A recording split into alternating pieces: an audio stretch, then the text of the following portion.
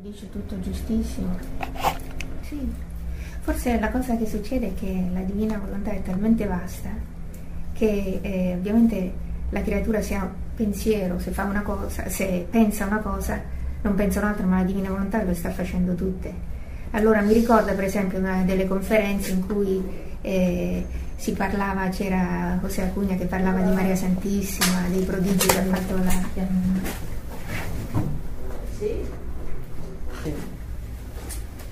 Sì, allora forse quello che intendevi tu, eh, non so se l'osservazione, la riflessione che sta facendo Carla, non è tanto dire eh, si può fare a meno di fondersi nell'umanità di Gesù, non è possibile, è soltanto che eh, siccome noi possiamo fare atti sequenziali e possiamo parlare di una, di una sola cosa al momento, eh, allora se ad esempio si parla dei giri nella creazione oppure di un'altra cosa, allora eh, ovviamente tutto questo è fatto soltanto, solo e soltanto perché l'ha fatto Gesù. Non è che noi possiamo prescindere.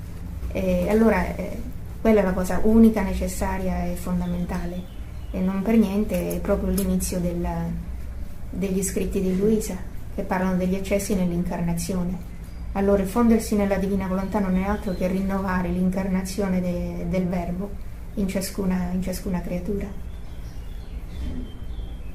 È chiaro questo? Sì, eh, cioè, avevo capito male allora... Eh, no, non che, esiste capire male, forse intendi... Che, che mm, eh, non è... cioè che è la, questo fondersi, questo girare, fondersi nell'umanità di Gesù è, è, è l'inizio e, e per me anche la continuazione. È, è, la, è l'atto, vabbè, se l'inizio continua, perché nella divina volontà vuol dire che l'atto primo, primario, necessario, quindi. è essenziale, senza del quale non si può fare nient'altro. Però quando si fa dell'altro, quando la creatura applica le sue potenze dell'anima a girare negli altri atti della, della divina volontà, ovviamente li fa solo e soltanto in quanto è unita all'operato di Gesù eh, è chiaro allora forse l'inizio, non un inizio che si interrompe, un inizio che è la condizione sine qua non, non si può fare altro nella divina volontà. E pare, mi sembra che sia, diciamo, chiaro, vero? Ma per quanto riguarda la creazione si può fare, cioè non... Per esempio, sì, scu- mi è venuto in mente, vi ricordate quando abbiamo fatto un giro nella creazione? Allora abbiamo all'inizio ci siamo fusi nell'umanità di Gesù e ci abbiamo messo un buon tre quarti d'ora per farlo in modo... Poi, eh, due ore dopo, stavamo facendo il giro nella creazione, sempre e solo perché è Gesù stesso che lo fa il giro nella creazione. Però qualcuno se n'è dimenticato, allora diceva ma scusa, noi stiamo parlando dei cani e dei gatti e Gesù no, Gesù è chiaro perché è lui che lo sta facendo in noi. Allora è la nostra memoria, no? è, la, è, la, priorità per dire, lo stiamo facendo solo e soltanto in quanto eh, Gesù eh, in tanti momenti della sua vita, anzi continuamente, eh, il suo modo di pregare era quello di glorificare il Padre per ogni cosa della creazione. E quante volte si è fatto dalla Giudea alla Palestina, alla Decapoli, ai monti dell'Ermone a piedi? E che faceva se non diciamo, girare e glorificare il Padre, riparare eh, per tutte le creature, dare gloria al Padre, unirsi, ricevere quel nutrimento, quella grazia eh, dalle cose create, perché altrimenti gli, gli uomini, eh, cominciando da me, i peccatori, noi gliela succhiamo, no? questa, questa, grazia, questa... E allora lui aveva bisogno di nutrirsi, quasi di... Eh, e dove lo trovava questo nutrimento, quell'abbraccio del padre e, e l'amore della mamma sua che magari si trovava a Nazareth lontano? Lo riceveva attraverso le cose create, attraverso tutto il creato. Allora questi giri nella creazione, eh, per esempio, no, giusto per fare un esempio, lungi dall'essere un superfluo esercizio romantico, sono proprio le preghiere e quello che faceva Gesù insieme a tantissime altre cose. E, eh, non, anzi, il volume 18 inizia proprio così: dare gloria al Padre per, le, per ogni cosa creata entra nel primo dovere della creatura agosto del 1925. Quindi eh, è importante eh, sapere questo. Ecco, però questo si può fare solo e soltanto in quanto la creatura è fusa con l'operato di Gesù. Altrimenti diventa un pio esercizio e una bella intenzione, però eh, non è la stessa preghiera nella divina volontà che, il, che Gesù rivolgeva al Padre, al, al, bene di tutte le creature. E quindi il fondersi nell'umanità di Gesù è sempre, è così come per vivere nella divina volontà l'incarnazione del Verbo è l'atto primario, necessario ed essenziale, il fondersi in questa umanità di Gesù per noi è un atto primario, essenziale e necessario per poter seguire tutti gli atti della divina volontà. Quindi ecco, volevo arrivare a Chiaro. questo, quindi noi entriamo nell'atto continuato con Gesù. Eh, entriamo nell'atto unico, soltanto che noi, Continuato, certo, certo. continuate unico, e quindi non è un inizio che si può fermare, è, è un- è- è, diciamo l'atto iniziale. Per esempio nel volume 28 eh, c'è eh, un, un passo in cui Luisa dice io mi trovo sempre eh, a girare nella divina volontà ma non posso fare a meno ehm, addirittura prima di entrare nella creazione eh, di eh, entrare in quell'atto in cui Gesù è presente nel seno santissimo e purissimo di Maria, di Maria e viene fuori alla luce in quest'atto dell'incarnazione. Allora eh, Gesù dice, vedi, io, ma perché non posso fare a meno di fare sta cosa? Dice lei.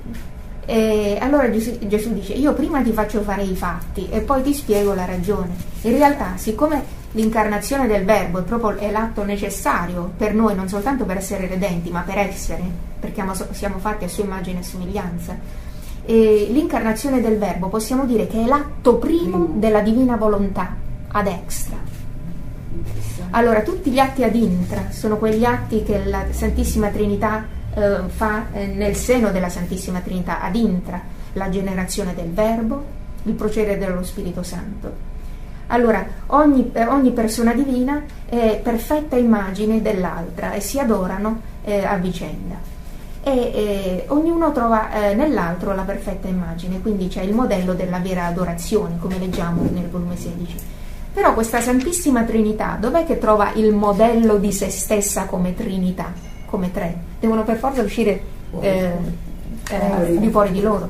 Per questo eh, non è bene che l'uomo sia solo, diamogli una compagna, non è altro che l'eco della Santissima Trinità, questo è nel volume 12, che dice non è bene per noi stare soli, dobbiamo fare, dobbiamo uscire fuori di noi.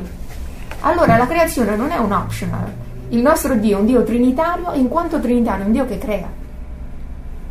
Per questo noi siamo eterni nella sua mente, perché in un certo senso siamo necessari al suo amore nella sua mente. Non è che lui l'ha fatto perché ne ave- avesse bisogno per aumentare la sua gloria, ma per eccesso del suo amore, per la natura del suo amore. È un, è un Dio che deve creare. Allora, eh, quando inizia a creare, qual è eh, l'atto primo della creazione? Qual è l'atto primo, eh, diciamo, qual è il primo atto ad extra? Che- bravissima, l'incarnazione del Verbo. Non è la creazione dello spazio del tempo, le- delle nebulose o delle sfere, no. L'atto primo necessario è l'atto che, eh, in cui la- ad intra il divino e l'umano si connettono, ad intra e ad extra si connettono, l'umano e il divino, l'increato e l'increato si connettono. Il- l'atto primo necessario per, per questa eh, congiunzione, perché la, divi- la Santissima Trinità esca fuori e questo L'umanità creato ecco, è l'umanità di Cristo. E- ed, è, ed è la condizione necessaria affinché tutto il creato possa essere divinizzato. Perché se prima non si umana un Dio, come fa il creato ad essere divinizzato? Come fa ad essere assorbito nella divinità? Se non ha come modello un uomo Dio? E allora eh, Luisa dice, eh, Gesù dice a Luisa, io ti faccio entrare in quest'atto dell'incarnazione perché è l'atto primo, è l'atto primo senza del quale non c'è vita della divina volontà nella creatura addirittura. Quindi lungi dal pensare che possiamo fare a meno di fonderci nell'umanità di Gesù, è la condizione, è l'inizio inteso come forse meglio detto principio, ma come principio eterno. Al principio era il verbo, il verbo era di- con Dio, il verbo era Dio. Il verbo si è fatto carne e ha regnato in mezzo a noi, adesso non so esattamente.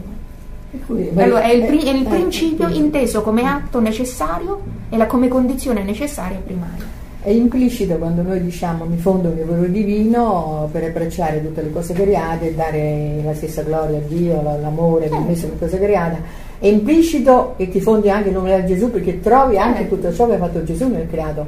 E no, non è necessario che io prima mi fondo parte per parte con Gesù e poi dico adesso vengo anche nella tua volontà Diciamo che, e, e dare gloria al Padre. Ecco, questa- questa- queste cose magari diciamo che noi eh, non potremo mai abbastanza fonderci parte parte con l'umanità di Gesù, nel senso che non potremo mai darlo ta- troppo per scontato.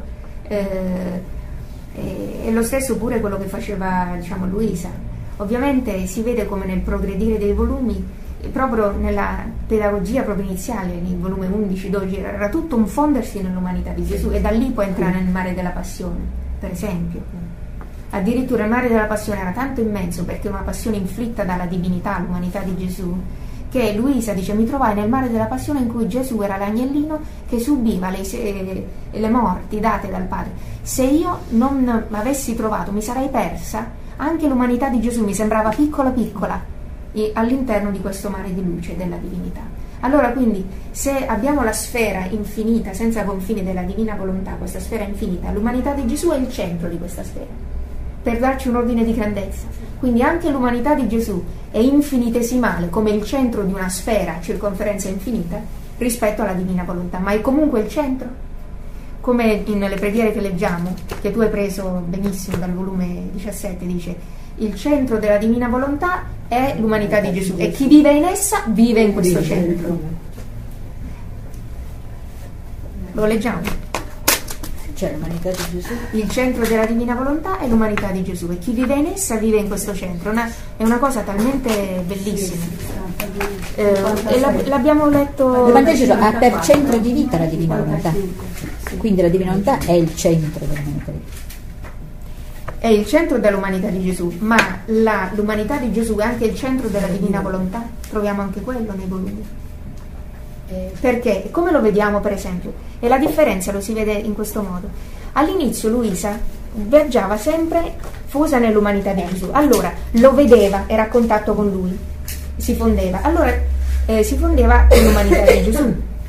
Allora però Gesù per poter eh, aiutare Luisa e darle la spinta a girare in tutti gli atti anche della creazione e della santificazione, tutti atti che lui nella sua umanità aveva comunque partecipato insieme al Padre e, al fi- e al, allo Spirito Santo, che cosa doveva fare? Dal volume 18 in poi, 19 in poi, troviamo spesso questo termine in cui diceva Gesù si eclissa, mi sento eclissata nella divina volontà.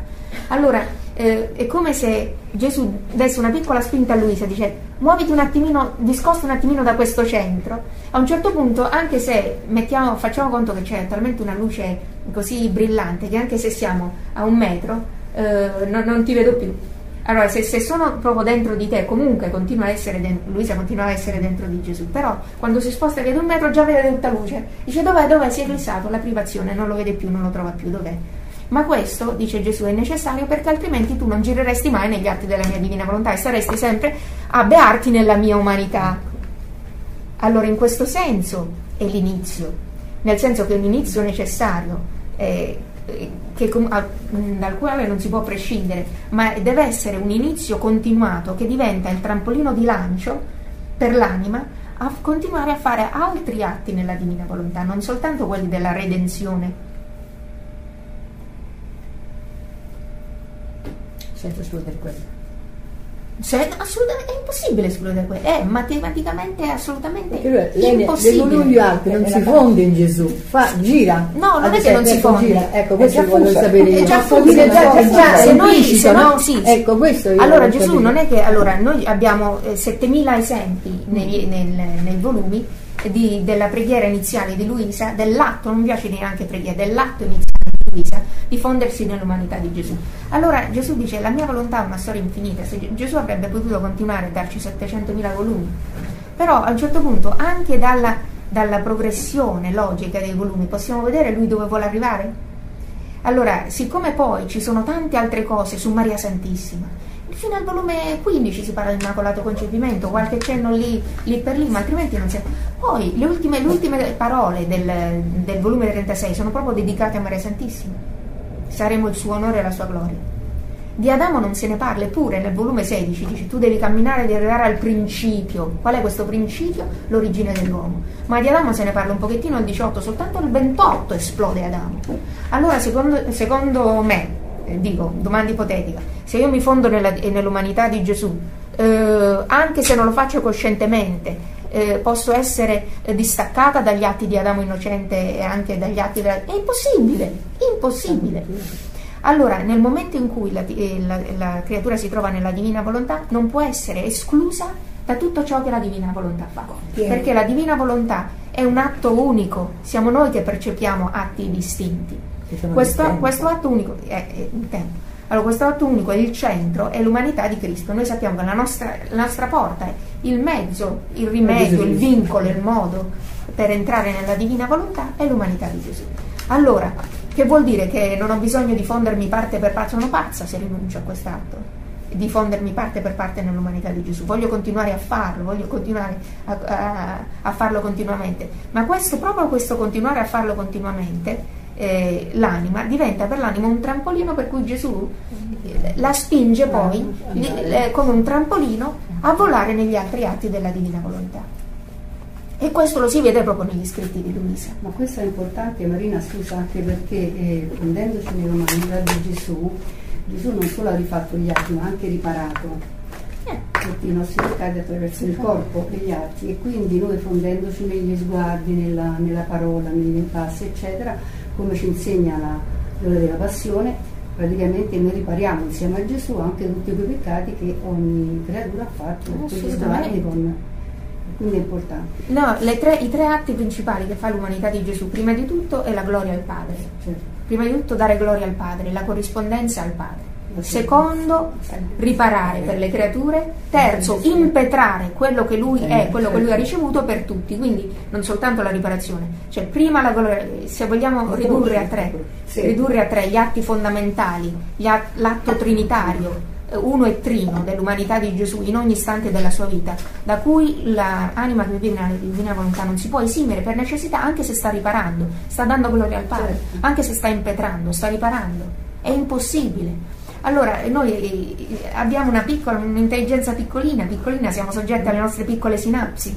E allora in questo senso, se facciamo una cosa, non abbiamo la coscienza dell'altra, ma nella divina volontà, quello che la nostra memoria nel tempo e nello spazio non può raggiungere è più che compensato dalla onniveggenza della divina volontà. Perché tutto è insieme, tutto si sta compiendo Questo è come il palpito respiro e la, la memoria. Ecco, Scusa Marina, gloria, riparazione, terzo. impetrazione. per le anime. Chiedere il regno. eh, La la croce. quella luce, quella grazia, quella Ecco, come la croce, la- prima la- l'asta verticale, poi quella orizzontale. Io ricordo una cosa che Luisa, quando faceva il giro, se ricordo bene, quando faceva il giro nella creazione dice non ho bisogno, cioè mi era facile. Poi è arrivato a un certo punto, quando dovevo fare i giri nella, nella redenzione, e, e Gesù ha detto, dice, devi fondere in me perché i miei atti sono lì sospesi. Ecco perché sono rimasta un po'... Io non lo trovo questo nel volume, adesso non so a tu che passo Io mi sembra di averlo letto. Anzi, no, mi sembra. eh, non lo trovo perché, anzi, Luisa ha prima iniziato a fare i giri nella redenzione. E poi, e poi Gesù nel volume 19, 18 in poi esplode la creazione. Troviamo i prodromi del giro nella creazione, eh, del primo passo che parla della creazione, è il 20 febbraio del 19 del volume 12. Prima di quello c'è un accenno, eh, ma quello nel volume 2 quando parla, sì, sì, ma di nulla proprio. Eh, proprio per stare a significare che nonostante la creazione sia diciamo il primo fiat e la redenzione sia il secondo fiat e la santificazione del terzo e siccome è Gesù l'atto necessario che unisce l'umano al divino allora eh, comunque inizia con l'umanità di Gesù. Allora mm, anche se le cose sembrano capovolte Gesù prima gli parla della redenzione di fondersi in sé e di questo riparare per tutte le creature. Quindi Luisa diventa prende dimestichezza o- odierna, minuto per minuto, nanosecondo per nanosecondo, a fare gli atti di riparazione, eh, atti, diciamo, giri nella redenzione. Quando questo per lei è diventata natura, allora Gesù comincia a eclissarsi un pochettino, dice adesso ti voglio dare una spinta, dice guarda entra nella mia volontà, vedi, vedi che ci sono questi atti della creazione, dice ma io non so che, che fa la tua volontà nella creazione, metti il tuo ti amo, vedrai che, che ti si rivela, Eh, perché questo è quello che faceva anche la mia umanità. Allora, eh, non, non- non solo quello, ma poi è, è cominciato dal volume 19 in poi a fare anche i giri nei mari di Maria Santissima, perché sono anche questi atti della divina volontà presenti nel divin volere. Anche, quindi la divina volontà vuole la creatura che vive in essa a farle compagnia in tutti gli atti. Allora questi sono gli atti della redenzione, poi gli atti della creazione, gli atti di Maria Santissima e gli atti della santificazione dello Spirito Santo, gli atti di Adamo innocente. Luisa. Vabbè, qui stiamo parlando di quelli che faceva Che fa Luisa. Luisa. Ovviamente adesso Luisa per noi ha, possiamo dire che eh, Luisa è il secondo anello di congiunzione, per cui eh, Luisa pone il suo atto primo, per ogni atto che noi facciamo, Luisa ci mette il suo suggello così come c'è quello di Maria e di Gesù. Quindi eh, Gesù nel, nel quattordicesimo volume le dà la spinta e dice vai, vai, sbrigati, sbrigati perché devi mettere il tuo suggello. Vogliamo gli atti triplici. Gli atti triplici, così come questi atti sono stati fatti da Gesù e da Maria, ci vuole il terzo timbro, l'atto 1 e trino di Luisa. Adesso questi atti uni, uno e tri, uno unici e, e trinitari sono stati fatti, allora ciascuno di noi li può fare unendosi, così come Maria e Gesù sono eh, unico anello di congiunzione, noi diventiamo unico anello con Luisa.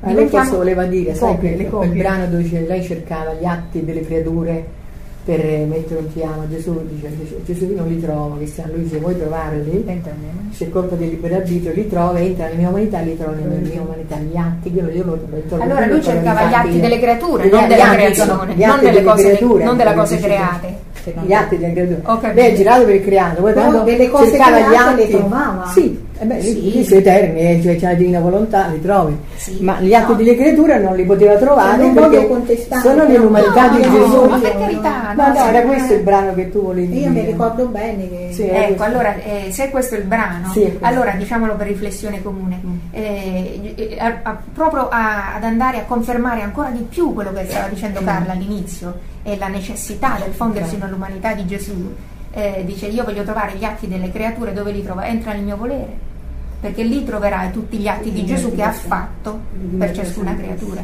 E lì ti puoi unire alle riparazioni che fa, più quelli di Maria Santissima ovviamente. Allora il punto è che possiamo andare avanti, eh, avanti, e dietro perché una persona può dire una sola parola allo stesso momento, ovviamente se dice Gesù, un altro dice, ovviamente anche Maria, se dice il Padre, ovviamente anche lo Spirito Santo. E funziona sempre così. Io sono stata a conferenze su conferenze dove una persona aveva, José Luis Acugna, aveva passato due giorni fantastici sul fondersi nell'umanità di Gesù, che stavano tutti a bocca aperta. Il terzo giorno ha parlato, ha iniziato a parlare della creazione. Eh, ma Gesù dove? Ma un attimino, non è che possiamo, non è che possiamo parlare di 70.000 cose allo stesso tempo. Allora, l'importante è avere le cose in prospettiva e anche a farsi aiutare dalla, da, da come si svolgono i volumi. Se uno ha un'idea e dice qual è, qual è, quali sono le cose di cui Gesù inizia a parlare per vedere qual è la cosa essenziale non necessariamente a livello cronologico, ma a livello proprio di necessità di atto primo da cui dipendono gli altri a livello logico, non cronologico. Pedagogico.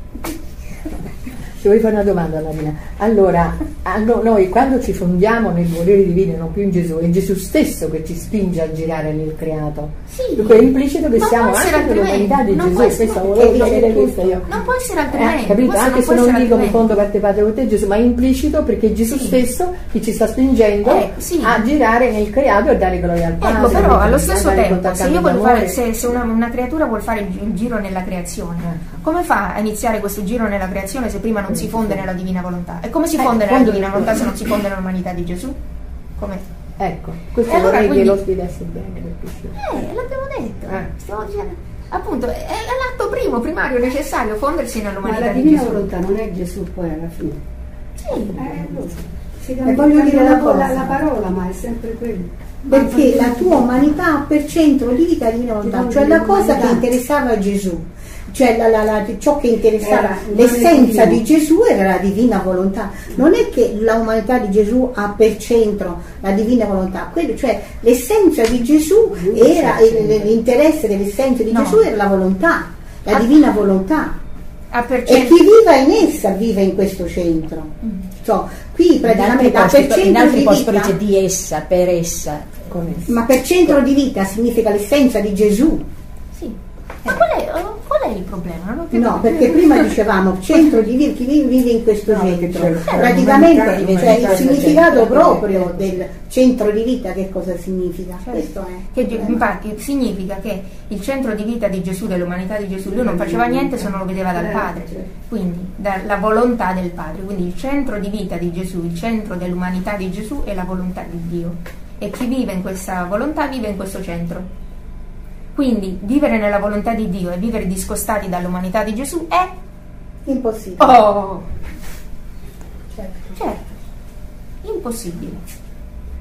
impossibile. Proprio per questo. Qualsiasi forma prendiamo nel pregare, sempre quello è. Questo perché Ecco, questo è il bello, questo è il bello. Chiedo scusa. No, no, no. Questo è il bello, quando Gesù, quando.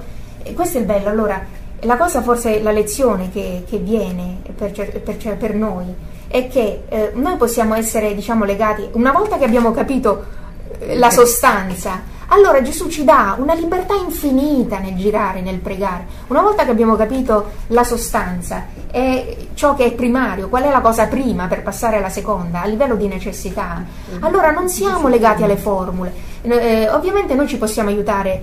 Ci- le anime nella divina volontà ce ne sono di miliardi di tipi diversi, ci sono le svampite della divina volontà come me, ci sono le altre nella divina.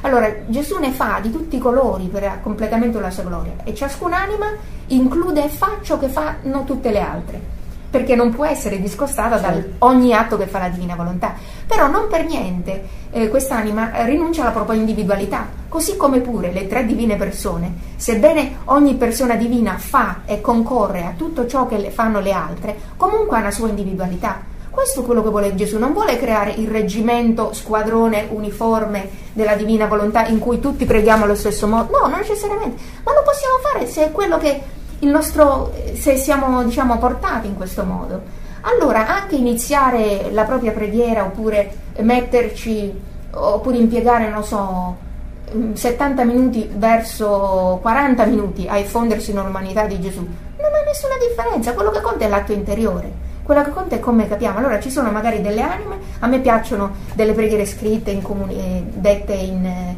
insieme. Quando però mi trovo a dirle da sola, mh, la mia mente gira. Allora preferisco andare a fare la svampita della divina volontà. Però quando siamo in gruppo è una cosa bellissima il fatto di diciamo, mostrare anche questa armonia, questa ordine, non soltanto bella, ma necessaria.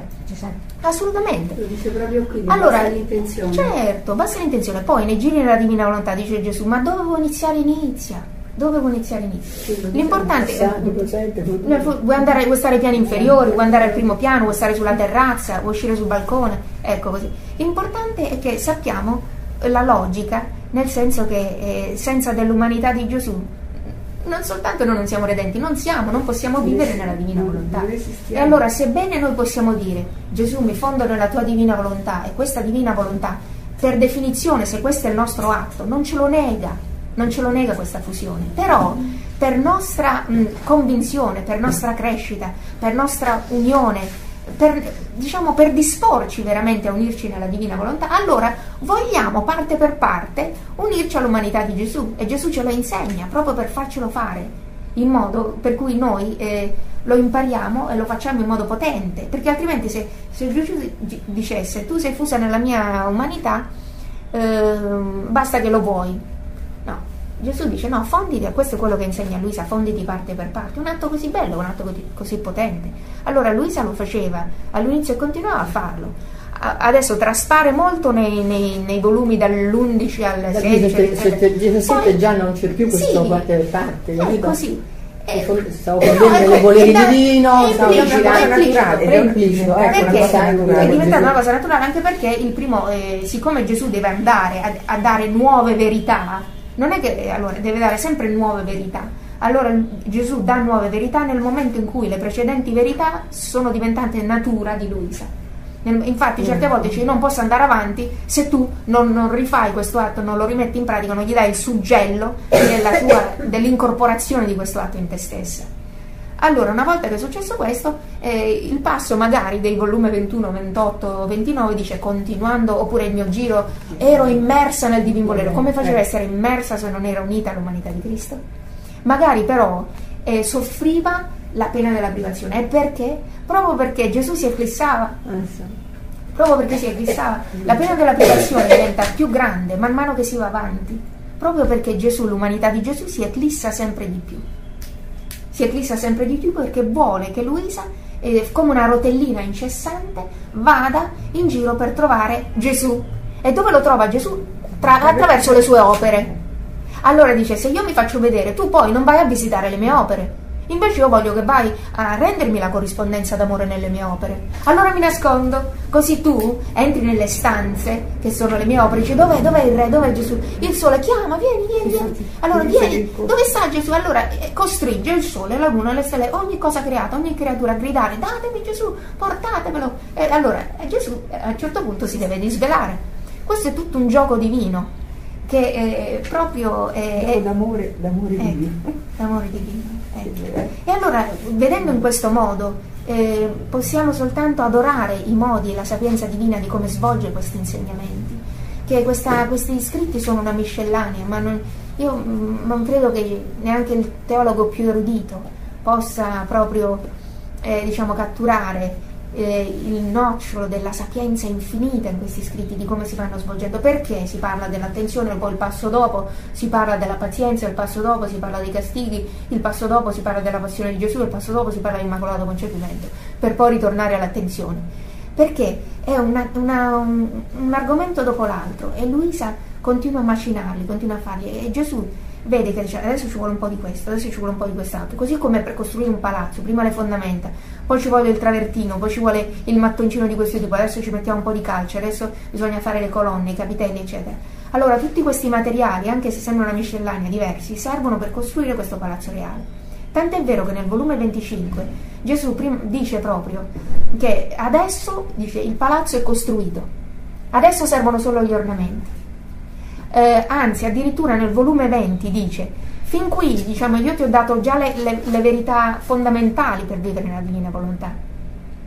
Diciamo che comincia a mettere eh, le decorazioni, gli abbellimenti, e poi dal 25 in poi, che, che sono dei, dei volumi che sono di per sé forse i più lunghi, i più Lunghi, potenti, lunghi, sono lunghi che sono quelli il cesellare, mettere le, mettere le ultime decorazioni.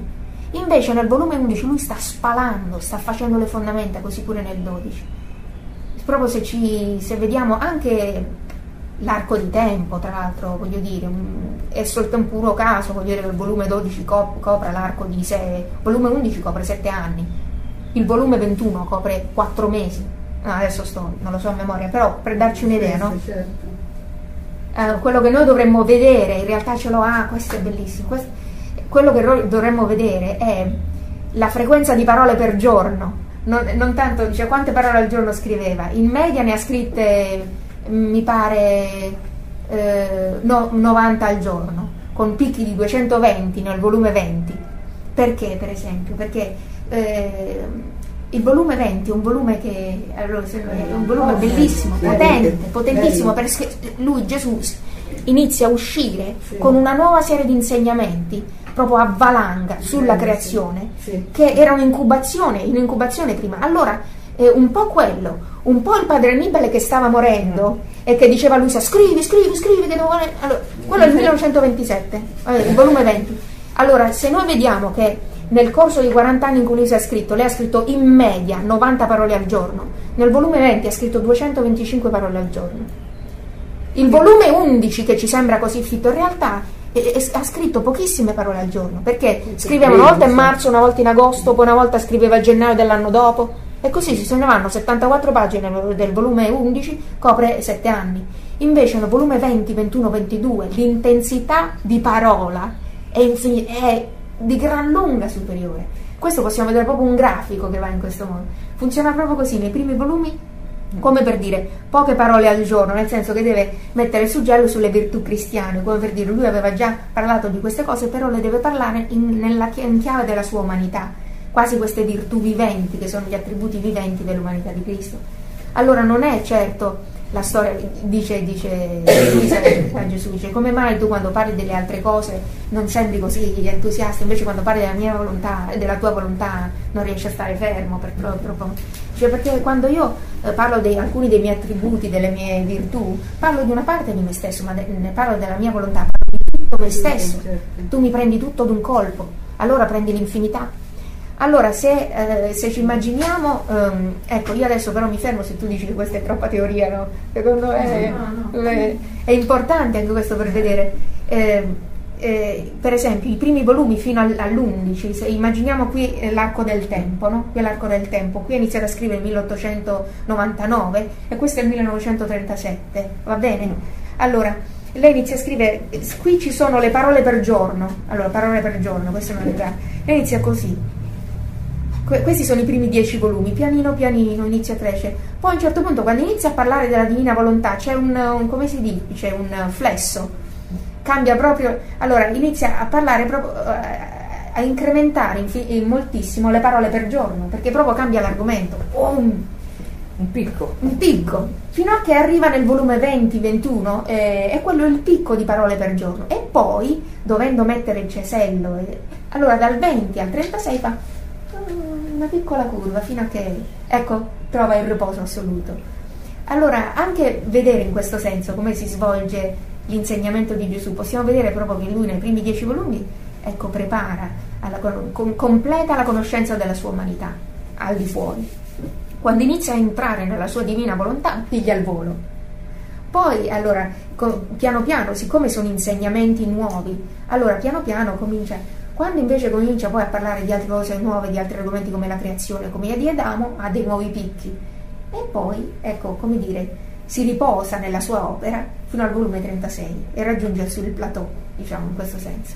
Marina, questo mi fa pensare alla natura. L'inverno, cioè le L'inverno tutti i volumi fino a È bellissimo quello che dici. L'interiore e poi dopo esplode nella primavera in tutta la sua grandezza. È stupendo quello che dici, proprio le, infatti ci possiamo trovare proprio le stagioni. Infatti, No, in- in, questa progressione dei volumi, in realtà noi ci troviamo il creato, Sì. ci troviamo la sapienza divina che è la stessa sapienza che opera nel creato, con l'armonia, con l'avvicendamento delle fasi naturali della vita.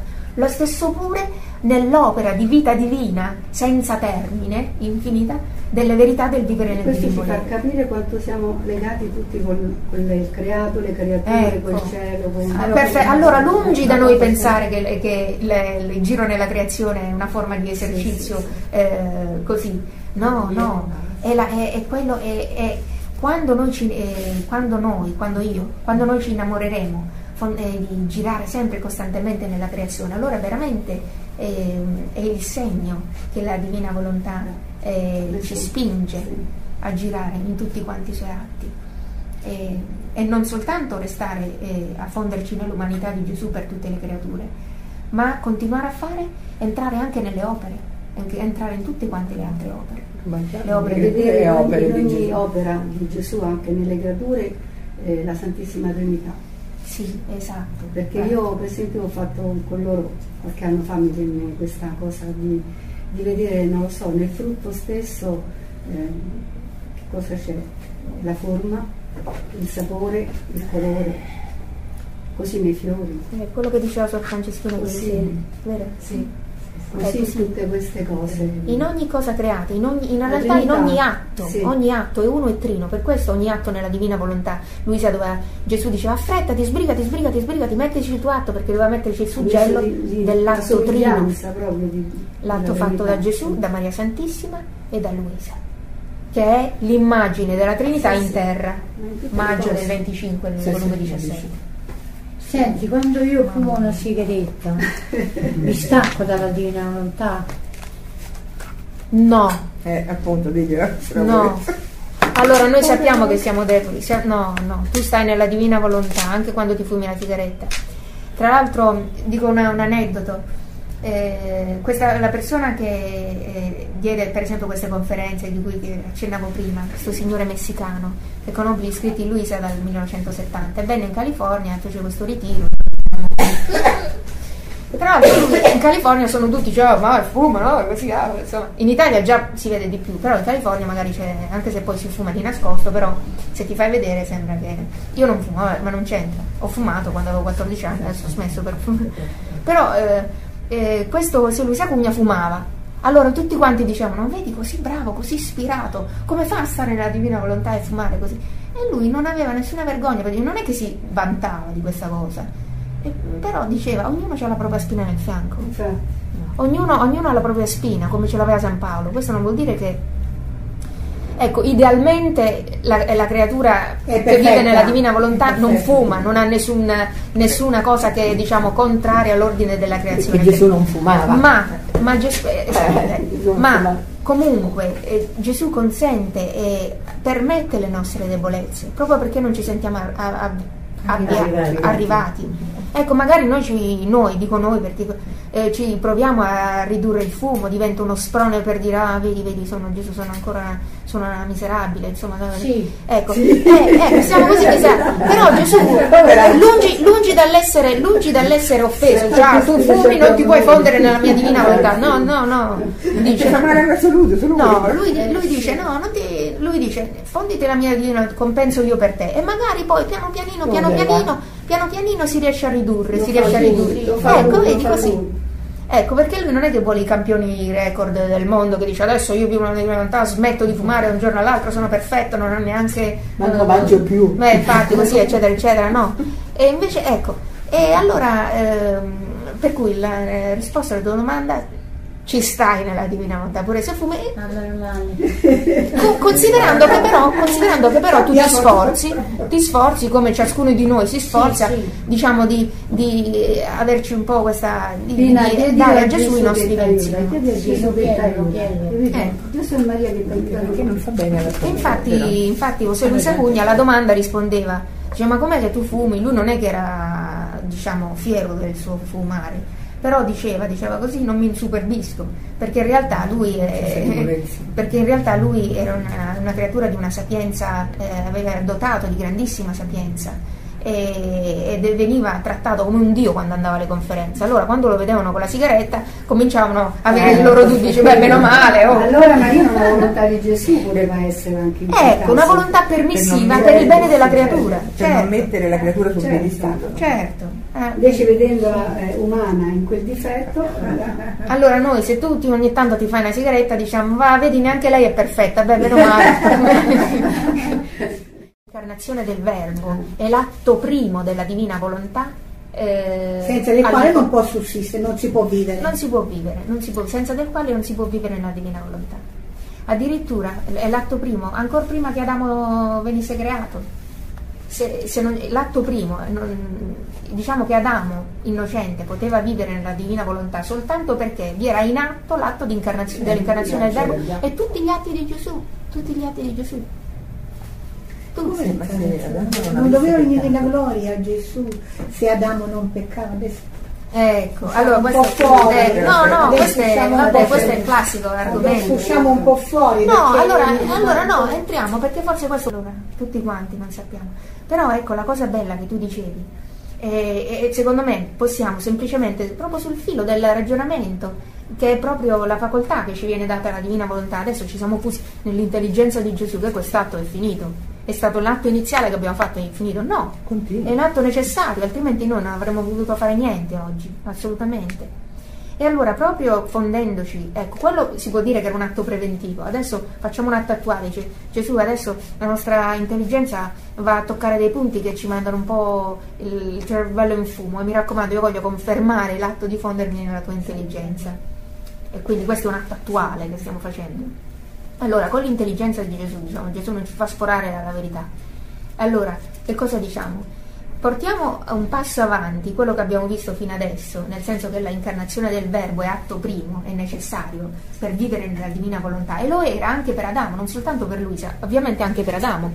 Non c'entra niente il fatto che Adamo nel tempo eh, sia stato creato prima che il Verbo si sia incarnato, perché nella divina volontà è tutto un atto unico. Bene. Allora noi dobbiamo vedere in questo cerchio della divina volontà, non vedi- scordiamoci del tempo, il tempo è una creatura, come il fiore.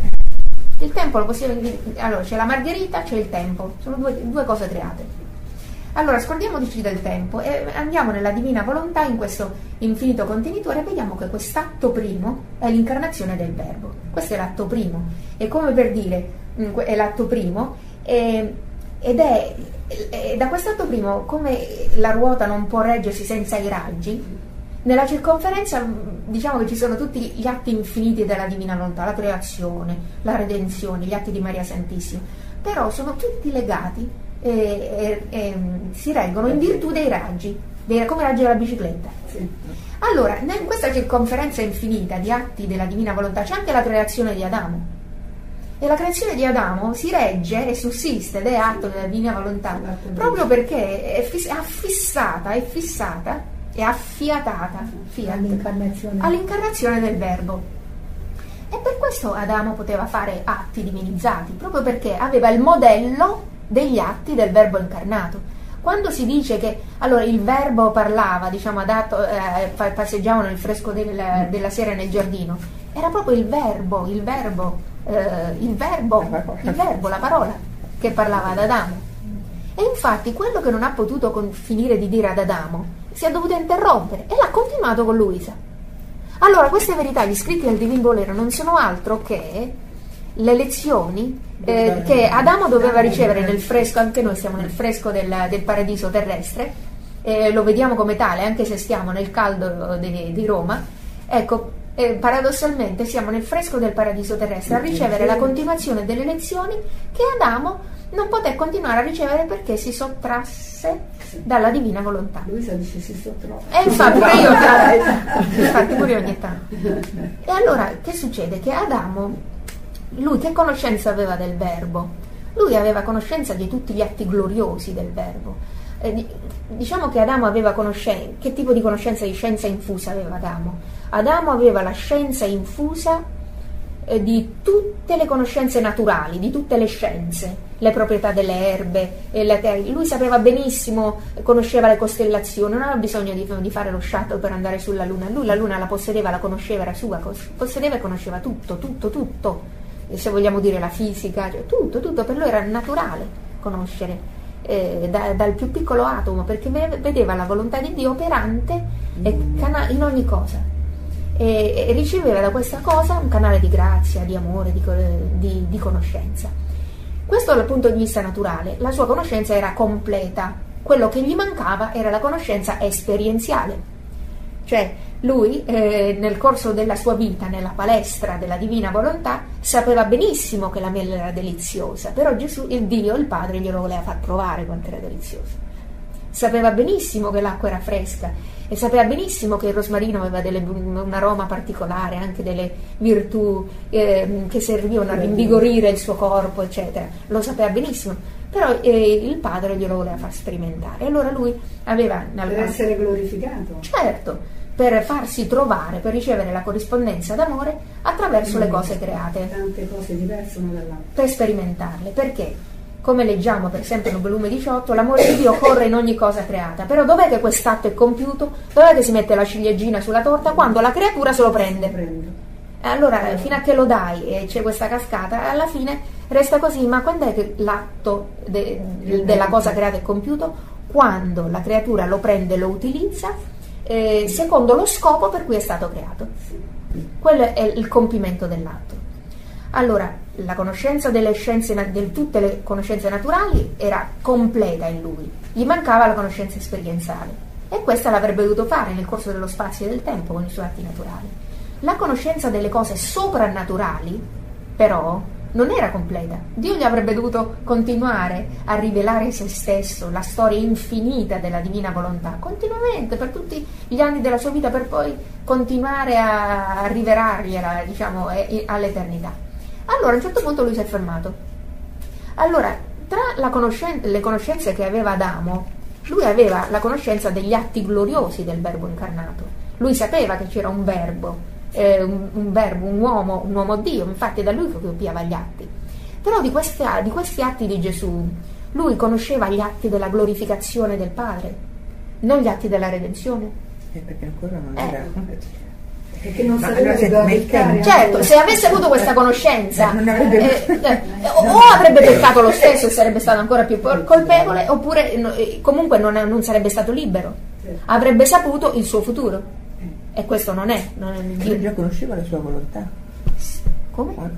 Quando- Dio gli ha dato l'intelletto, la memoria e la volontà. Sì, E prima che peccasse, lui la sua volontà era nella volontà divina. Sì. La conosceva, lui sapeva sapeva di questa volontà che poteva fare No, sì, sì, ma infatti certo, quello, eh. vivere nella divina volontà, infatti nel volume 18, 19 si parla di non sai i voli, i voli che faceva nella divina volontà il primo padre Adamo, eh, nella luce immensa della divina volontà, Lui sta dicendo un'altra cosa. ecco, no, io dicevo un'altra cosa, perché lui Lei diceva, era già, fu- sapeva era già fusa, Adamo, eh, era se sapeva fu- già Adamo che avrebbe peccato, volevi intendere No, questo? no, dico, lui la facoltà di avere, lui la conosceva la sua volontà, perché la Madonna nel suo concepimento subito sapeva di avere una volontà umana, avere una e- volontà e umana e quindi subito ha messo questa sua volontà nelle mani del padre no? per fare solamente la volontà divina invece Adamo era stato creato con Già fuso. già fuso, Esatto. questo, già fuso con la aveva coscienza di avere Sì, una sì. volontà umana? ma c'aveva la, cosci- la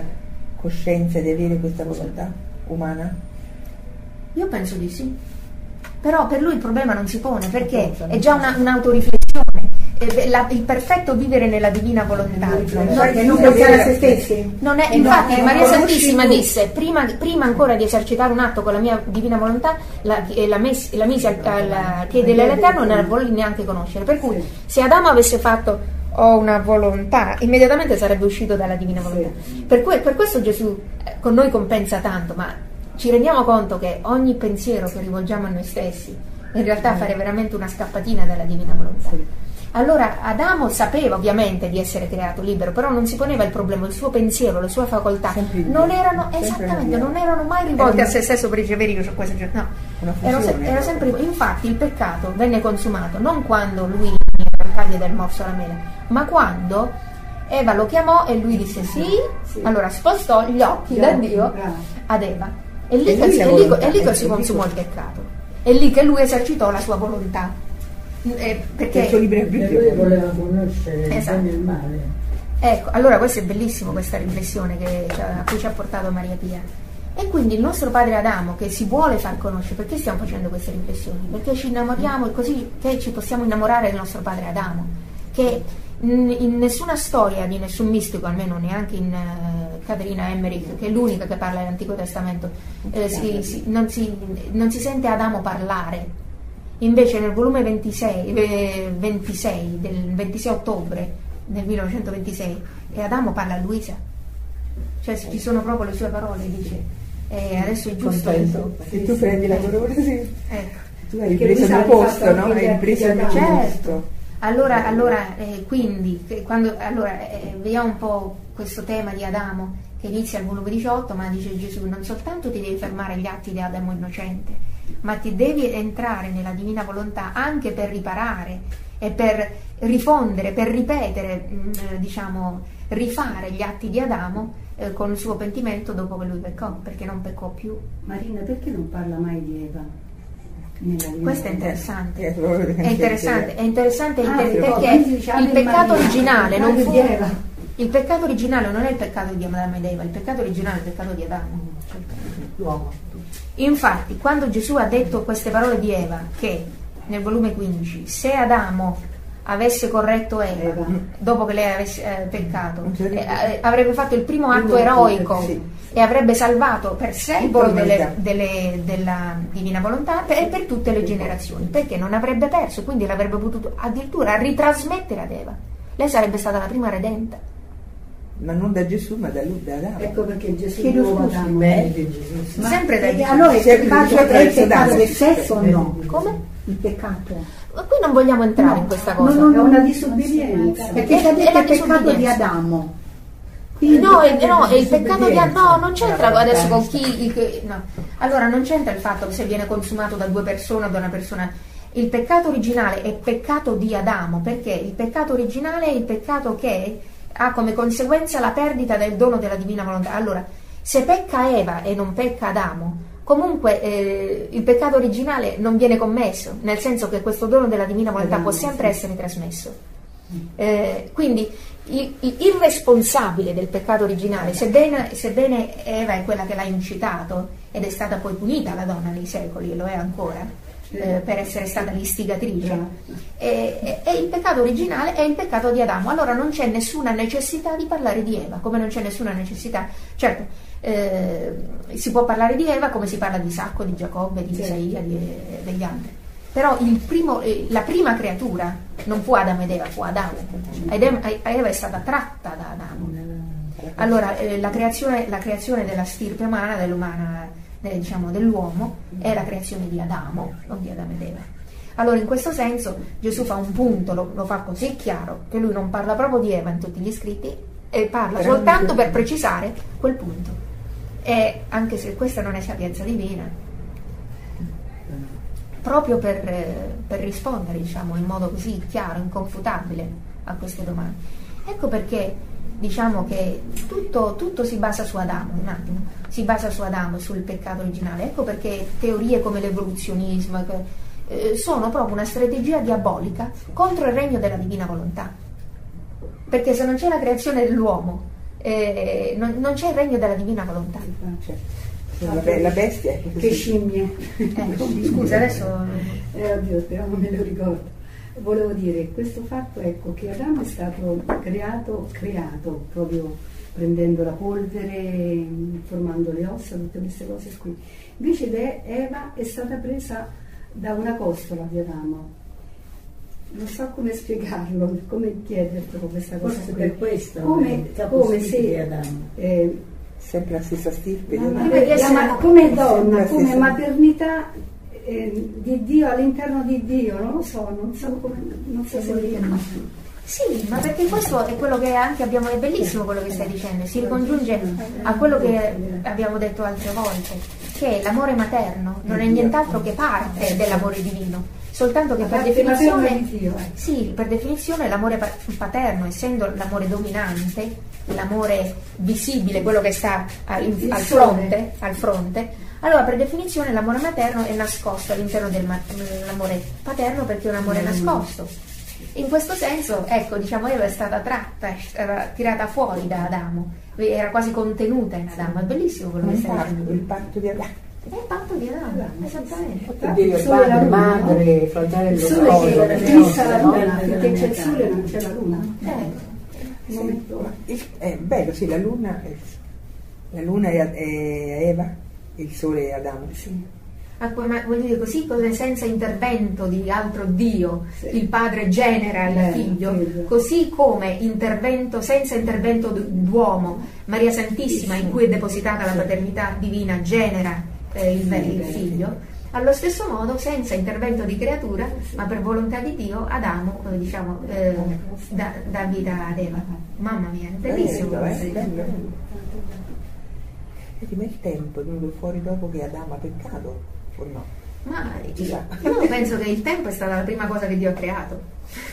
Adamo aveva nel tempo che no, sì, essendo essere eterno però, l'eternità. No, Adamo viveva nel tempo. Ecco appunto come ha creato finché non era crea- stato creato Adamo. Ah, ho capito Questo quello che vuol dici. dire, Cioè il tempo No, nel- perché nella- ci sono i, i sei giorni della creazione e Adamo è stato creato al, al sesto giorno. Per cui, eh, c'era questo tempo. Sì, eh, quindi, quindi la domanda potrebbe essere quando è stato creato il tempo? Eh. Eh, il tempo è stato creato, è bellissimo, il tempo è stato creato quando Dio ha detto fiat lux, cioè al primo giorno della creazione. Certo, eh, certo, come è stata la creazione è venuto fuori il tempo. E in realtà il, tempo, non il tempo non è altro che la, con- la conseguenza delle leggi naturali. Eh, perché prima, diciamo, la Genesi dice tutto era. ehm, Maria Franca ci diceva che Era- Caos. lo spirito- che aleggia sulle acque. Stai qui. Sto scherzando, fammi, fare Questo vuoto. Ha parlato di cose troppo serie, adesso voglio scherzare. No, no, no, è troppo bella questa cosa perché. Eh, cioè è bello tutte queste riflessioni che lo Spirito Santo ci fa. E secondo me queste cose ci fanno conoscere meglio, ci fanno, danno dimestichezza del tempo in cui viviamo, della divina volontà, delle cose che fa, di come opera la divina volontà. Se impariamo come opera in un, in un- in un atto, capiamo come opera in tutti gli altri modi, in tutti gli altri atti. Qui fa sempre le stesse cose. Eh, no, allora, se impariamo come, qual è la logica della divina volontà, allora impariamo proprio il modo di operare divino. Allora, questo è il bello. E, e, vedi che già Gesù ci ha portato dalla fusione con la sua umanità, ci sta portando a, dare, a glorificare il Padre. A- siamo già passati nella creazione dell'uomo, siamo passati eh, nel tempo, e siamo passati in Adamo, siamo passati nel- a riparare. Abbiamo fatto tutto, senza neanche accorgercene. Siamo passati attraverso, ecco, per cui è bello Io anche avere il coraggio di lasciarsi andare Sì. e, e di, eh, dopo eh, che ci siamo fusi in Gesù, dire adesso mi sono fusa con la tua intelligenza, adesso fammi conoscere come opera la divina volontà, perché io devo operare con questa divina Eh, volontà. lui lo vuole però, Eh, questo vuole. Se io eh, devo guidare una Porsche, devo eh, sapere esattamente, più dei meccanici eh, de- della Ferrari, Certo. come io apro, apro il cofano, lui faccio so esattamente come funziona. Capito? Il più perito, il più perito dei meccanici. E questo, se, se la divina volontà è questa, eh, questo operare così perfetto, così armonioso, con questi attributi, con queste decine di migliaia di pistoni infiniti che sono tutte le qualità divine, eccetera. Allora, la, una volta che la creatura impara come funziona, la sa utilizzare, la sa guidare dovunque la voglia andare. Allora, stavamo dicendo... Cosa bellissima, no? un quadro bellissimo. Sì, no, che poi voglio dire, siccome Gesù usa, eh, usa, la natura, usa gli aspetti naturali per eh, le conoscenze spirituali, lo stesso pure possiamo fare noi. Anzi, è l'unico modo per noi per poterlo fare. E infatti, come dire, ehm, i greci, i pagani no, della filosofia greca era quella tutta teorica, così, e invece, eh, come dire, eh, Dio ha iniziato a parlare al suo popolo proprio parlandogli di pesci, di terra, di sabbia, di cose, di acqua, di fuoco, quando poi latte, miele, tutto. Eh, metti questo in una tragedia greca e sei fischiato dall'inizio, cioè voglio dire, è proprio una cultura diciamo dell'uomo, dell'umana volontà, del paganesimo che cerca di fare la sua filosofia, invece la pedagogia perfetta di Dio e lui conosce tanto le cose create, eh, conosce la natura e la utilizza per parlare di se stesso, cosa che, che l'uomo non può fare. Posso dire una cosa a proposito di latte e miele?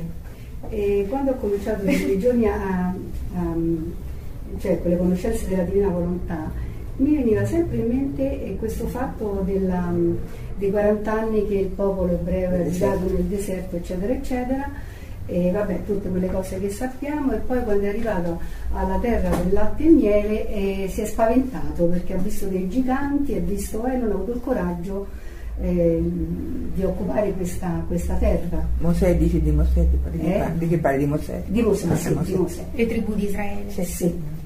A ah, me è venuta questa, non, non, lo so, mi è venuto questo pensiero un po' come eh, così, chi si avvicina alla divina esatto. volontà, no? dopo aver fatto tutto questo percorso, questo popolo, eh, Dio, eccetera, eccetera, compreso diciamo ai nostri tempi, quando arriva la divina volontà magari tante persone vedono questi giganti come grandi difficoltà e non accedono a questa terra di latte e miele.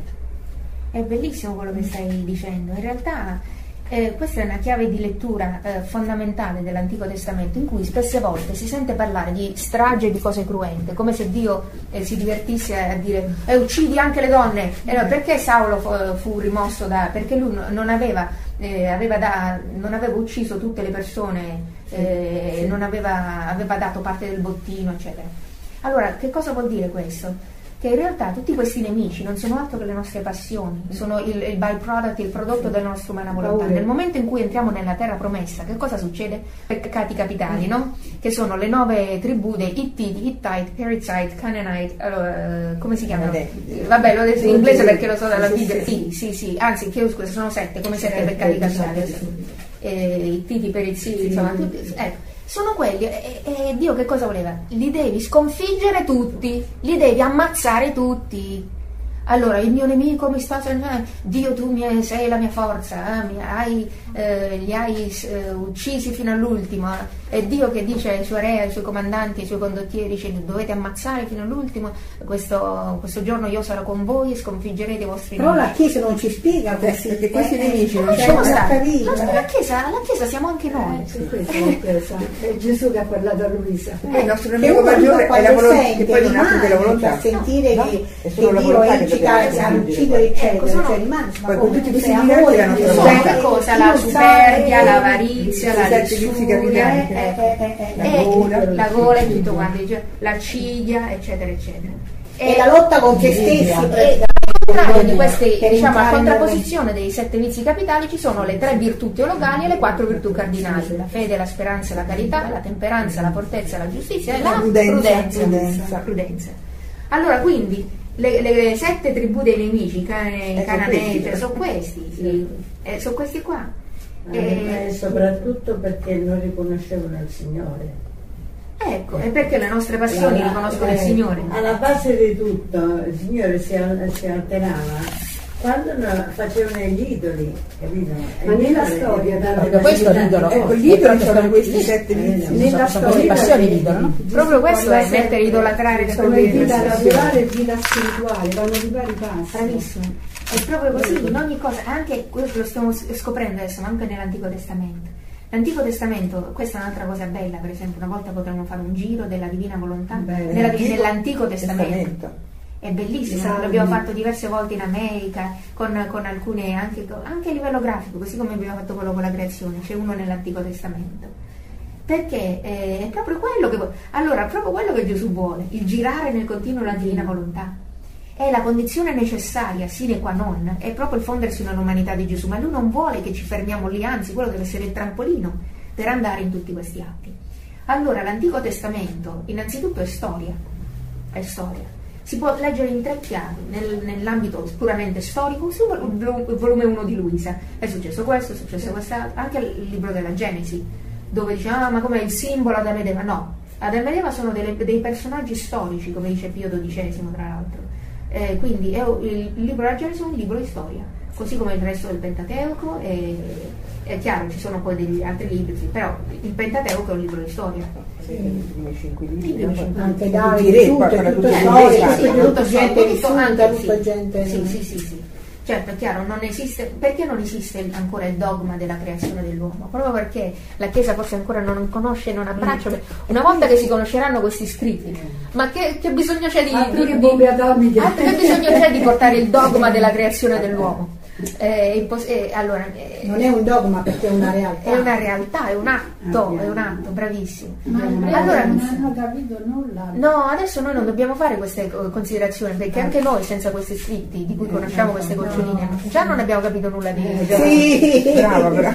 Però il, pre- il sacerdote, così come ciascuno di noi nel momento in cui ha queste piccole cose, questa conoscenza, eh, tutti diciamo, possiamo eh, avere queste, diciamo, questo- queste conoscenze. Proprio sono le conoscenze che si stanno facendo largo nell'ambito della Chiesa universale. Ecco, indipendentemente da laico o, o Sì, secolare sì, sì. oppure religioso. E quindi l'Antico Testamento è, un- è una, diciamo, storia, poi si può leggere nell'ambito redentivo, per esempio la manna parla della Eucaristia, eh, tutte queste cose qui ovviamente, no? la parola di Dio, tutte queste cose qui. Il significato allegorico. il significato diciamo eh, a livello redentivo. Redentivo. Però la stessa cosa, tutto l'Antico Testamento, oltre a essere storia, è successo questo, questo e questo, oltre a essere prefigurazione della venuta del Messia che redime, e questo e quest'altro, attraverso la storia del, po- del popolo scelto, e anche parla della storia della divina volontà. Infatti dice tutte le figure dell'Antico Testamento non sono altro che figure del re- dei- del- della mia divina volontà, la fede di Abramo, eccetera, eccetera. E quindi anche per esempio in atti, per dire, no? Quando ehm, ecco, gli israeliti chiedono un re, Noi- loro avevano i giudici, no? Avevano i giudici che erano dei capi militari, avevano diciamo potere militare, però non erano dei re. Dice, le altre nazioni vogliono chi era il giudice? Era mm, eh, il profeta eh, che poi nominò Saulo come primo re, adesso non mi viene in mente. Vabbè, dai, lo spiego. Samuele, Samuele, eh, bello, Samuele, Samuele. Samuele, Samuele. Samuele dice, Samuele dice, dice a Dio, dice, il popolo vuole un re, vuole un re? Mm, Sì, perché vogliono un re come le altre nazioni, ma fagli sapere come li tratteranno i re, e mandanno- manderanno i mariti alla guerra, eh, gli metteranno un sacco di tasse, li sfrutteranno, dice, e guardate che Dio dice così, voi continuate a volere questo re. No, noi vogliamo un re, vogliamo un re, perché volevano essere così, volevano copiare altri stili, altre nazioni. Allora Dio come atto permissivo gli dà questo, questo re. Eh, però in realtà è come dire, eh, noi nella nostra umana volontà a volte vogliamo dei re, abbiamo bisogno delle regole. Per esempio, spesse volte, adesso con rispetto parlando, anche gli ordini religiosi vengono fuori da atti permissivi della divina volontà perché abbiamo bisogno, diciamo, di, di- Di regole. ma non, non soltanto gli ordini religiosi, anche le nostre regole nel modo, eh, nel modo civile. no? Ordine. Lo so. Sì, perché l'umana volontà ha bisogno di mettersi dei binari. Però questo eh, originariamente non era voluto da Dio, è, è dato come atto permissivo. E allora dice, a voi volete un re? E prendetevi questi re. eh, iniziate diciamo, a, a, a indossare i vostri uniformi e a sottomettervi a questo e quest'altro. Però diciamo, questo non, non, è necessariamente la volontà voluta, è una volontà permissiva, ma Dio l'ha concessa perché sapeva che doveva comunque tornare utile. Allora, se noi vediamo anche questi atti nell'Antico Testamento, come per dire l'unico re deve essere Gesù nella divina volontà, dice io sono l'unico re, sono l'unico direttore. Ecco. Anche nella rivelazione parla del dominio di noi stessi, bisogna essere re a noi stessi, quindi dominare le nostre passioni, i nostri... Adesso veramente basta. Sì. grazie a Dio, grazie. Gloria, gloria. In questo cibo spirituale. Sì, grazie.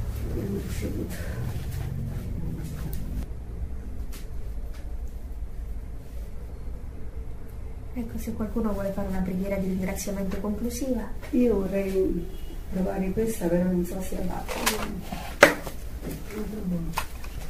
Sì, o spontaneo, o poi letta. Trovo questo Gesù dentro, vedi, te l'ha data a Dio. Grazie. Allora, pagina 59. Grazie. Abbiamo parlato di fusione in Gesù, Perfetto, non possiamo che concludere fondendoci in Gesù di nuovo. in Gesù di nuovo. Bravo, bravissimo. Gesù, io entro, Io entro in te e mi trasformo in te. Voglio riempirmi tutta di te e prendere tutto ciò che in te ritrovo per operare con te il tuo stesso operato. Voglio andare da tutte le creature e da ciascuna dare tutto ciò che insieme abbiamo operato. Voglio dare a ciascun uomo la tua vita divina e poi ritorno subito in te, perché per tutti ti voglio pregare. Tutti vengo a scusare e per tutti vengo a riparare e ad amare per tutti io voglio saziarti d'amore, o oh amore mio, e a nome di ogni creatura voglio io darti la tutta la gloria che tutte dovrebbero darti. 238 la benedizione della Mamma Celeste, 238 Ave Maria, piena di grazia, del Signore con te, tu sei benedetta fra le donne benedetto il frutto del tuo seno Gesù. Santa Maria, Madre di Dio, prega per noi peccatori, adesso e nell'ora della nostra morte. Amen. Sovrana Regina, vivendo nella divina volontà, ti chiedo per me e per tutti la tua santa benedizione scenda essa come celeste rugiada sui peccatori e li converta, sopra gli afflitti e li consoli, sopra il mondo intero e lo trasformi nel bene, sulle anime purganti e smorzi loro il fuoco che le brucia. La tua benedizione materna sia regno di eterna salvezza a tutte le anime nella divina volontà, Maria Santissima ci benedica, ci preservi da ogni male e noi il suo fiat. Regina del divino volere, prendimi sulle tue ginocchia materne e insegnami a vivere solo di volontà divina. Nel nome del Padre, del Figlio e dello Spirito Santo. Amen. 1929 10 febbraio 29 e del volume 25 chi vive nel voler divino gli presta il suo nulla sgombrato dove il fiat se ne serve di spazio per esercitare la sua creazione stavo facendo il mio giro nella creazione per seguire tutti gli atti che il fiat divino ha fatto e sta continuando in essa. Non solo, ma la mia povera mente andava rintracciando tutto ciò che il divin volere aveva fatto in Adamo e in tutte le generazioni, prima e dopo la redenzione. Mi pareva che tutti gli atti dalla divina volontà, dalla divina volontà, tanto nella creazione quanto nelle creature, erano più che soli, cui io dovevo seguire, abbracciare e farlo mio.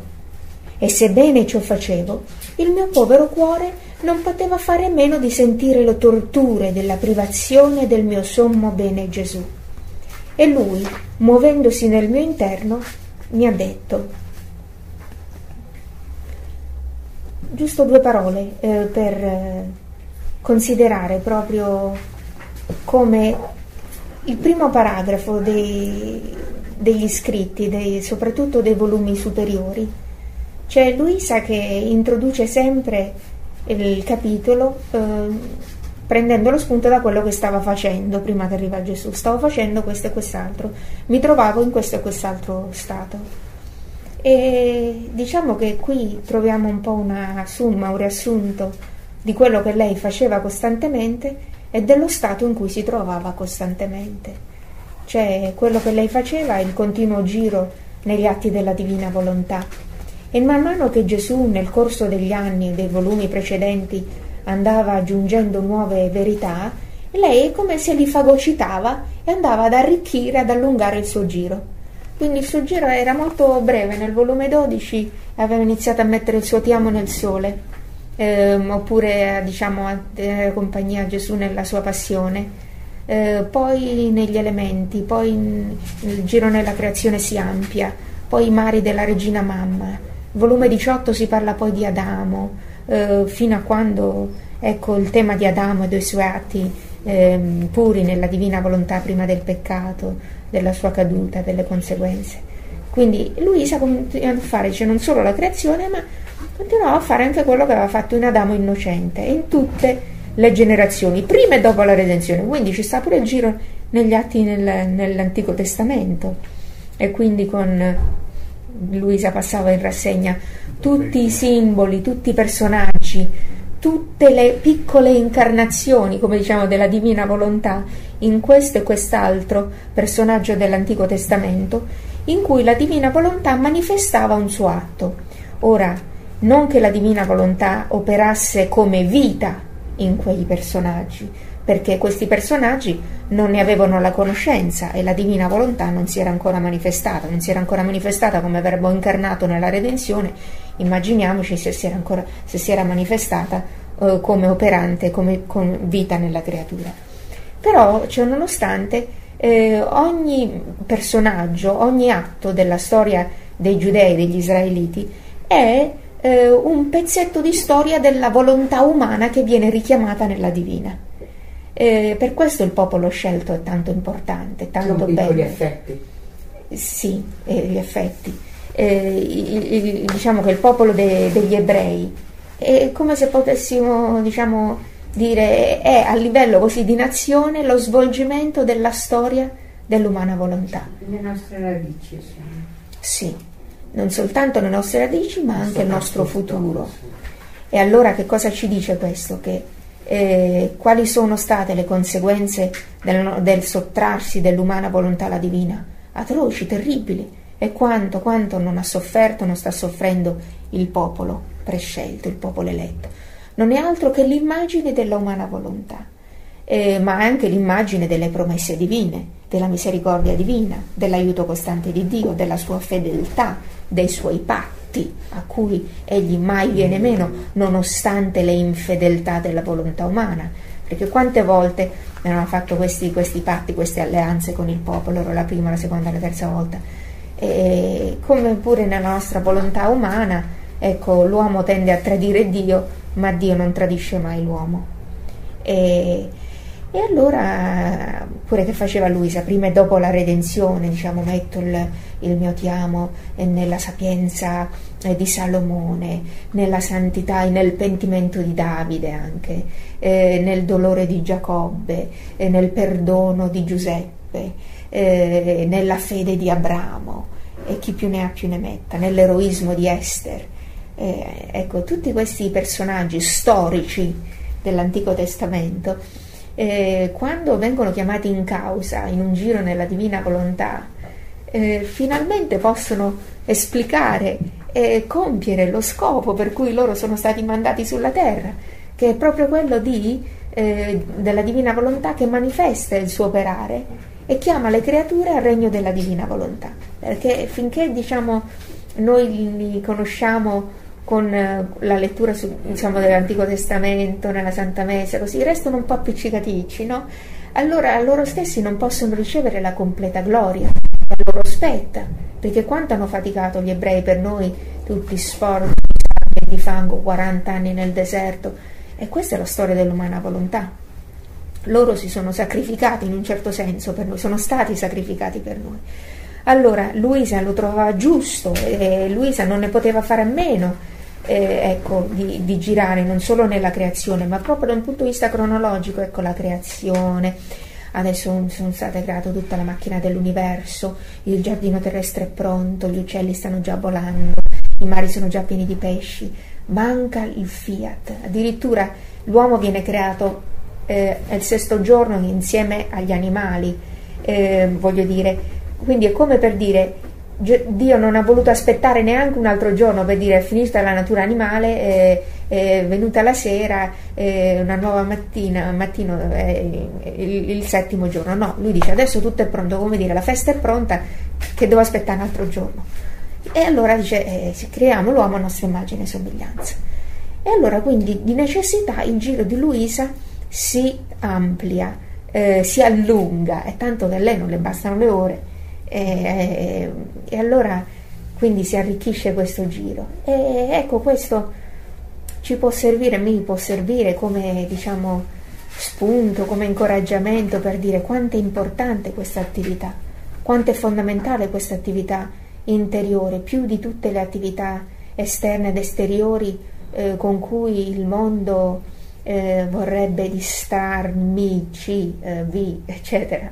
Eh, e allora invece, ecco, Luisa mm, stava facendo il suo giro e anche non solo, ma anche gli atti di Adamo e di tutte le generazioni, prima e dopo della redenzione. Ma Luisa come lo faceva questo giro? Nella, nella beatitudine eh, costante oppure no? Eh, vediamo un po', il mio poro cuore questi atti erano come dei soli che dovevo seguire, abbracciare e farlo. Sebbene ciò facevo il mio povero cuore, non poteva fare a meno di, sentire, di sentire le torture della privazione del mio sommo bene. E quindi Luisa, eh, diciamo che continuava anche il suo stato di sofferenza in, questo, in questi suoi giri. Eh, però diciamo che eh, più soffriva, più sentiva la privazione di Gesù e più veniva tirata da una calamita potente a continuare questi giri.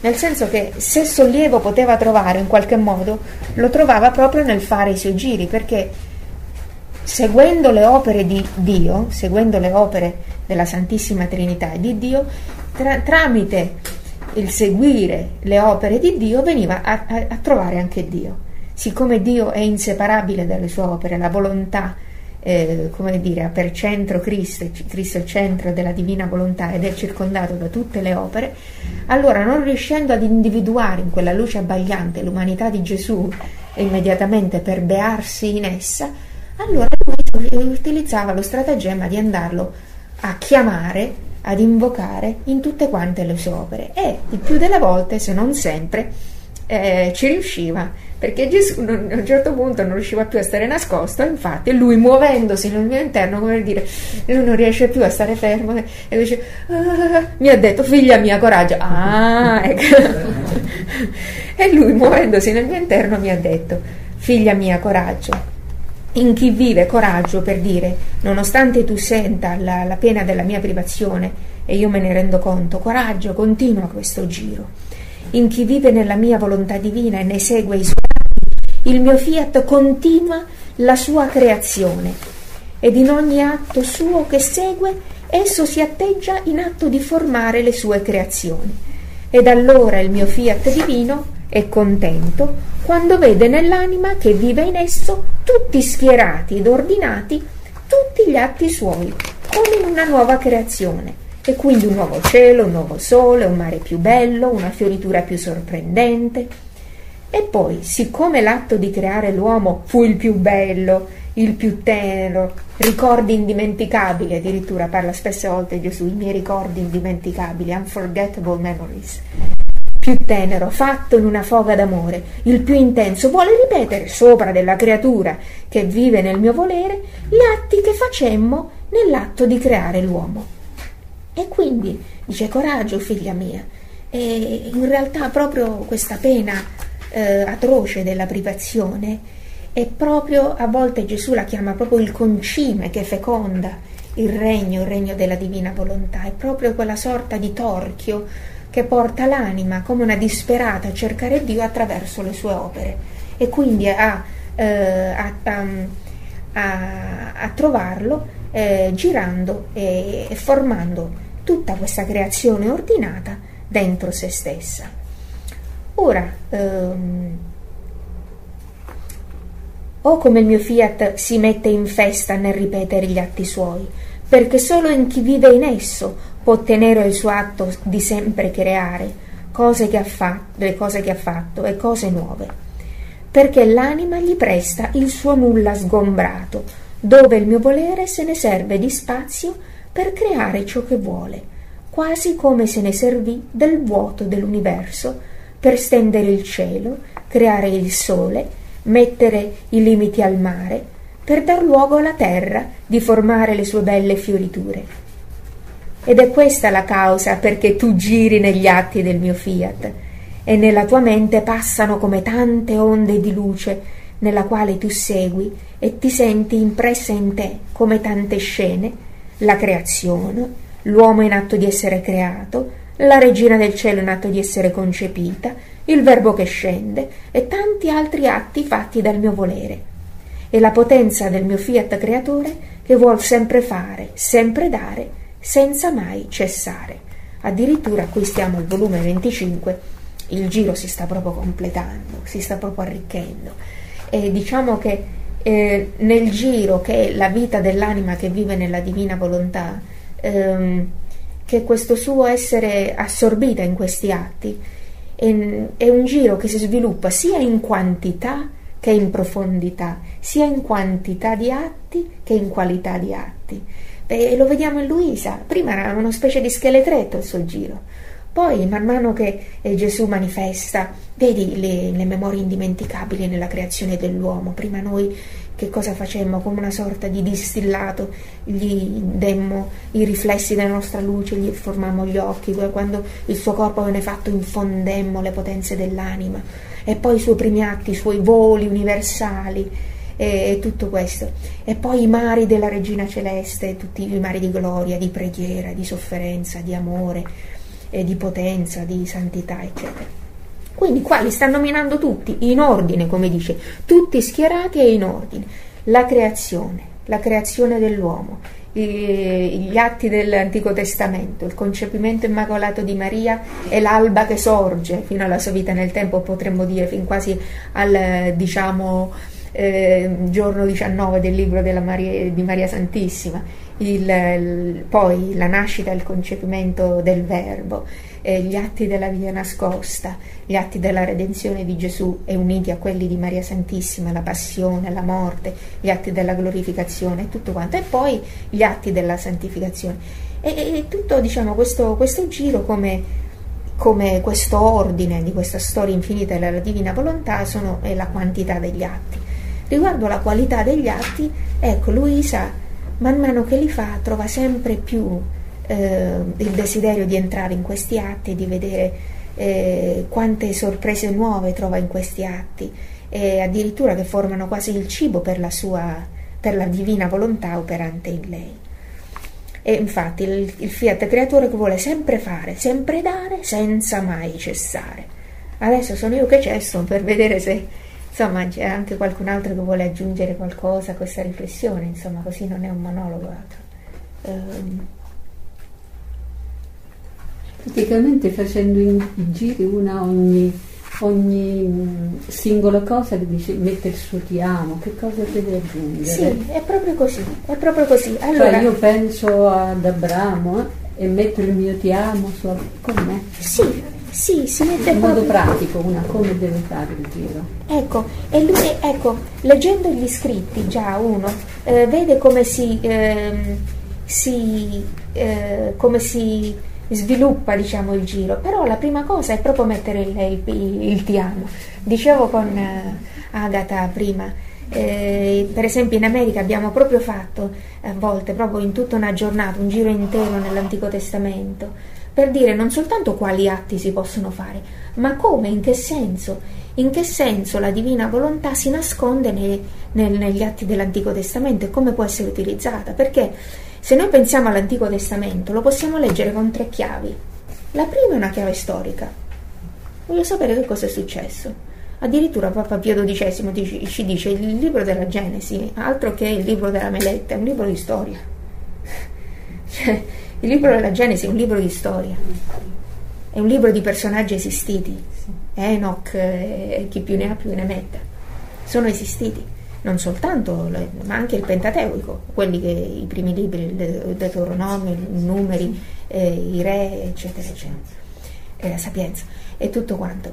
E quindi si può leggere da un punto di vista storico proprio la storia del popolo eletto, che succede? Allora il- la caduta dell'uomo e poi, eh, poi la promessa della redenzione e poi ancora quelle scelleratezze che inducono Dio a portare il castigo su Sodoma e Gomorra perché gli uomini e le bestie si erano confusi. E, e poi la chiamata di, di- vabbè, prima l'arca di Noè e poi la chiamata di Abramo tra i discendenti dei Semiti e poi eh, la terra promessa e tutto quanto. Questo è proprio un libro di storia che ci può far vedere proprio la storia di Dio che eh, si punisce, però eh, ha sempre la sua, nella sua mente diciamo, la sposa che è l'uomo e l'umanità e la vuole salvare. Poi da un punto di vista della, della redenzione, tutto nel- nell'Antico Testamento ci parla della promessa di questo Redentore che deve venire. Addirittura da tutta l'umanità viene scelto un piccolo popolo, così almeno si sa che da quel popolo e in particolare dalla tribù di Giuda dovrà venire questo. E quindi ci sta Davide, poi ci sta Salomone, poi ci sta quello, figlio di quello, figlio di quello, figlio di quello. Addirittura proprio il primo primo libro, il primo capitolo del- di uno dei Vangeli, dice Gesù, eh, 14 generazioni da Adamo a 14 generazioni per dire questa è la storia e qui eh, viene proprio il Redentore per dire questa è dalla storia alla redenzione, tutte le figure, dalla manna che prefigura la Santissima Eucaristia, eh, dalla- dalla- dalle leggi che prefigurano la nuova legge che Dio vuole scrivere nel nostro cuore, eh, tutte le cose, tutti gli atti dell'Antico Testamento prefigurano proprio la venuta del Cristo la- della- e la redenzione. Quindi questa è la seconda chiave di lettura. La terza chiave di lettura, che è la grande sconosciuta, è proprio quella della divina volontà, in cui proprio Gesù ci dice tutti gli, i personaggi dell'Antico Testamento sono figure del regno della divina volontà. Ecco, quando si parla della, eh, del diluvio universale, per esempio, eh, sì, è un diluvio che veramente è successo storicamente, prima chiave di lettura. Eh, due, seconda chiave di lettura, è un diluvio meritato per i castighi, eh, Giustizia. per la giustizia. Tre, terza chiave di lettura, eh, si- se pensiamo come si legge in uno dei volumi, eh, forse il 28, il 29, alle, come dire Gesù, alle inondazioni, alle inondazioni che la divina volontà vuol fare e in tutta l'umanità, le inondazioni degli atti, le inondazioni delle verità. Allora, se, se noi pensiamo al regno della divina volontà come a un diluvio, un diluvio, queste inondazioni di luce, di verità, allora quando eh, passiamo per il diluvio universale, noi diciamo vieni diluvio, il diluvio del terzo fiat. E quel terzo diluvio, eh, lungi dall'essere semplicemente un atto che mm, è dovuto mietere molte vittime, molta parte dell'umanità, oppure un atto di giustizia implacabile divina, diventa proprio eh, una manifestazione della divina volontà che si può rimettere in atto per inondare tutte le umane generazioni con le inondazioni della divina volontà. Eh, Allora questo è soltanto un piccolo esempio, però ecco noi, man mano quindi che conosciamo, possiamo fare arricchire il nostro giro nell'Antico Testamento. Però eh, quando noi già leggiamo, sentiamo la prima lettura alla Santa Messa che è presa dall'Antico Testamento, se no semplicemente diciamo, ecco, in tutti questi personaggi dell'Antico Testamento diciamo, vedi, io non ti conosco tanto bene, però io voglio adorare la divina volontà operante in te. E tu non avevi potuto ricevere la divina volontà come vita, Mosè oppure Giacobbe. Io adesso prendo la divina volontà operante in te e la voglio costituire atto, un nuovo atto di vita. E con questo nuovo atto di vita, questa nuova creazione, ti voglio inondare pure a te e tutti i personaggi dell'Antico Testamento, così ci, ti troverai non soltanto gli alleati di tutti i santi, ma tutti i personaggi dell'Antico Testamento che faranno il tifo per te e faranno la schiera continua di tutti quanti i, sangi, i, i santi e, e, poi anche gli angeli che eh, vorranno aiutarci a vivere nella divina volontà. È come per dire l'unità del divin volere diventa sempre più compatta e anche queste cose che sembrano distaccate, che sembra che non abbiano nulla a che fare, no, re, rientrano tutte nel piano di Dio del regno della divina volontà, perché lui ha fatto tutto ciò che ha fatto alla fine, il suo scopo principale è il regno della divina volontà. Anche quando ha dato i comandamenti, come no? Eh. Allora, quando l'uomo non aveva bisogno di leggi, ma quando un bambino, eh, diciamo, fa un po' eh, il, il monello, non è che gli puoi dare le responsabilità o gli, o gli devi cominciare a dire questo non si fa, questo non si fa. E Dio ha dovuto fare la stessa cosa, ha dovuto ricominciare a manifestare la divina volontà da zero, come se noi non conoscessimo, infatti non conoscevamo più niente. Allora per Adamo era stato un blackout e allora Dio che ha detto ah, ci metteranno dei millenni a capirla? Fa niente, riprendiamo da zero. Tu le dita al naso non te le metti, tu questo non lo fai. E poi e viene ovviamente la redenzione, dove c'è la parte della misericordia, della carità, della beatitudine. E allora tutto il completamento di tutti gli atti, eh, ma a me piace pensare pure, de, non lo so, i cavalieri e i cavalli, charioteers, gli egiziani, no? che vengono trattati come dei poveri disgraziati, no? In realtà loro, Dio, per far eh, splendere ancora di più la sua gloria, l'ha reso cocciuto il faraone, in un certo senso. ecco. Eh, come detto? Gli ha indurito il cuore. Gli ha indurito il cuore, va, eh, da un punto di vista eh, proprio la traduzione italiana. La, la, proprio, allora, in un certo senso, quello che noi vediamo come delle responsabilità individuali, in realtà noi non, sospendiamo il giudizio. È Dio che per far. Perché, que, perché quello è nato cieco, pur non avendo colpa? È nato cieco perché la mia gloria potesse brillare. Allora, perché il faraone stato, era così, gli è, gli è, stato indurito il cuore? Perché Dio doveva mandare tutti eh, quei castighi lì e ancora poi alla fine doveva spaccare le acque e il popolo eletto ci doveva passare in mezzo e quelle migliaia di poveri soldati egiziani devono andare dentro. Allora, io mi piace pensare che loro, eh, quegli egiziani, nel momento in cui stavano per affogare, hanno avuto quel momento di verità, dice, oh, è vero il popolo eletto, oh, è vero, hanno avuto quella luce, quel momento del piano di Dio e loro, eh, nell'istante in cui sono morti, pagani e brutti quanto volete, eh, hanno avuto la possibilità di essere martiri per la redenzione. Quante sorprese avremo noi? Quante sorprese avremo?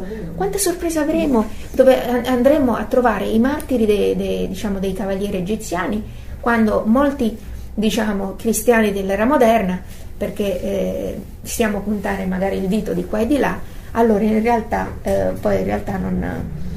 Eh, mi, mi, è piaciuto molto, adesso non vorrei sforare, però eh, mi ha toccato molto quel commento che ho sentito ieri a Radio Maria eh, anche perché pure a San Francisco si fa questa marcia contro per la vita, eccetera, eccetera, oppure marcia per la pace. E c'era un commentatore eh, di Radio Maria che diceva, anche il padre Livio, Livio dice molto, eppure nostra Madre Santissima Meggiugori, lei raramente dice marciate, fate, dite no. Lei dice, ma pure a, al padre Gobi dice eliminate tutte le attività che non sono essenziali. Lei dice non dice scrivete, reagite, fate, lei dice pregate, pregate, pregate. Allora questo in realtà come ci fa capire? Dice io, diceva questo, questo commentatore, io, eh, eh, dice in realtà eh, sono un po' perplesso eh, quando i cristiani vogliono, diciamo eh, in un certo senso, utilizzare le armi del mondo per eh, Ecco, da un punto di vista, alcuni dicono no, bisogna lottare con le cose del mondo, allora loro parlano, noi dobbiamo gridare più forte, eccetera, eccetera. Però alla fine pare che questa strategia non paghi mai. Perché tutte le volte che Gesù ha detto, Gesù ha detto porgi l'altra guancia. Eh, non è che bisogna essere fessi e non eh, reagire, non dire niente, però ecco, ci possiamo rendere conto in linea di massima quale sia la strategia di Maria Santissima e quella di Gesù e anche quella di Luisa per il regno della divina volontà. E allora... Ehm... Ma se permette, la cosa più terribile l'applicazione della divina volontà quando durante la passione la Vergine e tutti quanti noi abbiamo detto crocifiggio per me quello è stato il massimo di mettere in atto la divina volontà perché ha voluto da noi una cosa che ogni volta che arrivo a quel punto per me è assurdo che l'abbia detto e che la Vergine Santissima l'abbia detto, però per la divina volontà l'hanno dovuto fare. Sì, sì, e se non l'avessimo detto, guai a noi. Eh, però è terribile, comunque è terribile, comunque è terribile. Quando arrivo là e quindi, diciamo, eh, ritornando poi al, al, al, tuo commento, alla tua riflessione, certo, sì, noi possiamo mettere il piccolo ti amo, così è iniziato il giro di Luisa. Eh, ma non è che voglio dire io quello che si deve fare, ho no, chiesto in che modo pratico farlo. In, in questo modo, nel modo più semplice possibile, il modo, diciamo, che viene alla creatura secondo le proprie conoscenze, oppure dire Gesù io non conosco tutti, così come non conosco tutte le specie di pesci sulla terra, così non conosco tutti i miei fratelli e sorelle dell'Antico Testamento, però io ti voglio glorificare, ti voglio ringraziare e voglio eh, amare la volontà di Dio operante in tutti questi esseri, sia animali ma umani dell'Antico Testamento, e li voglio chiamare a partecipare a questo mio atto. Allora, più di così, eh, e insieme a loro ti voglio chiedere eh, il regno della divina volontà. Allora questo è quello che faceva Luisa, insomma, eh, eh, quindi in tutta la creazione, il mio giro in tutta la creazione, perché poi Luisa era molto sofferente, non è che Luisa si metteva a fare tutte queste lugubrazioni mentali, no, no, e lui sarà, e lui sarà sofferente. Lui sa... Questo è il 10 febbraio del 29. Il suo giro nella creazione, per esempio, a volte lei diceva al piccolo ti amo, a volte diceva ti faccio compagnia, a volte, ecco, a volte diceva ti riconosco. Nel pio peregrinaggio, no? Sì. Un'altra cosa che dobbiamo pure tenere presente è che per esempio, soltanto nell'ottobre del 26, nel volume 20, per la prima volta Luisa dice eh, fa chiedere alle cose create il regno della divina volontà. Quindi non è che comincia subito così, voglio dire. Eh, lei all'inizio ci metteva il suo piccolo ti amo, allora dice eh, più, più, ci mette il ti amo, più le conosce, più ne prende il possesso e più può assicurare questa dimestichezza, addirittura che si sente di poter dare voce e ragione alle cose create, dice adesso ti faccio fare quello che voglio io, che voglio, voglio il regno della divina volontà. E quindi non è detto che noi diciamo ci dobbiamo eh, eh, stressare a cercare di fare tutto. L'importante è che noi facciamo anche un piccolo atto, in quest'atto sono eh, diciamo, inclusi tutti gli altri. Ecco, ehm.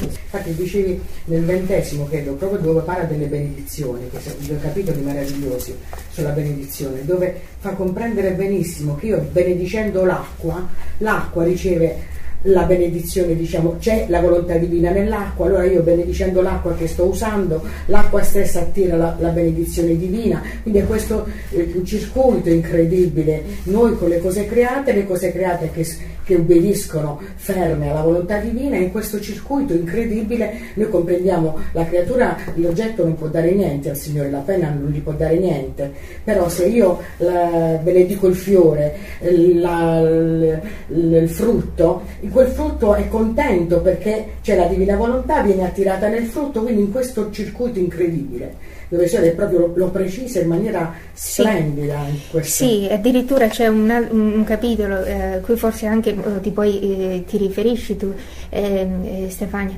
nel volume 18 dove dice la divina volontà si compie nelle cose create come una sorta di ciliegina nella torta, quando le cose create che corrono verso l'uomo vengono utilizzate dall'uomo per fare la divina volontà. Come dire, l'acqua corre, l'acqua scende, cioè, corre verso l'uomo per dissetarlo. Allora, ma quando l'acqua può compiere il, lo scopo per cui è stata creata? Quando l'uomo la beve. Quando l'uomo la beve per cosa? Per, per riconoscendo la divina volontà nell'acqua. Allora tutto sta a riconoscere la divina volontà. Allora un atto, è san- eh, questa è una cosa bellissima che dice Abresh, è, è stupenda, è illuminante, e dice ogni atto può essere un atto indifferente o un atto santificante eh, eh, di indipendenza dall'attitudine della creatura. Dice io bevo questo bicchiere d'acqua, bevo questo bicchiere d'acqua perché ho sete. Fine, non c'è niente di male. Bevo questo bicchiere d'acqua perché è volontà di Dio. Questo è un atto santificante in cui io mi bevo litri e tolitri inondazioni di volontà di Dio. Allora, questa piccola sinapsi eh, che dal cervello passa al cuore, di, una volon- eh, di, una, eh, di, di un atto della creatura che riconosce la volontà di Dio, e, e, in questo dire questa è volontà di Dio, dice io mi, lo so che tu hai creato quest'acqua e la bevo per fare la tua divina volontà e la riconosco e, e, prendo tutti i benefici, tutti i canali di amore, di grazia e di cibo spirituale che tu mi dai attraverso quest'acqua, questo mi diventa un atto santificante ed è esattamente la stessa cosa da un punto di vista esterno che dire bevo quest'acqua perché ho sete, punto via, basta. Okay. E, eh, tutto sta appunto no? eh, a prendere le cose create e, e fargli fare il compimento della, della, divina volontà. Allora, fare il giro nella divina volontà non vuol, non vuol dire altro che consentire alle creature passate, presenti e future e alle cose create di compiere lo scopo per cui sono state create, come mettere la ciliegina sulla torta, come mettere il timbro e il suggello della santificazione su tutte le cose e io le ricevo come cose santificanti che mi santificano e come creature che contribuiscono alla mia santificazione perché riconosco la volontà di Dio. Allora, eh, eh, eh, eh quindi ehm, perché eh, io eh, diciamo penso e, e, riconos- e amo Mosè, cioè, no? io amo la volontà di Dio in Mosè ed amo e riconosco la potenza, la potenza e l'onnipotenza del braccio divino in Mosè che riesce a compiere cose grandi ed infinite in strumenti piccoli, inadeguati e balbuzienti. E quindi, eh, e quindi santi, quest'atto è santificante perché eh, fa operare in me la volontà divina con quella stessa onnipotenza e aumenta anche la gloria e la santificazione dello stesso Mosè. E quello stesso Mosè adesso, avendo provato questa gloria accidentale così grande, lungi da lui il volersi separare per un istante solo da un atto che faccio io. Allora ogni volta che servirà l'onnipotenza, il ruggire di un no contro una tentazione, contro una debolezza eh, contro una mancanza di coraggio, di fermezza, Mosè sarà il primo schierato eh, per farmi compiere quell'atto secondo la divina volontà. Allora questo è come una sorta di, diciamo, di esercito che si va creando e infatti Gesù lo dice, più si fanno questi atti nella divina volontà e ogni atto passato si schiera come un esercito, tutto intorno. Allora, come per dire, prima abbiamo una fila di soldati che ci, che ci protegge, poi abbiamo una seconda fila, poi abbiamo una terza fila, alla fine tutti schierati. E anche quando l'anima è debole e stanca e pare dormiente, allora quello è il momento in cui gli atti schierati la sostituiscono e la suppliscono per dire tu hai lavorato per noi, adesso noi lavoriamo per te. Eh, sì, sì, tutti diciamo questi concetti degli atti come esercito sono tutti, tutti, tutti, tutti da voluti. Sì, sì, perfetto. E questo è bello ascoltare quando tu uno ha già letto riascolta facendo sua come lei riesce a farlo. E continuiamo anche leggendo. Eh, questa è la causa, riprendo, per cui tu giri a metà pagina negli atti del mio fiat e nella tua mente passano come tante onde di luce nella quale tu segui e ti senti impressa in te come tante scene, la creazione, l'uomo in atto di essere creato, la regina del cielo in atto di essere concepita, il verbo che scende, tanti altri atti fatti nel mio volere, e la potenza del mio fiat creatore che vuol sempre fare, sempre dare, senza mai cessare. Perciò sii attenta che si tratta di troppo, niente meno devi stare in atto di subire l'atto continuato del mio, fi, del mio volere creante. L'atto continuato. Eh, Gesù non, eh, pare che non... Eh, ecco, eh, questi atti, questa, questi atti diciamo, sono talmente tanto importanti che la creatura, eh, diciamo, finché è in terra, non riuscirà mai a comprenderne la, la potenza, eh, a potenza di questi atti. A me colpisce una cosa quando a volte ci sono magari queste liste di attributi divini da una parte e dall'altra e mi colpisce alla fine del volume 12 quando dice l'iride l'iride di pace, l'iride di pace. I colori di questa iride sono l'amore, la bontà, la potenza, la sapienza, la santità, la misericordia e la giustizia, questi sette, sette attributi divini.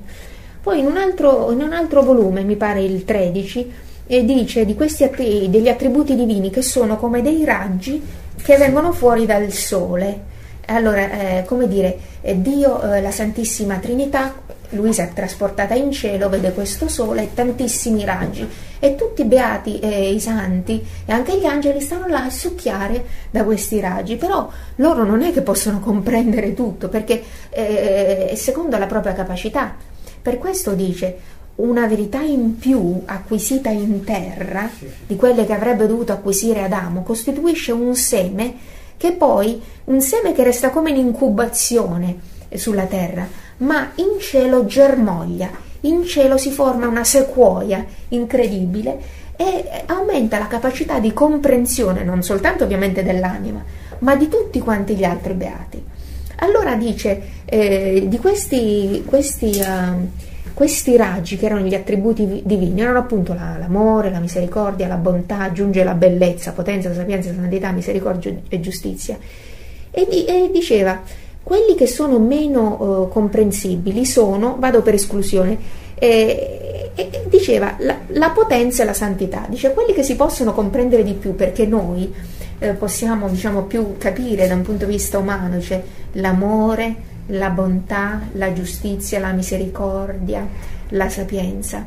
Ah, possiamo avere una pallida idea però ecco, rispetto a questa, eh, a questa, lista ne lascia fuori due, quei due che dice la mente umana riesce meno a comprendere, e sono la potenza e la santità. Questi due attributi divini in realtà per noi sono i più astrusi per la mente umana. Prima di tutto perché la santità è un'alchimia di tutti gli attributi divini, solo Dio è santo. Allora, comprendere la santità vuol dire comprendere Dio eh, il santo, santo eh, abbiamo visto già un'altra volta, santo eh, dal latino viene, è il participo passato del verbo sancire, sancito, sanctus, vuol dire affissato, confermato.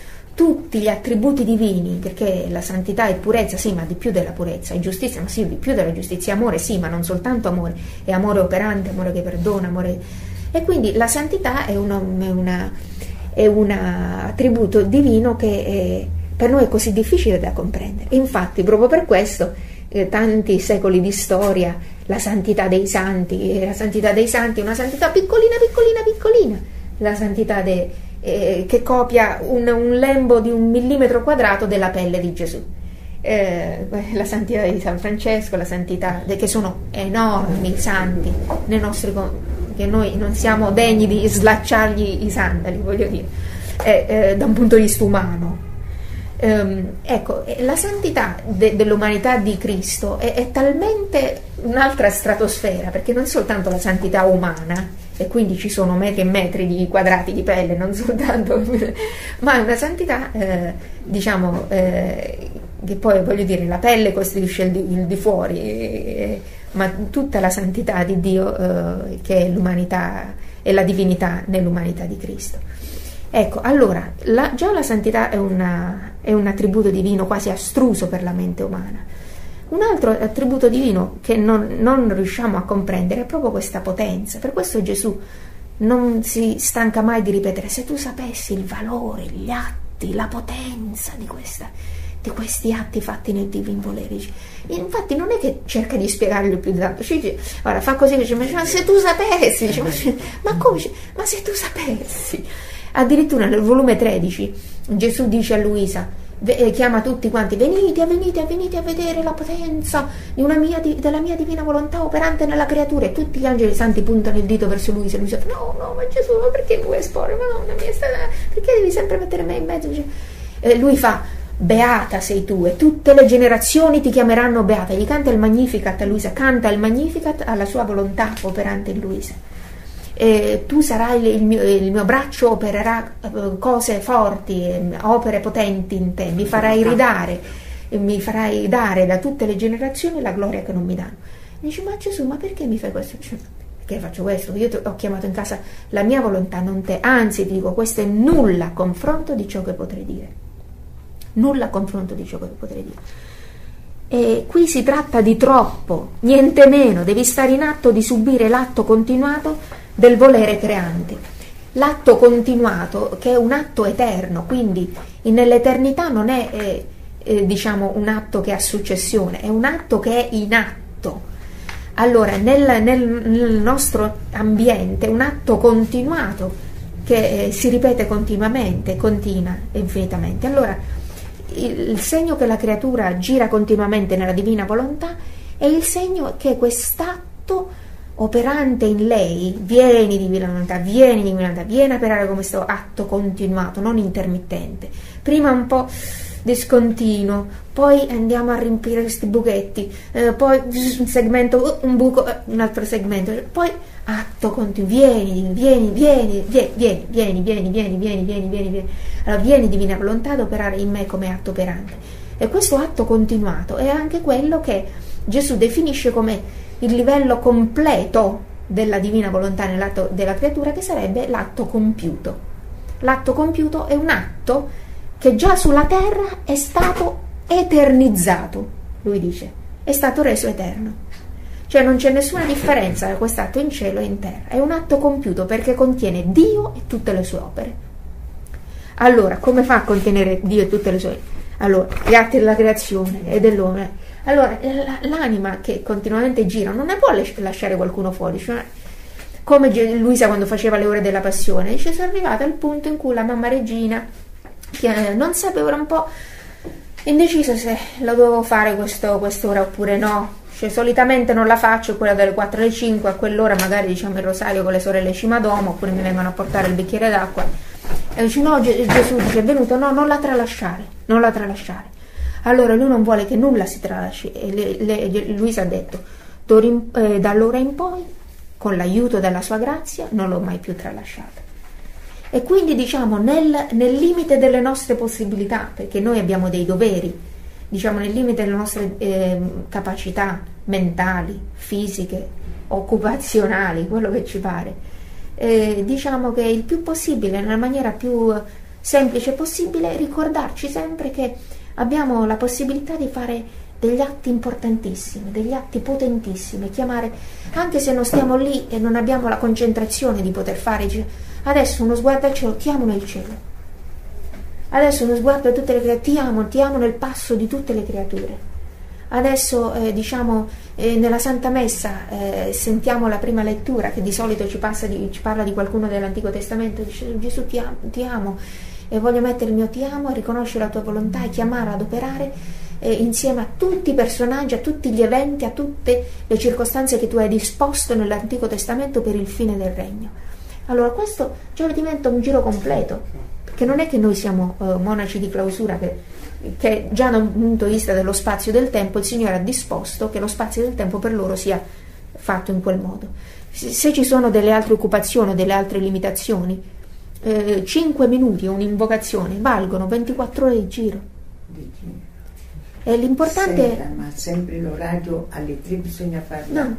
No. E noi l'abbiamo detto, se uno alle 3 deve eh, accudire, deve fare un'altra cosa. Eh, eh, eh, eh, se uno alle 3 sta facendo, deve fare, ha una, un'obbligazione, eh, eccetera, allora e poi, diciamo, come diceva lei, no? la spontaneità è, è, regina, nel senso che eh, ogni anima si creerà una sorta di proprio cammino del giro, sì. Eh, un proprio tragitto particolare che scandirà il, il, la propria giornata, che sarà completamente diverso da un altro, eccetera. Però ecco, qui Gesù, a parte diciamo questo, ci vuole far capire, qua si tratta di troppo, niente po' di meno che Esso, il voler creante, non si sentirà d'aver compiuto il suo lavoro in te se non vede tutti gli atti suoi racchiusi nell'anima tua, come attestato e trionfo del suo regnare in te. Perciò tutta la tua attenzione, tutta la sua attenzione, è guardare se tutti gli atti suoi tengono la vita in te. E sai come vengono creati questi atti in te? tu col richiamarli, col riconoscerli ed amarli, e il mio volere col pronunziare il suo fiat, nel tuo richiamo, e sul tuo amore forma la vita degli atti suoi in te. Quindi richiamarli, vieni divina volontà, ti riconosco e ti amo.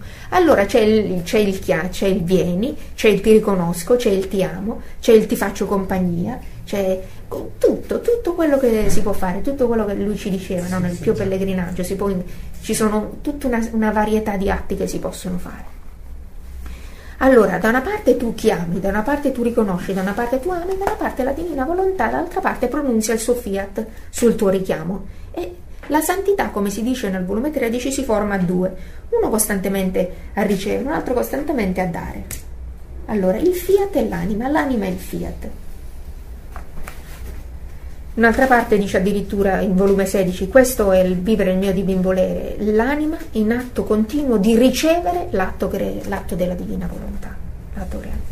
Ed è tanta la continuità del suo lavoro in te che non si ferma neppure nel vederti torturata dal dolore della mia privazione. Qui, eh, qui torniamo all'inizio, dove Luisa diceva erano tanti soli questi atti, io li dovevo abbracciare, sebbene mi sentivo torturata dalla, dalla privazione. E la di Gesù inesorabile dice questo mio lavoro è talmente continuo che non si vuole fermare neanche con il, con il, a causa del dolore della privazione, anzi dà più valore ai tuoi atti perché fatti in questa, in questa tortura, perché eh, tiene molto da fare, perciò passa avanti e io lo lascio fare perché tu ed io tutto dobbiamo al nostro volere, cedergli il primato per il giusto trionfo della sua causa, per dargli il campo di formare il suo regno. E quindi che fa? Dice, passa avanti, per cui qui c'è anche una, una nota per dire, la, dove la creatura non arriva, ci arriva Gesù, eh, nel senso che eh, è lui che tira, è lui che, che ha il traino, ha il rimorchio, e la creatura è come dire attaccata dietro con, eh, a fare sci acquatico, no? L'importante è tenersi legati a quella cordicella. E poi il motore da 4.000 cavalli sta davanti che, che traina l'anima nelle scie del mare della divina volontà.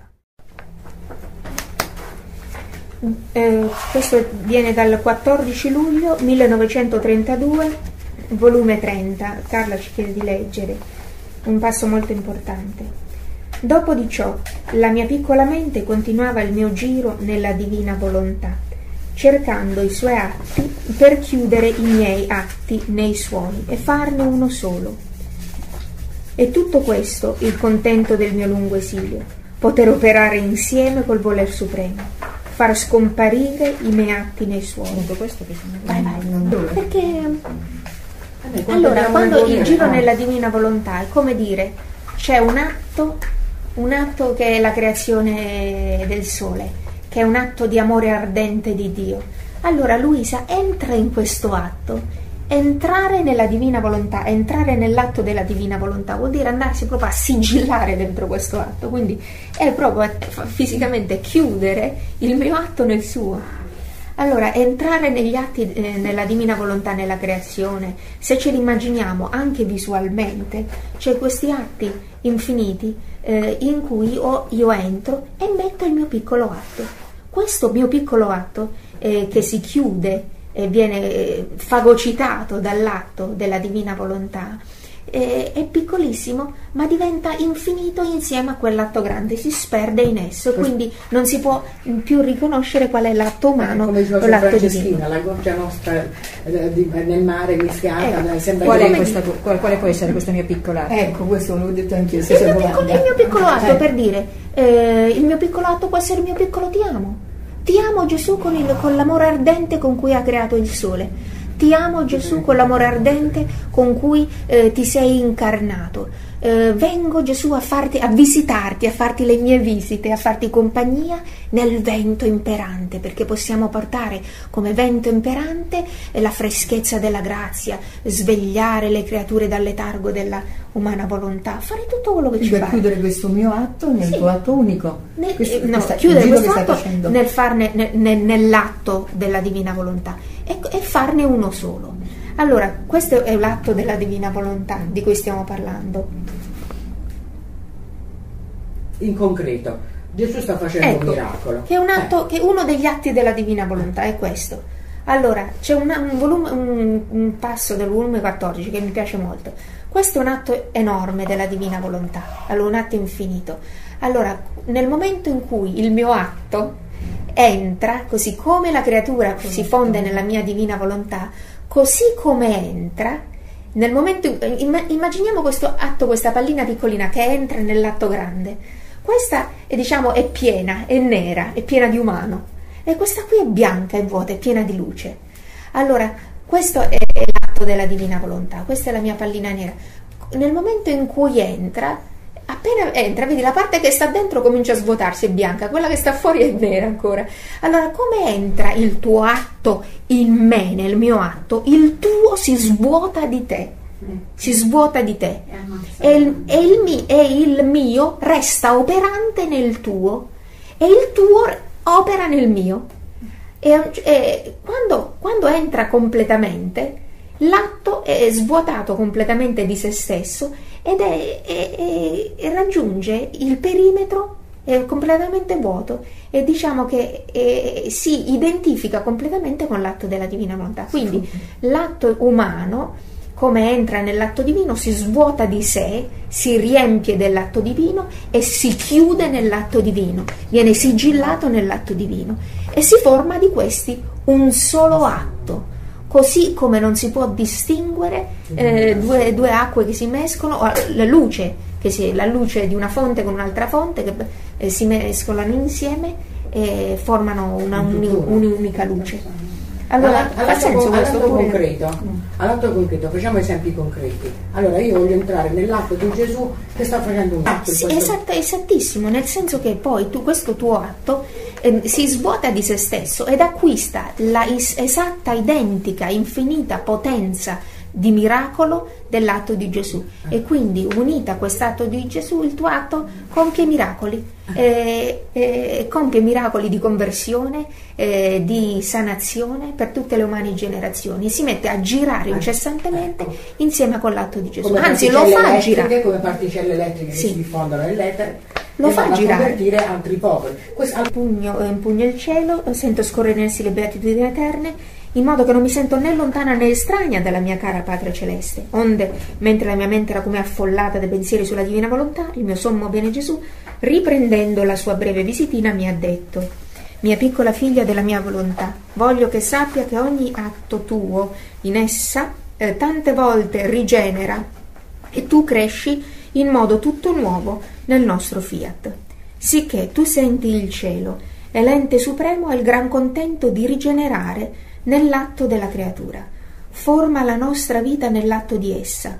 Formare la nostra vita nell'atto di essa è la nostra fe- festa, i nostri sospiri. Uniamo tutti i nostri stratagemmi d'amore e riceviamo la completa gloria che ci può dare la creatura. Ora tu devi sapere che il sacrificio con voce potente chiama Dio ed il fare la nostra volontà lo fa scendere nell'anima per farlo operare da quel Dio che è. E io, amor mio, ad onta che cerco d'operare sempre nel tuo volere e prego e riprego che venga il suo regno, nulla sulla terra, eh, nulla si vede ancora. Allora, volevo un attimino soffermarmi, almeno su quello che diceva prima. Ehm, mi colpisce questa cosa perché ehm, cioè, eh, il gran contento di rigenerare nell'atto della creatura. Perché ehm, ehm, praticamente mi, mi pare, eh, mi- se mi pare di ricordare, verso il febbraio, febbraio del 24, nel volume 16, c'è un passo dove eh, Gesù dice, Luisa dice a Gesù, ehm, ma tua, gli atti nella divina volontà, eh, per esempio i giri nella creazione, sono stati già fatti da Maria e da Gesù.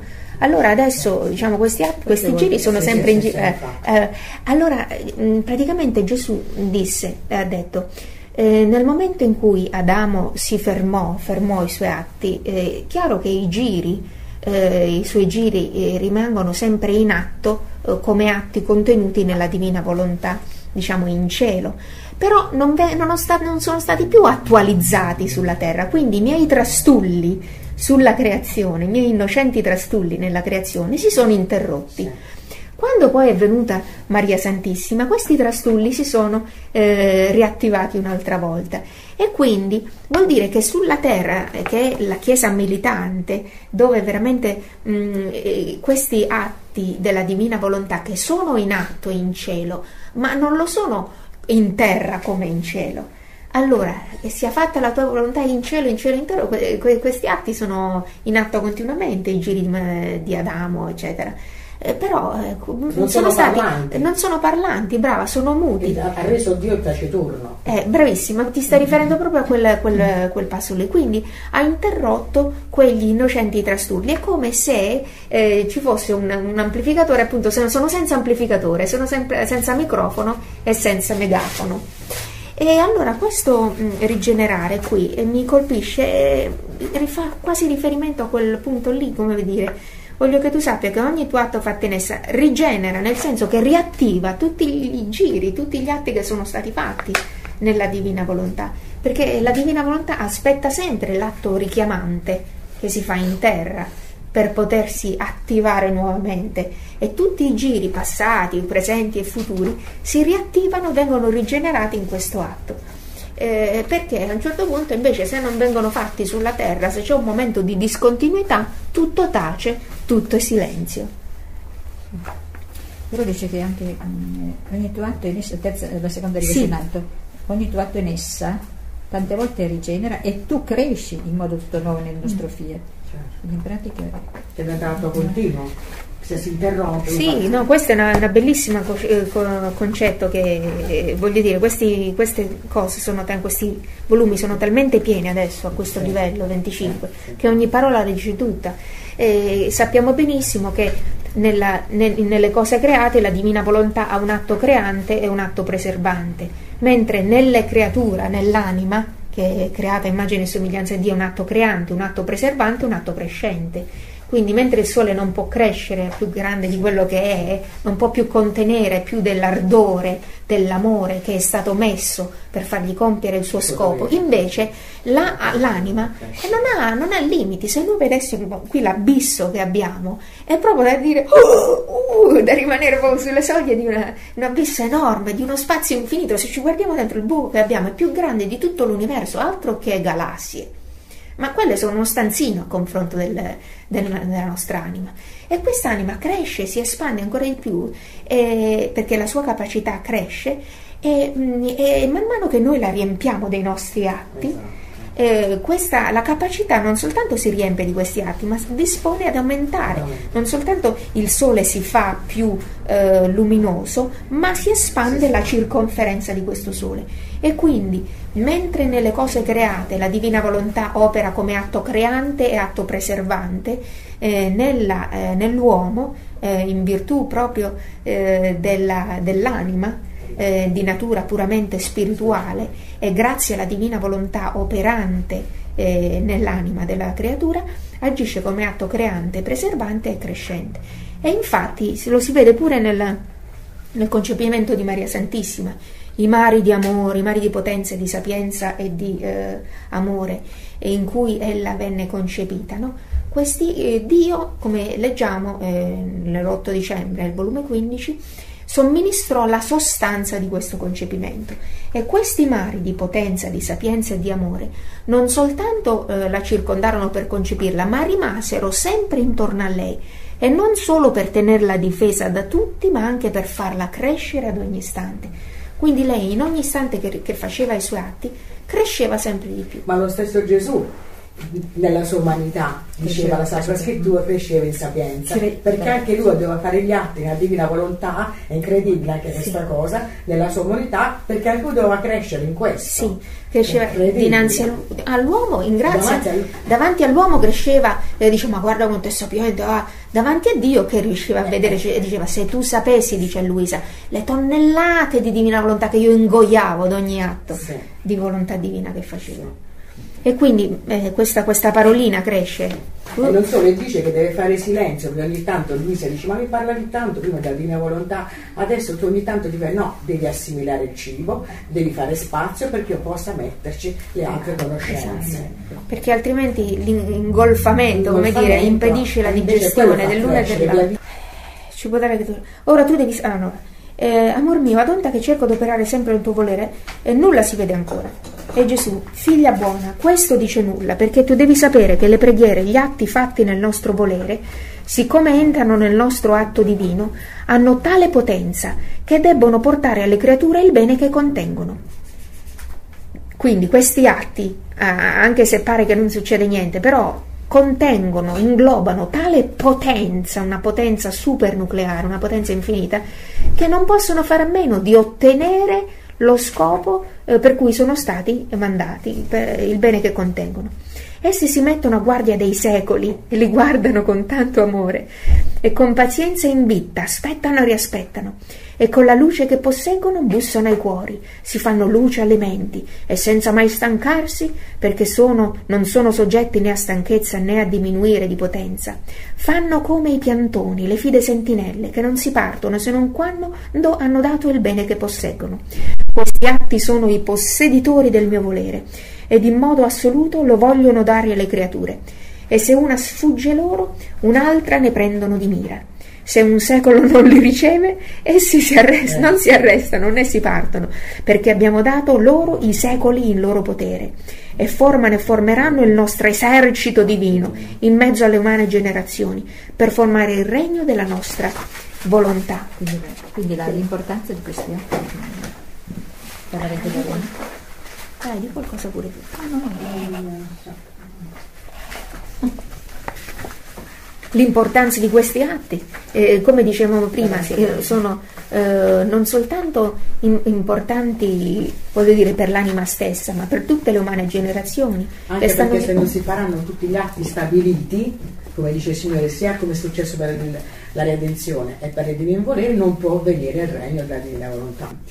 Ecco, è proprio quello che dicevamo prima. Allora, che cos'è che farà luce alle menti? Che cos'è che busserà ai cuori? Che cos'è che otterrà eh, la luce? La... Sono questi atti. Quindi il regno eh, si diffonde su due livelli. Da un punto di vista umano, perché Dio se ne serve delle cose, delle attività umane, ma c'è questa attività soprannaturale che è quella degli atti, che è la più potente e anche quella invisibile eh, in cui mm, certo eh, noi siamo chiamati, eh, chi nei tempi nei secoli, chi a tradurre, chi a stampare, chi a diffondere, chi a parlare, eh, chi a dire, chi a fare questo e quest'altro. Queste sono le attività della natura che noi abbiamo, ma queste sono attività infinitamente minori, minori, attività minori rispetto all'attività degli atti della divina volontà.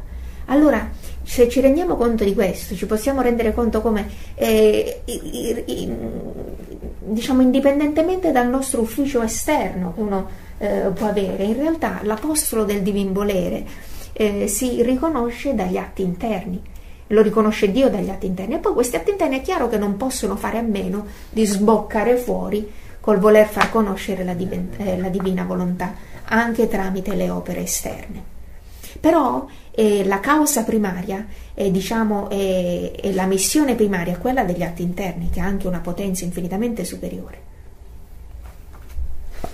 Per dire, se eh, eh, Carla stampasse tutto il giorno, ma non facesse come fa tu, gli, i suoi atti interni di continua fusione, eh, dall'accendere la luce a rispondere al telefono, a tutto quanto, questi atti interiori, dico Carla come qualsiasi altra creatura, però diciamo l'esempio è calzante, allora eh, anche l'effetto della sua attività esterna sarebbe fortemente menomato, ma quello che dà la propulsione reattiva agli atti al lavoro esterno che fa sono gli atti interiori.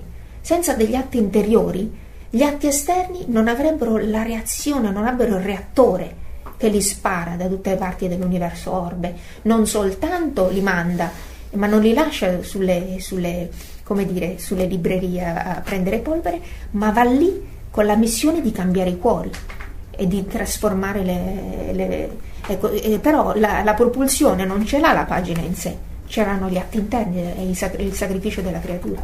Infatti dove dice qui, Ora tu devi dire il sacrificio con voce potente chiama Dio e il fare la nostra volontà lo fa scendere nell'anima per farlo operare da quel Dio che è, nell'anima propria e nell'anima degli altri. In questi atti c'è l'umano coronato dalla potenza divina e danno il diritto alle creature di possedere un terreno.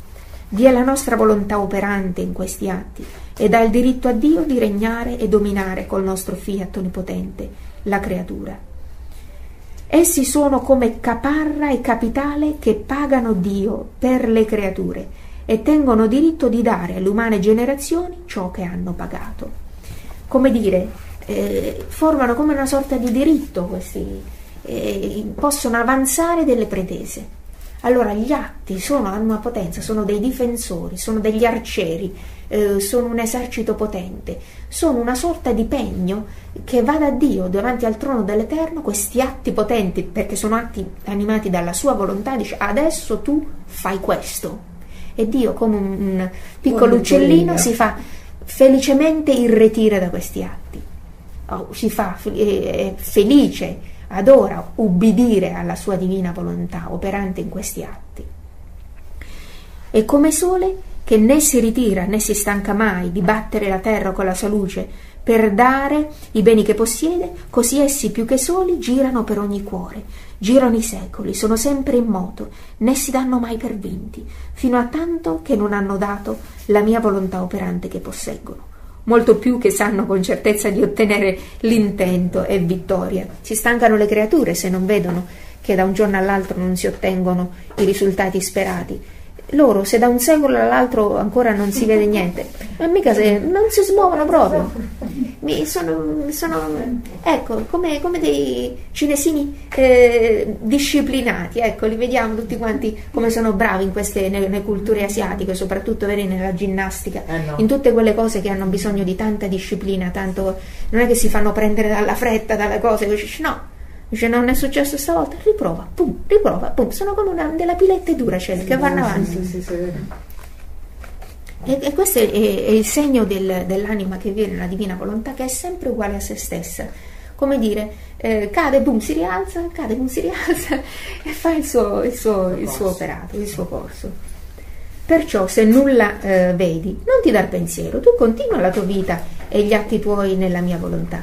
Questo è più necessario di tutto formare la moneta per pagare per i tuoi fratelli un regno sessanto. E poi tu devi sapere che la mia stessa vita passata sulla terra e i miei stessi atti si trovano nelle stesse condizioni. Io pagai per tutti e la mia vita e ciò che feci sta a disposizione di tutti. E si vogliono dare a tutti per il, dare il bene che posseggono. E sebbene partii per il cielo, partii e restai per girare i cuori, i secoli, per dare a tutti il bene della mia redenzione. Sono circa venti secoli e la mia vita e gli atti miei continuano a girare, ma non tutti sono stati presi dalle creature, tanto che varie regioni non mi conoscono ancora. Sicché la mia vita, la pienezza dei miei beni e atti miei non si ritirano, corrono e girano sempre, abbracciano i secoli come un so, uno solo, per dare a tutti il bene che posseggono. Perciò è necessario fare, pagare, formare il capitale, il resto verrà da sé. Quindi sii attenta e il tuo volo nel mio fiat sia continuo. È bellissimo vedere Gesù che si lavora come diciamo il più ecco in modo santo, santamente spregiudicato di tutti gli investitori. Lui sa che il suo progetto, allora investe, investe tutto il capitale e dice verrà, verrà. Eh, il tempo in cui uh, riceverò interessi abbondantissimi lui non ha, non ha paura di investire. C'è un passo della Divina Volontà dove dice tutta ogni, ogni, ogni diciamo, forma in cui Gesù si presenta. Sono tante, sono le forme che acquista la Divina Volontà di Gesù. Come, le, come, gli pare piace. La divina volontà. Sì, sono, sono, le forme che la divina volontà acquista. acquista la divina volontà si vuole manifestare come Gesù bambino, si manifesta come Gesù. Per, per, questo diciamo che la divina volontà, allora Gesù è l'immolato eterno, perché Gesù fa tutto quello che vuole la divina volontà, è, è a disposizione della divina volontà. Allora, eh, nello stesso istante, voglio dire, è, è nella... Ehm, nello stesso istante, nella stessa messa, a un certo punto c'è l'elevazione, Gesù viene crocifisso, eh, oppure eh, alla fine della messa Gesù è risorto, diciamo così. E sono tante, tante manifestazioni, tante forme che la divina volontà assume. Eh, eh, la divina volontà vuole manifestarsi come Gesù bambino. Manifestazioni concrete, perché se io soffro, certo. dico a un certo punto perché devo soffrire se ormai è glorioso in un certo senso, no? Invece la sofferenza che noi sen- sentiamo. Ma secondo te Gesù nel Santissimo Sacramento che fa? È vivo, per me è vivo. Secondo te soffre? Per me sì. Dice che in atto tutta la passione. Sì, per, questo, per me soffre. Gesù nel... questo non, per, per, me soffre come? Per, allora perché? Allora perché? Perché?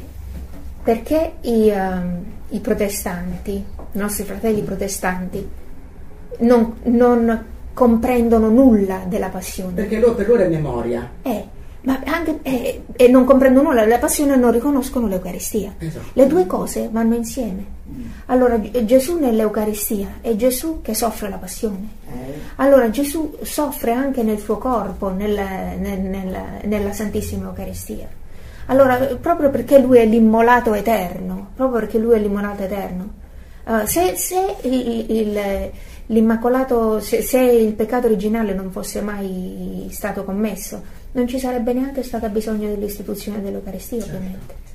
Allora, eh, eh, Gesù soffre nelle umanità delle creature, ma Gesù ha anche gli accidenti eh, di un pezzo di pane. Gesù può andare a soffrire dove gli pare, dove la divina volontà lo vuole mandare a soffrire. Nella carne. Certo. Nella carne. Che non, la redenzione è Quindi è sbagliato quando si dice ma lui è glorioso, ormai è glorioso. Eh no, questo è quello che dicono i, i protestanti. Cioè, Gesù in cielo come eh, Dio glorioso non, non soffre eh, come diciamo nella sua divinità. carne gloriosa, ecco, nella sua divinità, ma nella sua umanità che si incarna nella Santissima Eucaristia, voglia come soffre. Ma voglia come soffre, nella sua umanità, nelle creature. Quindi, voglia come soffre. è sempre uomo e sempre Dio, sempre, eternamente. A me una cosa mi colpisce di Maria, eh, di Maria Valtorta, una cosa che mi, eh, mi, colpisce ed è una cosa atroce.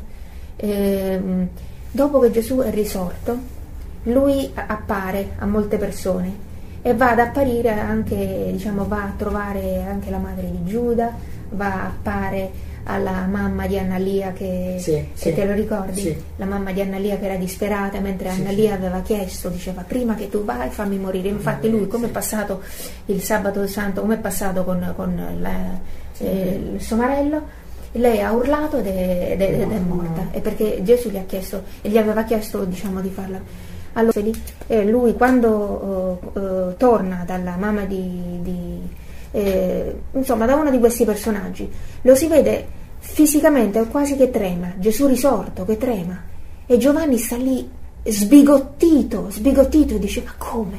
Ma tu soffri ancora? Ma come? Ma tu soffri ancora? E, e, e Gesù lo guarda e dice: Io non smetterò mai.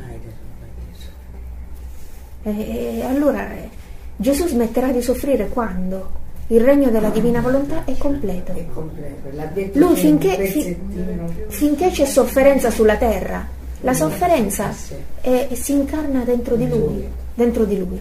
Allora, eh, diciamo nel suo corpo, nella sua umanità gloriosa, lui non soffre adesso pene, ma nella Santissima Eucaristia voglia come le soffre. La Santissima eh, Eucaristia è l'umanità e, e, ovviamente lui nella, nella, la divina volontà si può manifestare come buono nella Santissima Eucaristia se fa uscire i raggi della divinità la Santissima Eucaristia diventa folgorante diventa una cosa a cui noi non riusciamo neanche a rimanere vivi di fronte alla Santissima Eucaristia però l'umanità eh, Marina. l'umanità sofferente di Gesù continua a soffrire nelle creature e anche nella Santissima Eucaristia. Io però gli dico, quanto Padre Dio recitava la Santa Messa, lui viveva la sua passione perché lui stava ore e ore a contemplare, cioè era, in quel momento era in estasi, cioè praticamente era assente da tutto il mondo ma era tutto preso da su. Sì. È proprio lì che c'è la passione sua. Certo, infatti tutto tu, lì. tutte le volte che ci sono stati, sono stati miracoli eucaristici, quali sono stati i miracoli? Che è successo? Si è su un pezzo di carne gloriosa? No, sangue, membra sbrindellate, fibra cardiaca. Un pezzo di ventricolo squartato. come quello della, di, di dove sono stata io a vedere Che sia Lanciano, a che sia Lanciano, tutti. quello è stato uno, Tutti i miracoli E si va lì. Eh, Nella sua, diciamo, nella sua umanità, Nella sua umanità, umanità, diciamo, nella sua sì. umanità gloriosa, Gloriosa. non No, soffre no, più, ma nella sua umanità penante. Penante. La divina volontà, siccome appunto questo atto unico, e, e- e in- nell'atto unico c'è Gesù che si incarna, Gesù che soffre, Gesù eh, Sì, trionfante, sì, nella umanità trionfante Gesù non, non- non No, soffre, esatto. ma nella sua umanità penante e, e redimente, ha voglia come soffre. È là. Non è tra l'altro questa una cosa, non è tra l'altro un concetto, perché adesso ci pare che lo afferriamo, poi magari domani ci sfugge di nuovo. Questo però non ci deve preoccupare perché è proprio di- per definizione un concetto che la mente umana non Infatti, il riesce. discorso che hai fatto prima, Sì. la potenza, sulla sapienza. No, è impossibile, eh, sì, è, vero. impossibile. Infatti, È si la potenza della divina volontà, eh, appunto, è, la- è una cosa che meno... La potenza della divina volontà, che di tanti atti ne fa uno, di uno ne fa tanti, e che allo stesso tempo fa tante diverse cose. Allora, mentre noi possiamo avere ah, l'amore, ah, l'amore, la misericordia, la giustizia, eh, la santità e la potenza, ah, abbiamo qualche difficoltà, nor- normalmente, cioè, per cui eh, ecco, è qui che eh, rientra la fede, è qui che entra la fede. eh. Beh, la stessa fede che, che- che mi fa sempre domandare proprio per la Vergine Santissima, che ha legato la sua volontà al trono eh, del Padre, sapendo quello che ha provocato la volontà umana in Adamo. Allora sorgono quelle domande, ma lei ab eterno era in Dio, già nella concezione trinitaria. Adamo è venuto in un certo senso in secondo momento. Come ha fatto lei prima a vedere quello che avrebbe fatto dopo e a legare la volontà? Sono tutte domande che mettendole tutte in ordine nel tempo, come faremmo noi, non ci stanno. No, e lei diciamo che nel momento del suo concepimento, quindi quando aveva anche un, diciamo, una natura eh, terrestre, Ecco, esatto, nel concepimento quando è venuta sulla terra, Quando- sì. momento. però la si capisce anche prima, anche quello che dice lei, prima ancora che scendesse, per aver promesso il Signore ad Adamo, cioè tu eh, la donna ti schiaccerà, quindi già c'è il sapere che ci sta questa donna pronta. Quindi se- se vogliamo mettere i tempi, eh, eh, con i tempi c'è un primo e un dopo che, Sì, che sì, sì, mm, sì, sì, nella nostra mente non è che qua ti eh no, perché è l'atto eterno, Eh, diciamo. esatto, è eterno. Però noi possiamo dire che, eh, D'accordo, che che mentre in Dio c'è un'eternità e in quest'atto eterno, allora, me- allora, se noi vogliamo vedere, vogliamo comprendere Dio nella sua eternità e, e l'atto unico, ci guardiamo. Sì, sì. Allora l'unica è vedere come questo atto unico si svolge nel tempo. Si svolge nel tempo. Allora nel tempo eh, c'è Adamo che, che pecca e Maria Santissima. Dopo, nel, nel momento viene, eh, eh, diciamo, eh, viene dopo Maria Santissima e allora siccome già nel momento in cui è ist- istantaneamente concepita ha questa ragione divina, dice guarda che cosa ha combinato la volontà umana, prima ancora di, di utilizzarla, nel momento in cui eh, ricevette questa scienza infusa, la lega ai piedi dell'Eterno. E quindi questo è quello, il primo atto che fa Maria Santissima. Soltanto dopo questo atto di legare la sua volontà ai piedi dell'Eterno fa un atto di adorazione. Neanche si concede un atto di adorazione con la sua umana volontà, perché sarebbe stato niente. Quindi prima lega la sua volontà ai piedi dell'Eterno, poi adora la Santissima Trinità e poi si offre a, a qualunque sacrificio eh, pur di non fare la sua umana volontà. Questi diciamo, sono i primi tre atti che fa Maria Santissima quando viene concepita. che in un certo senso è avvantaggiata rispetto ad Adamo perché Adamo se lo giustifica perché non aveva la conoscenza del male prima e quindi in un certo senso non aveva eh, esempi per cui stare attento. La Vergine Santissima ha avuto l'esempio di Adamo caduto e allora dice no, non la voglio la volontà umana, se no Adamo ha fatto così. Questo però penso che sia un po' spiegazioni pure un po'... No, no, no, umane. è vero, è vero, ma comunque c'è da dire questo. Eh, Adamo, siccome eh, proprio perché Adamo eh, non aveva, mh, diciamo, era più giustificato in un certo senso, la redenzione venne promessa immediatamente Eh, e Adamo non peccò più. Sì. Quindi diciamo il Signore fu molto clemente nei confronti di Adamo, invece con Maria Santissima fu molto meno clemente, nel senso che eh, la prova che lei dovette subire Eh, sì. e le pene che... le- Allora se noi mettessimo su un asse, a me piace questa geometria cartesiana, non so perché, ma se mettessimo su, eh, diciamo ci sono qui è lo zero, no? E poi ci sono i livelli di prova. livelli, sì. Qui, c'è, qui c'è la prova che Adamo, questa è l'intensità della prova. Questa è la prova di Adamo, che fu la me- questa è la meletta, Sì, sì, la meletta di Adamo. Allora, poi dopo che viene il concepimento di Maria Santissima, pum, la prova di Maria Santissima che le durò tutta quanta la vita, La vita. E, e fu la prova della conoscenza delle pene del Verbo incarnato. Il fatto che lei conoscesse le pene che il Verbo incarnato, le pene interne, non le pene esterne, le pene interne, le pene divine, e che lei fosse madre di queste pene, cioè il suo crocifiggilo durò per tutta la vita. Immagina tu che non lo riesci a pronunciare. Lei lo dovette pronunciare e fu madre di quelle pene divine, perché la, la paternità divina nei confronti di Gesù si depositava in lei e quindi lei era il padre, diceva Gesù, ti voglio morto e molto crocifisso, e questa ne- sulla terra era la madre che diceva in ogni istante ti voglio morto e morto crocifisso, e lei moriva con lui. Allora questa prova che derivava da Maria Santissima, dalla conoscenza che lei aveva delle pene che soffriva Gesù, altro che meletta. Anche quando vedeva piccolo piccolo. Poi c'è la prova di Luisa. Sì. Eh, la prova di Luisa diciamo che sta eh, molto più piccolina, però Eh, forse però io, io penso che più alta di quella di sì, Adamo. Sicuramente. Più alta di quella di Adamo perché c'era una posta in gioco più elevata. Sì. Nel senso che dice ha sgarrato una volta, sì, ma adesso. Infatti era d'azzardo come ti Esatto, bravissima. Ho fatto un gioco, un gioco d'azzardo con, con Adamo. Una volta mi è andata male. adesso Eh, eh, si sgarra. non Adesso, si può eh. sgarrare. E quindi Gesù l'ha dovuta temprare, provare, provare, provare. Guarda che i demoni si sono accaniti con lui. Sì, sì, come no. Allora, quella è stata la prova di Luisa, e che era la prova, diciamo, della eh, proprio la persecuzione, la prova de- del demonio e anche la prova della pena della privazione. Questa, questa. Quindi diciamo la meletta, Maria Santissima, un doppio della meletta, eh, il guerriero con la forca contro Luisa. E poi che prova c'è? La prova per i figli del divin volere. Procedere dice che la fa lui per noi però. Luisa l'ha scritto. Su un atto, dobbiamo dobbiamo- metterci quello dobbiamo vivere. è la, provetta, la provetta appunto, è la provetta, dove questa provetta costi- eh, eh, si costituisce di, di tre parole, Ehm, accetto, credo, voglio, cioè voglio vivere, accetto il dono della divina volontà, io credo che me lo vuoi dare e voglio vivere nella divina volontà, questo, Eh, questo que- questo. quindi diciamo la prova, eh. Sì, giorno dopo giorno. Qualcosa succeda, faccio quest'atto così tutti gli atti sono coperti dalla divina volontà. L'atto preventivo che si riferisce a quel brano, questa preghierina al volume 14, Al quando Gesù 14. dice appena sveglia Luisa, appena sveglia. eh, Sì, lui non avete qualche- dice, non dice delle parole specifiche come sono qui, che le parole possono essere mm, scelte come queste o simili. Eh, lui dice letteralmente è quando al primo sorgere del giorno l'anima si decide e conferma di voler vivere e operare solo nel divin volere. Anticipa, previene tutti i suoi atti, li fa scorrere tutti nella divina volontà. Quindi è una decisione, una conferma interiore di voler fare tutto nella divina volontà. E questo si può fare con questa bellissima preghiera.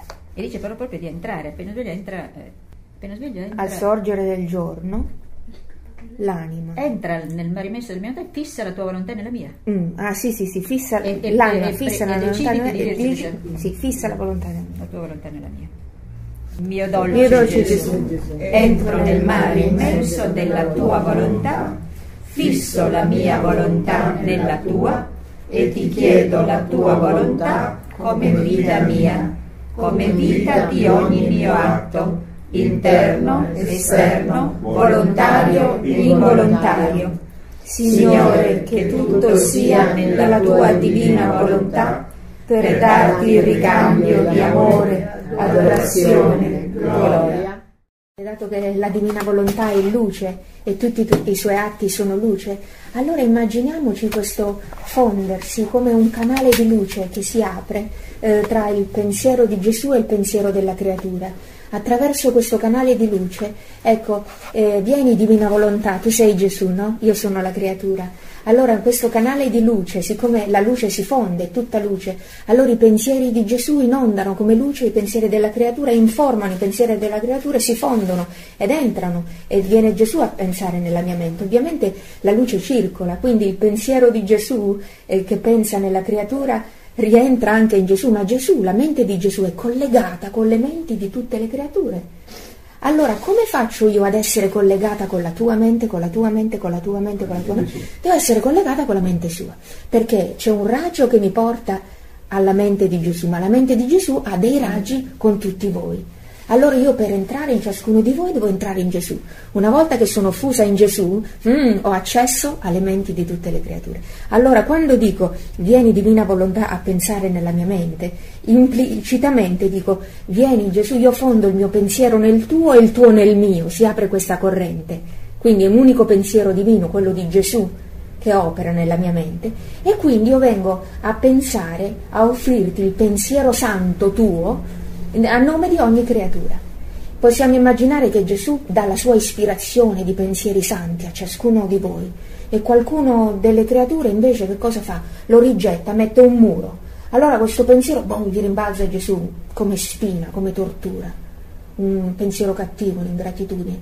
Allora tutti quegli impedimenti, tutte quelle chiusure, tutte quelle ingratitudini, tutte quelle incorrispondenze, questo è quello che può fare la creatura, li può riparare collegandosi con Gesù, si collega con i pensieri di tutte le creature, dove ci sono blocchi li sblocca, dove ci sono ingratitudini le ripara, eh, dove c'è eh, indifferenza e c'è ehm, somma corrispondenza. E quindi diciamo questo è quello che si fa. E lo abbiamo detto in una poca piccola parola, ma eh, gli effetti sono potentissimi.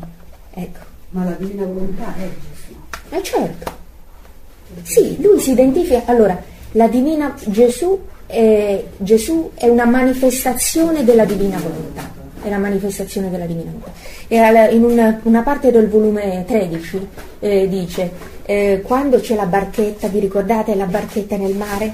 Il mare dice eh, questa barchetta va velocissima. Allora Gesù la barchetta è la, è la, è la creatura, eh, con eh, il motore della barchetta e l'umana volontà che fa i giri, il mare immenso è la mia divina volontà. Allora Luisa alla fine dice, Gesù dice, ma che temi? Non sono io lo stesso mare? Dice così, e lui si identifica, dice sei tra le mie braccia, stando nella divina volontà, non sono io lo stesso mare. Gesù si identifica con la divina volontà, l'abbiamo detto pure ieri. Eh, Gesù è la manifestazione, è la rivelazione del Padre. E quindi è, è, la parola, è la divina volontà che si manifesta. Gesù bambino, Gesù crocifisso, Gesù risorto, Gesù predicante. Sono diverse manifestazioni, diversi atti della divina volontà. Ecco. E quindi eh, potremmo dire che la divina volontà è più grande di Gesù. Ma lo stesso lo dice, dipende come si certo, nasconde sì. Eh, Luisa perché certo. Germania Verante. Eh sì sì, e infatti lo, lo diciamo, nel senso... Gesù, Gesù però è persona. Sì, certo, a, appunto, per questo, eh, eh, appunto, per questo, diciamo che Gesù è la manifestazione della divina volontà come persona, la seconda persona del, della, della, Santissima Trinità. E, e anche nel volume 12, quando, Gesù, quando Luisa eh, viene attratta da Gesù nel mare della sua passione, la passione che la stessa divinità ha inflitto all'umanità di Gesù, eh, Luisa nuotava nel mare immenso delle pene del Verbo incarnato e dice se Gesù non mi avesse ritirato nel maricello della sua umanità io non sarei stata più in grado di ritornare. Quindi Gesù si identifica con la divina volontà. Diciamo che Gesù nella sua umanità è una persona eh, incarnata e, e, lui è molto più piccolo della divina volontà, certo. è il centro della divina volontà, con una, una circonferenza infinita il cui centro necessario, assoluto, primario è l'umanità di Gesù. Come divini, nella sua divinità, nella sua divinità, la vita del, della divinità è la stessa divina volontà, in quel senso lui si identifica con la divina volontà, perché nella sua, nella sua divinità egli contiene tutto Dio e tutte le sue opere e quindi eh, che si svolgono continuamente, questo non è altro che vita della Santissima Trinità uguale divina volontà. Marina, facendo anche noi l'atto preventivo no? per quel giorno, nella divina volontà lo facciamo per tutta la nostra vita. Certo, certo, però ecco, eh, sappiamo che la vita è costituita da una successione. giorno per giorno. Sì. Però poi quello va nella divina volontà che rimanga eterno, d'accordo. Sì. Gesù chiede anche di, di entrare sì, il giorno dopo, se io il giorno volere divino nel 33, dice richiamate sempre la divina, questo adesso io che non era un po' restia su questo, nel 33 lui dice proprio su ogni cosa richiamate la divina volontà. Io c'è una cosa che volevo chiedere a Marina perché sono mancata a diversi incontri, siccome personalmente sto facendo prima, la prima cosa nella fusione dell'umanità di Gesù ed è una cosa che sto sentendo, che sto forte di fare. Io la prima cosa, la sveglia alle tre, alle quattro, qualsiasi cosa, Questa per me è- è la fusione. Cioè è- sento è che tutte queste, pre- tutte queste preghiere sono successive. Bravissima. Allora faccio la il fusione e volta? poi faccio il Dell'umanità di Gesù. Il volta. Spiega proprio quello, che è l'atto primario e necessario, la fusione È dell'umanità di Gesù. infatti Bravissima. bisognerebbe metterla avanti Prima fare queste fusione. Sì, sì, sì. In effetti, praticamente 3, stiamo 4, facendo, adesso vieni, vieni divina volontà, vieni Gesù a pensare nel mio pensare, quello che stiamo facendo. No, però lì la nell'umanità Gesù che Gesù. Richiede. Ah, e sì. sentivo l'altro giorno quando noi stavamo qui con lei che aveva fatto questa preghiera e dentro di me sentivo questa cosa ma la mia fusione nell'umanità, la fusione nell'umanità, infatti lei poi ha confermato, cioè sì è vero, dovrebbe essere in questa maniera. I- Sì, è bello quello che stai dicendo perché eh, ci dà in un certo senso, vedi, man mano che entriamo nelle conoscenze, in realtà la divina volontà è un punto solo, unico, noi dovremmo stare qui a fare om così tutta la giornata, però in realtà dobbiamo sminuzzarle, spezzettarle le cose e Gesù ce le sminuzza in, eh, in conoscenze, in piccoli atti. Ed è bellissimo quello che tu dici perché in realtà l'umanità di Gesù è, è la, cosa, la parte più accessibile del verbo incarnato, cioè l'umanità e la divinità. E pure Luisa stessa nel volume primo dice se non fosse stato per l'umanità di Gesù che mi infondeva fiducia, io sarei morta eh, così veramente in adorazione della sua divinità. Eh, allora è vero che è importante ehm, in un certo senso, quasi da un punto di vista semantico, però eh, dire prima vieni eh, Gesù a pensare nel mio pensare e in un certo senso ci si rivolge al Gesù incarnato, ad una umanità e questo è l'accesso alla divina volontà. È l'accesso. Ecco, l'importante però è capirle queste cose. Quando noi ci siamo capiti, Ecco. mi sveglio a qualsiasi ora della Bravo. notte o la mattina, la prima cosa che mi fa, cioè che sento di fare. È bellissimo perché anche se diciamo poi alla fine di questi libri sono stati messi insieme così, eh, in- e, diciamo a seconda di come si sviluppano, no? come vengono le conoscenze, poi ci si rende conto, dice, vedi, vedi, in realtà questa cosa logica viene prima di quest'altra, cioè è un crescere continuo anche diciamo eh, tra di noi e l'importante poi alla fine non è che il libro sia perfetto o altro, ma che la conoscenza in noi aumenta, così noi lo dominiamo questo, non è che lui ci domina a noi. Eh, capito? Vabbè, proprio perché abbiamo fatto questo, Certo. poi subentrano le altre. Certo, è bello, è bello che ci sia questo, è bello che ci sia questo perché è una fonte, una fonte inesauribile di riflessioni e di nuovo apprendimento, è un canovaccio eh, su cui si Come non possono... capivo il fatto di non perché devo ripetere sempre vieni divina volontà a operare in me. Nel 33esimo lui dice io desidero questo, proprio dice io desidero questo qui proprio che voi di volta in volta Eh, Luisa spesse volte usava il verbo vieni, vieni divina volontà. Poi nel corso dei volumi, eh, per esempio quando faceva i suoi giri, eh, lei eh, faceva i giri a volte in modo diverso, a volte metteva il suo ti amo, a volte diceva ti riconosco divina volontà nell'immacolato concepimento, nel sole, cioè vieni divina volontà. In realtà sono tutti aspetti in cui la creatura non fa altro che disporsi a ricevere la divina volontà operante come vita.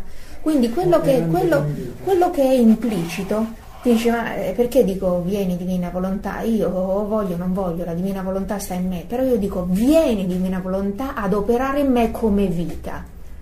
Allora, perché la divina volontà è già in me e mi mantiene in vita, mi mantiene come... co- e- e io non posso dire vieni divina volontà, vieni eh, per il mantenimento, perché già ci sta. Però già il fatto di dire vieni implica una sorta di at- atto cosciente, di riconoscimento. di riconoscimento, quindi il vieni è un ti riconosco. Allora l'invocare la divina volontà è fare lo spazio dentro di noi affinché la divina volontà possa in realtà venire ad operare con un regime superiore. Allora eh, io non dico vieni divina volontà, eh, diciamo, ad operare quasi nel, nel mio inconscio, perché la divina volontà è comunque già operante, però vieni divina volontà ad operare come in cielo, come in te- così in terra, in me, allora questo ha senso, perché questo è un regime superiore ed è la divina volontà che ha bisogno del riconoscimento e della chiamata della creatura proprio per poter venire ad operare come in cielo così in terra. Per cui eh, tutto, diciamo, visto come termini staccati, separati, magari, sì. però questo vieni implica, viene ad operare con il regime come in cielo così in terra, diciamo con un regime superiore sì. e questo, questo viene già implica l'atto di voler riconoscere la divina volontà e quindi formare lo spazio per farla venire. Altrimenti, ecco, Luisa pure diceva vieni, vieni, vieni, però dice ma eh, tu già stai in me, che ti chiama a fare? Così l'ha detto mille volte. E dice ma eh, Gesù ma tu non sai qual è la gloria e la, la, gioia che proviamo quando la creatura ci chiama ad operare in, in se stessa così come noi operiamo in cielo. E quel venire, quel chiamarci è in realtà un disporsi della creatura sempre di più a formare il vuoto affinché noi possiamo operare. Quindi diciamo, eh, continuiamo pure a dire vieni con la conoscenza che abbiamo di tutto quello che questo significa. E poi in realtà, siccome nella divina volontà è un atto unico, la, la creatura nella divina volontà acquista le virtù dell'operare del, della divina volontà, che è quello dell'atto unico, però è come una sorta di... a noi ci sembra strano perché viviamo nel tempo e nello spazio con atti sequenziali, per cui la cosa che si avvicina di più all'atto unico nell'eternità è l'atto ripetuto nel tempo. Allora se io dico vieni, vieni, vieni, vieni, vieni, è come se fosse vieni. Però io, eh, allora, eh, noi lo possiamo ripetere perché questo nostro ripetere è quello che si avvicina di più nel tempo all'atto unico eterno che è in Dio. Quindi lungi dal voler eh, togliere importanza ai vieni precedenti come se non fossero abbastanza potenti sì, sì, abbastanza. e dicendo devo fare un altro altrimenti no. No, dice no, il tuo atto ripetuto è proprio la virtù e il segno che la mia volontà opera in te perché più la creatura possiede l'atto e più lo ama e più lo ama e più lo ripete. Perché la divina volontà ama tanto i propri atti che non sa fare a meno di farli in continuazione. Anzi è geloso. Ecco, come i bambini, infatti, come i bambini che mm, vogliono fare, continuare a fare sempre lo stesso gioco, no? Perché il, il venire, il possedere, il possedere, l'amare, l'amare e il non dire mai basta? Sì, e lui stesso si fa il, l'attore, il custode dei suoi atti nella creatura. Noi non facciamo che l'eco di questa preghiera, di questa amore. Gesù che sta come armato, geloso a custodire i suoi atti, sì, che sì, sì, sì. Questo è anche molto bello, grazie. Fondo quindi, mio Gesù, la mia intelligenza nella tua intelligenza, che è collegata con l'intelligenza di tutte le creature. Pertanto, fondendo la mia intelligenza nella tua intelligenza, anch'io so, ho accesso a questo collegamento, a questo raggio di luce che mi connette all'intelligenza di tutte le creature. E nell'intelligenza di tutte le creature voglio darti l'adorazione, l'atto di contemplazione, di comprensione, di conoscenza, di adorazione che tutte le intelligenze umane ti devono.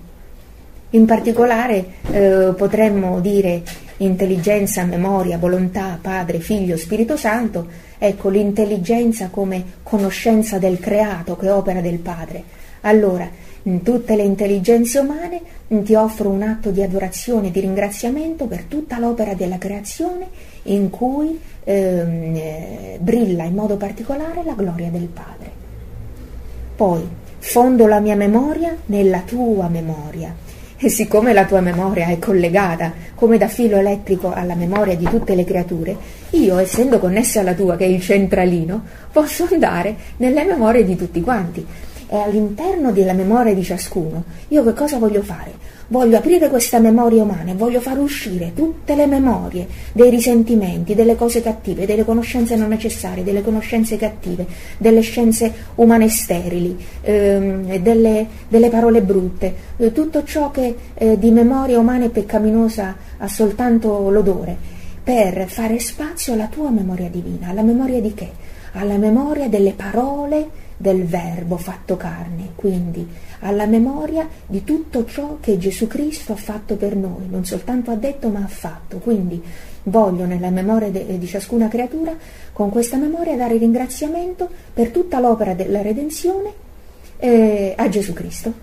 E quindi abbiamo, stiamo coprendo intelligenza, memoria, volontà, Padre, Figlio, Spirito Santo, creazione, redenzione, santificazione, in quanto adesso fondo la mia volontà nella divina volontà.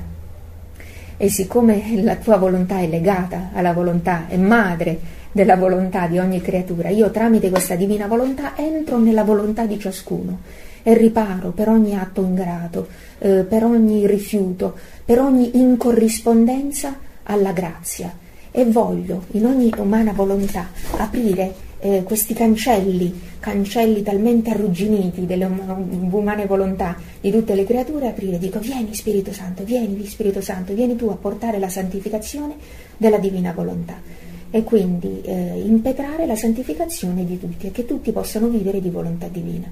E questo in onore al terzo fiat che è l'opera in cui splende in modo particolare eh, lo Spirito Santo. Ecco. Quindi diventa una purificazione totale. Sì, diventa una, una fusione, un, un, atto, un, giro completo, un giro completo nelle opere della creazione, della redenzione, della santificazione, tramite le tre potenze dell'anima fuse nella divina volontà, fuse nelle potenze, diciamo, eh, del verbo incarnato. Allora leggiamo insieme eh, fondo il mio sguardo nel tuo sguardo. Ecco, mentalmente possiamo fare eh, quello che abbiamo fatto per la memoria, per l'intelligenza, per la volontà.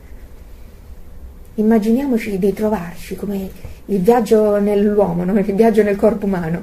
Ci troviamo dietro le pupille, tra la retina e la sclerotica e l'iride, il cristallino dell'occhio di ogni creatura e da quella, da quella riceviamo nell'occhio di ogni creatura la luce esterna della divina volontà e vogliamo corrisponderla con la luce interna, che è la luce di corrispondenza, di grazia, di amore, di purezza e non di sguardi rivolti alla carne, al mondo e a cose che non glorificano Dio.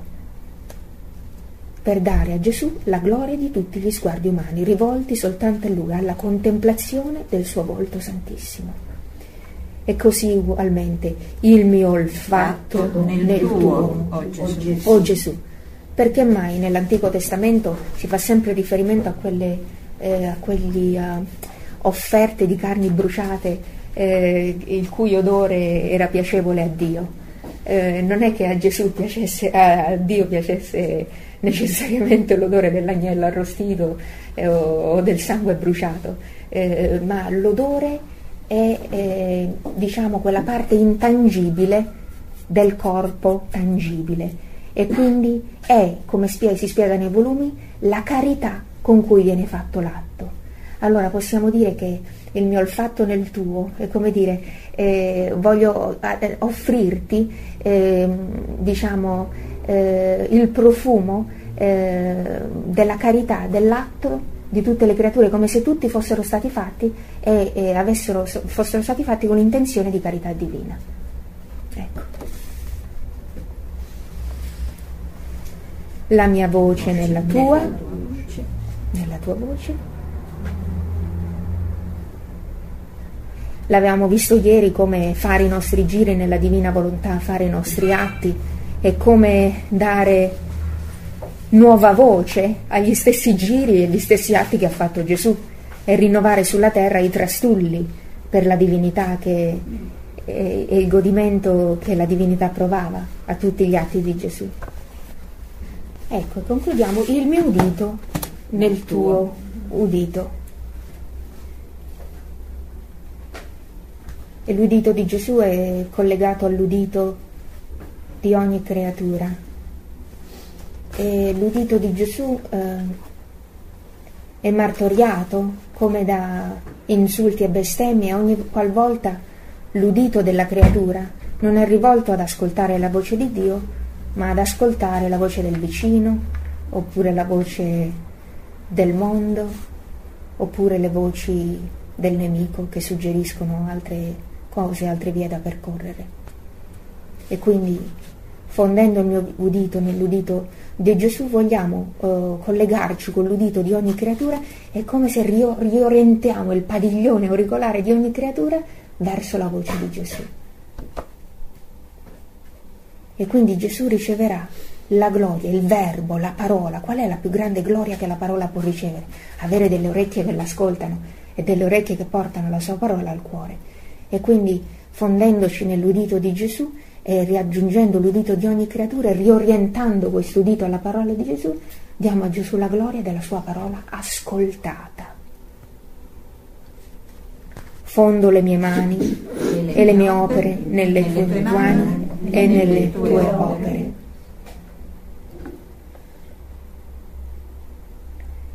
Qui possiamo continuare in tanti modi, ma ovviamente ci possiamo, possiamo essere collegati, adesso immaginiamo di essere collegati alle mani e alle opere di tutte le creature. Quanta riparazione non possiamo adesso compiere.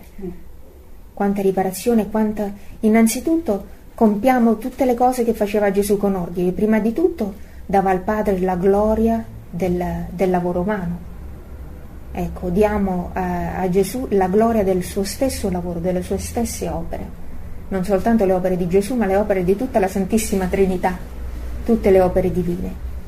E poi ripariamo per tutte le opere fatte male, per le opere belle, ma fatte con cattiva um, intenzione, le opere belle ma finte, che sono quelle che danno più uh, orrore e dolore a Gesù quelle fatte di finzione, quelle dove c'è la parvenza, il sorriso, poi invece dietro c'è il marciume. E sono un buon, siamo seri, un buon 90% delle opere di questo mondo. C'è sempre l'umano, c'è sempre l'interesse e quindi queste opere non sono mai pure. E Gesù dice, io le guardo come un non nulla, oppure addirittura mi fanno schifo, dice lui. Ecco. Allora, eh, con questa fusione eh, diamo al Padre la gloria delle opere sante di Gesù e le opere di tutta la Santissima Trinità, ripariamo per le opere malfatte, facciamo le opere non fatte ed impetriamo per le creature la santificazione delle mani e delle opere, perché tutto possa essere fatto con un unico scopo, piacere a Dio e uh, ottenere e aumentare la sua gloria.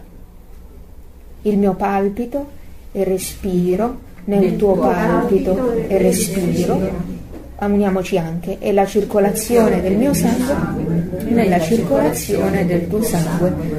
Oh mio amato Gesù, c'è un passo, mi pare, in uno dei volumi più alti, non so se il 28 o il 29, che parla proprio di questi atti nostri, del nostro organismo, che sono degli atti involontari, il palpito, il respiro e la circolazione del sangue. E con questa fusione continua con Gesù il cui palpito è collegato al palpito di tutti. Immaginiamo che adesso noi, col, uniti al palpito di Gesù, eh, stiamo palpitando nel palpito di ciascuno. Allora, il palpito è questa vita che si perpetua, ma come sta vivendo la creatura in questo momento? Dove rivolge la sua vita? Al peccato? Alle cose del mondo? Questo palpito, anche se è un atto involontario, però voglio dire, tutto il resto della creatura opera volontariamente, quindi questo palpito è coinvolto in tutto l'operato della creatura e quindi dove va la volontà va anche il palpito. Se la volontà sta peccando, anche il palpito è un palpito malsano. Se il respiro, eh, eh anche se il respiro è involontario, se la, eh, la, creatura sta correndo, camminando verso il male, anche il respiro è il respiro peccaminoso. E quindi diciamo questi sono atti involontari che però seguono il punto dove la creatura si dirige.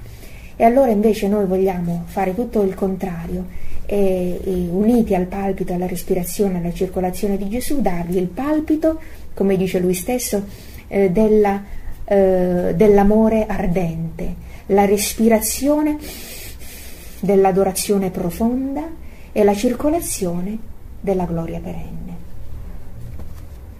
O mio amato Gesù. Piace questa frase. Questa differenza umana che, che si verifica tra la preghiera limitata e eh, circoscritta, eh, pur nella grazia, pur con la pia intenzione, e la preghiera universale, potente e divina dello stesso Gesù. Questa preghiera, questa differenza così immane, eh, come, fa, come, fa, a verificarsi? Cos'è? Qual è? Qual è la cosa che deve succedere perché anziché un granellino di sabbia ci sia questa infinità?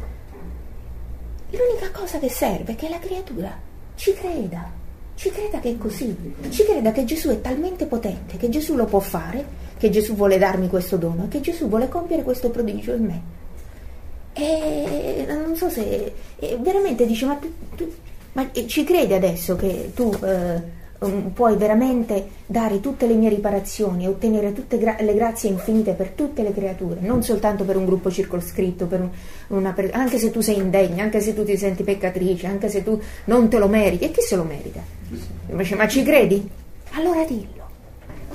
Ci credi? Sì, e dillo, perché è fatto. Quindi da parte nostra veramente non, ci, non serve niente il merito, la bellezza, la vecchiezza, la gioventù, eh, l'intelligenza, non serve assolutamente niente tranne che la semplice credenza, la fiducia completa che ciò si può fare e la conoscenza di ciò che avviene. Nient'altro, non c'è cosa più facile al mondo. Eppure la differenza tra un granello di sabbia e un'infinità di universi. Quindi l'abbandono totale, il riconoscimento totale sì. che Gesù a farlo in me comunque praticamente al posto di me viene Gesù e quindi è nel mio atto è lui che agisce, è lui che ripara e quindi... Eh, certo, certo, sì. No, no, io dicevo, questo chiedere che venga la sua volontà non il mio atto, no? Sì. È anche un mezzo per saper riconoscere quello che Dio vuole da me. Sicuro. Sicuro. Sicurissimo. Perché io uno stato Bellissimo. ho è proprio questo qui. Mamma mia, quanto ti capisco.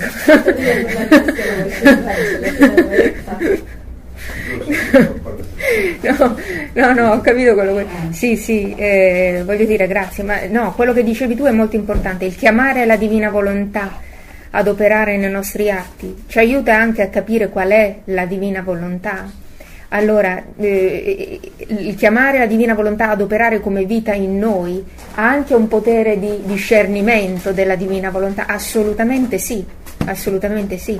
Perché? Allora, mettiamo qui la, la, volontà di Dio. Ci sono due cose. La prima che è conosciuta dalla Chiesa è quello di fare la volontà di Dio. Fare la volontà di Dio vuol dire che io ho la mia volontà umana con questa volontà umana, in qualche modo, tramite la grazia, tramite qualcuno che me lo dice, tramite l'obbedienza, tramite l'intuito, tramite l'ispirazione, io capisco qual è la volontà di Dio e la faccio. Però sono sempre due volontà. Adesso qui, cancella tutto, operiamo in un piano diverso, cioè, mi correggo, non è cancella tutto, nel senso che si deve sempre fare la volontà di Dio, ma si fa la volontà di Dio non con la volontà umana, ma con la stessa volontà di Dio. Allora, vivere nella divina volontà vuol dire fare la volontà di Dio, ma come? Con la volontà umana? No, con la volontà di Dio. Allora, se tu è chiaro questo? Sì. Eh, sì. Allora, se tu, chiedi, se tu chiedi alla divina volontà, dice volontà divina, vieni tu in me ad operare perché tutto quello che faccio voglio che lo faccia tu in me. Possiamo minimamente immaginare che la volontà divina si metta a fare qualcosa che lei non voglia fare? Ecco, allora quindi il vivere nella divina volontà implica necessariamente il fare la divina volontà allora io posso saltare quel, quella cosa che dice che cosa vuoi che io faccia? Devo discernere, cioè vado a destra o a sinistra, con progresso quest'altra cosa, mi faccio suora o mi sposo? Allora non è che sto ridicolizzando, no, no, no. Però, proprio, so, proprio non sto trivializzando, ecco, però ecco, la, l'attenzione della creatura si può finalmente liberare da queste cose per dire io salto questo passo perché in questo passo se io ti dico volontà di vispo, anche se io capisco che cosa devo fare, poi alla fine lo devo fare con la mia volontà. e quindi lo posso fare male, mi posso distrarre, so quello che devo fare, anziché andare qui vado di qua. Allora, eh, in realtà dico, io non solo voglio fare la divina volontà, ma taglio la testa al toro e dico, volontà divina, vieni tu a farlo in me. e allora, quando invochiamo la volontà divina ad operare come vita in me, già ho incluso la richiesta di fammi conoscere la tua volontà perché nel momento in cui la fai, tu me la fai conoscere. Chiaro? Cioè... Sì, sì, ma poi appunto poi camminando piano piano sì, sì, è tutto un cammino, è tutto un cammino. Però ecco, la cosa importante è che l'attenzione, l'energia della creatura non si, spende di, non si spende più tanto a livello del discernimento, perché quello può essere un po' un, diciamo, una sorta di tormento per la mente umana, no? Eh, dice ma qual è la tua volontà? Dice, allora Gesù dice non è che io non te lo voglio sapere, ti chiedo un'altra cosa, non ci pensare. Chiedi con la mia volontà, di, chiedi, chiedi Gesù, vieni ad operare tu in me con la tua stessa divina volontà. È come dire, fammi operare quasi inconsciamente, diciamo. Non mi chiedere, non mi chiedere cosa vuoi che io faccia, dici Gesù, qualunque cosa che tu vuoi che io faccia, vieni la tua a fare in me. Ed è diciamo un approccio completamente diverso, perché la creatura si libera da ogni responsabilità in un certo senso, voglio dire, eh, nel senso che si libera da, dal dover capire, da dover capire prima, dice devo capire prima, devo discernere, si alleggerisce, diventa più leggera, dice perché io sono convinta e sono sicura perché a costo della vita, ho detto Gesù questa mattina con l'atto preventivo, ho detto Gesù a costo della vita vieni, non voglio fare un atto che sia uno fuori dalla tua volontà, non soltanto voglio fare la tua volontà, ma voglio farla con la tua volontà. E allora, siccome ho fatto questo atto preventivo e lo intendo come verità a costo della vita e mi siete tutti testimoni, io posso essere sicura come protesto, come giuramento, eh, suggellato proprio nella divina volontà, che quando chiamo la divina volontà, la divina volontà non soltanto mi fa fare quello che vuole, ma viene lei stessa a farlo. Ecco. Quindi il vivere nel, nel divin volere elimina tutte le cosiddette perdite di tempo delle santità umane è importante fare la consacrazione, non so se visto che fare sì. la consacrazione alla divina volontà. Ma secondo te dire, secondo, sì, sì, secondo te dire vieni di volontà divina, vieni tu ad operare, eh, non è una consacrazione alla divina volontà? Comunque c'è altre che dice questo, una delle cose sì. che lui sottolinea. Hai ragionissima, ed è la consacrazione allo Spirito Santo. Eh, poi c'è... Sì, sì, no, no, mm, penso che anche tu hai capito quello che voglio dire. Perché? A seconda, lui conosce le disposizioni delle creature, conosce anche quali erano le disposizioni dei vari santi, le disposizioni dei, dei personaggi dell'Antico Testamento, di tutte le creature. E quindi quando questi atti vengono adesso fatti sulla terra dalle anime che vivono nella divina volontà, vanno ad incrementare la gloria accidentale, accidentale dei, dei, dei, dei, santi, di tutte eh, le creature che si trovano in paradiso, in proporzione alla loro disposizione, di quanto avrebbero abbracciato questo dono semplicemente se ne avessero avuto la conoscenza. E Dio è sommamente giusto, non priva nessuno. Allora eh, nessuno può dire, eh grazie, io sono vissuto nel 1200, stavo nel Medioevo, ah che barba, sono morta con uno strumento di tortura e adesso vengo un figlio di divin volere. Invece no, non funziona così. Eh, funziona che anzi eh, la gloria eh, accidentale e la beatitudine e la santità viene addirittura incrementata e la, la gioia di cui questi santi godono viene aumentata proprio quando sulla terra si fanno questi atti proprio in proporzione eh, della, loro, della loro disponibilità, della disponibilità della loro umana volontà a fare la divina. Come dice Gesù a Luisa, Ogni volta che si prega, ogni volta che la Chiesa prega e ha pregato nei secoli, era per te che pregava Luisa, te ne rendi conto? Allora loro dicono, finalmente hai portato sulla terra eh, il dono del divin volere, finalmente adesso noi possiamo compiere lo scopo della nostra santità. Per cui, lungi dal, dal voler dire, eh, ecco, noi siamo appagati dalla nostra santità umana, loro eh, ehm, altrimenti non si fionderebbero in ogni atto, sono felicemente e beatamente eh, vogliosi eh, di eh, ricevere eh, questa gloria accidentale che si ripete e si perpetua ad ogni atto che si fa sulla terra nella divina volontà, perché questo rappresenta il compimento della loro stessa santità. Quindi sono, sicuramente non, non hanno nessuno, dicono, dicono, ecco, finalmente Dio, hai, hai, grazie perché hai, adesso in questo momento stai eh, rispondendo a tutte quante le nostre preghiere. Stai, ci stai dando eh, veramente il compimento e, e, la remunerazione del mille per mille, insomma, eh, per tutti i nostri sacrifici, per i nostri martiri, per le nostre preghiere. E quindi la loro non è una gloria statica, non è una gloria statica e ferma, ma una gloria che aumenta ed aumenta ad ogni atto che si fa nella divina volontà. e, e loro quindi sulla terra, eh, avendo vissuto in un certo periodo sulla terra, adesso possono dire eh, che man mano che il regno di Dio sulla terra si va formando, perché questo è l'unico scopo della, del, dell'uomo, formare il regno di Dio sulla terra.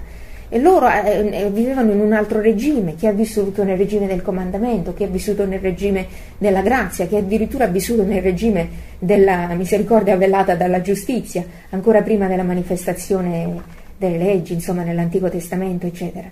Allora, adesso che c'è questo regime del come, in, del come in cielo così in terra, possono dire finalmente hai dato compimento a tutta la nostra vita, alla nostra santità. Ecco, in questo senso loro sono contenti e, e aspettano i nostri atti, ma questo lungi dal renderli insoddisfatti, li rende ampiamente soddisfatti, perché è una cosa che a loro spetta perché loro trovano, come, di, come dire, eh, io diciamo, ho un lavoro, ho compiuto un lavoro, possono anche loro compiere la loro missione. Tutte le missioni sulla terra arrivano ad un certo punto e poi si devono compiere in cielo. Allora ci sono delle missioni al, al 100%, la missione è il regno della divina volontà. Ci sono delle missioni che ne, sulla terra eh, si sono compiute all'1%. E ci vuole un 99% che deve essere ancora compiuto in cielo. Allora, man mano che, eh, eh, che, la manifestazione delle verità nel vivere e nel volere si manifesta qua sulla terra, la missione del regno della divina volontà si può compiere sempre, non arriva mai al 100%, perché quello sarà un 100% infinito, che, che, si svolge soltanto in cielo, infatti un, un 100% fittizio, un infinito, però eh, si può compiere sempre di, un pochettino di più sulla terra mentre in terra con la limitazione de, delle conoscenze limitate non era possibile, o, o, ovvero si compiva al 100% rispetto a quel tipo di conoscenza. E, e, voglio dire, i santi hanno dato il 100%, per questo dicevo, i santi hanno dato il 100%, se i santi eh, Brancaleone, non so, no, no, no, pensavano, diciamo, che la gloria a Dio si desse martoriando la carne e facendosi, non lo so, buttare a terra da un masso che pendeva da un albero, così, oppure eh, facendosi dei segni sulla pelle per eh, punire questa carnaccia, eccetera. Loro questo era il tipo di conoscenza, di, di santità, di mortificazione che avevano il Signore eh, lo permetteva, lo rispettava, lo voleva perché eh, c'è un, un, passo dopo l'altro per cui lui va a manifestare la sua divina volontà. E quindi que- loro hanno dato il 100% rispetto a quel tipo di conoscenza.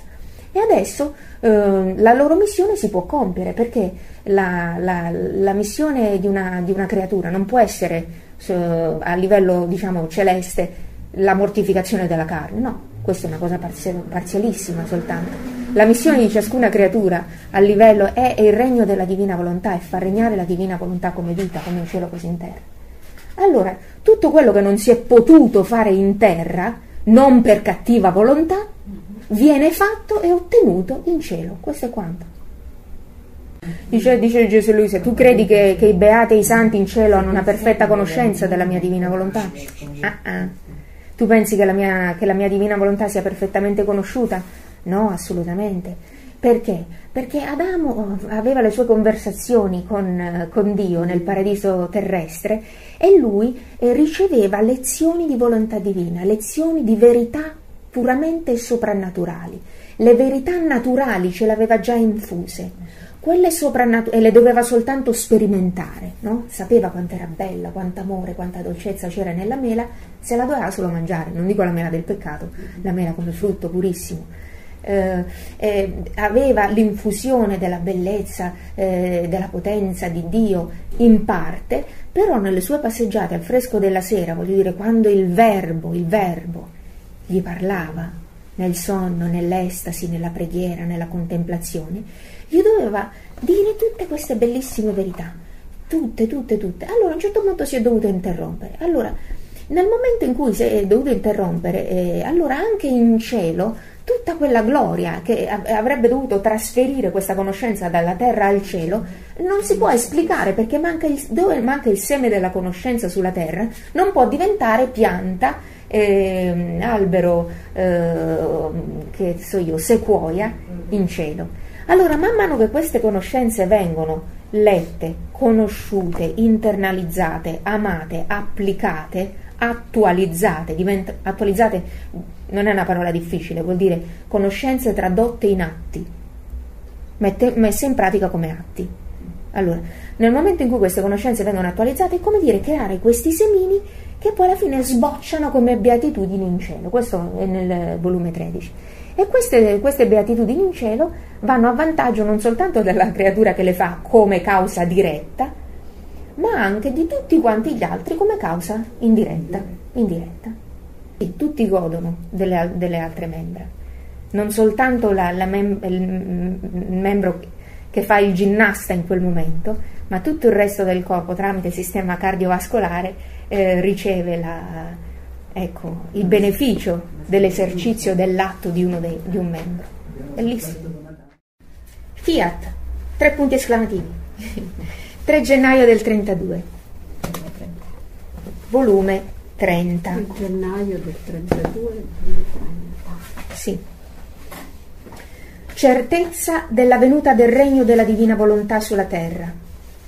È decreto nostro il regno della nostra volontà sulla terra. Come tutte le difficoltà si scioglieranno come neve innanzi ad un sole ardente. La volontà umana è stanza oscura della creatura. Il mio abbandono continua nel fiat divino, ma mi sentivo preoccupata dal pensiero come mai potrà venire questo regno della divina volontà? Il peccato abbonda, i mali peggiorano, le creature mi sembrano indisposte a ricevere un sì gran bene. Tanto che non c'è anima, per quanto buone fossero, che veramente vogliono occuparsi di far conoscere ciò che riguarda la divina volontà. Se Dio non opera un prodigio della sua onnipotenza, il regno del fiat divino potrà stare nel cielo, ma per la terra, inutile pensarci, ma mentre ciò ed altro pensavo, il mio amato Gesù, facendo la sua solita visita all'anima mia, mi ha detto, ecco, cerchiamo di fare qualche considerazione su questo eh, primo paragrafo, giusto per non farci sfuggire niente di quello che eh, Luisa comunica all'inizio di ogni capitolo.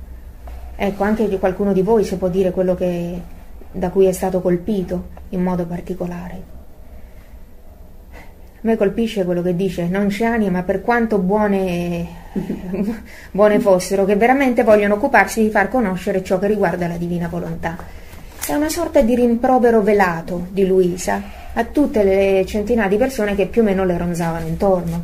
Eh, ma diciamo pure centinaia, magari sì, per chiedere delle grazie, per conoscenza, forse molto meno quelle che conoscevano della divina volontà. Ecco, però lei eh, nota che eh, veramente sono, sono, veramente poche, se non eh, magari non ce ne sta proprio nessuna, che abbia dato veramente il 100% della propria vita, delle proprie intenzioni, eh, della propria esistenza, corpo e anima, eh, per il regno della divina volontà eh, in tutte le sue esortazioni, nelle epistole che lei scrive, eh, fa, ovviamente risponde alle preghiere, esorta, incoraggia, ma poi dice non pensare ad altro che al divino volere. Eh, non ti preoccupare, non pensare ad altra cosa, sia quello il tuo primo pensiero, eh, il tuo solo palpito, eh, la tua sola occupazione.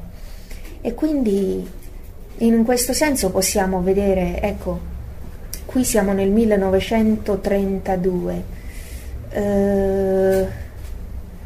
Eh, vediamo un po'.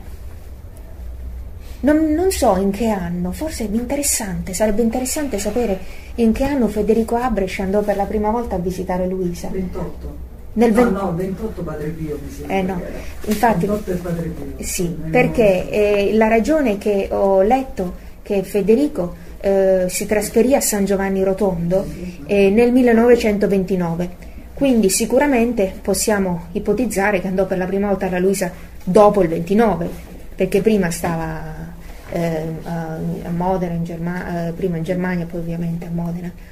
Ecco, perché forse, dico, Luisa dice non c'è anima, ma forse è un'anima che veramente l'unica eh, che noi conosciamo, a parte il confessore, eccetera, il Beato Annibale, era proprio forse Federico Abrisch che aveva dato tutto se stesso, tant'è vero che Luisa mm, gli permetteva addirittura di copiarsi parte degli, di, di portarsi via un volume, farselo copiare dalla segretaria e infatti quando lui legge e certe volte non riesce a leggere dice perché veniva qualcosa con quell'accento un po' tedesco così?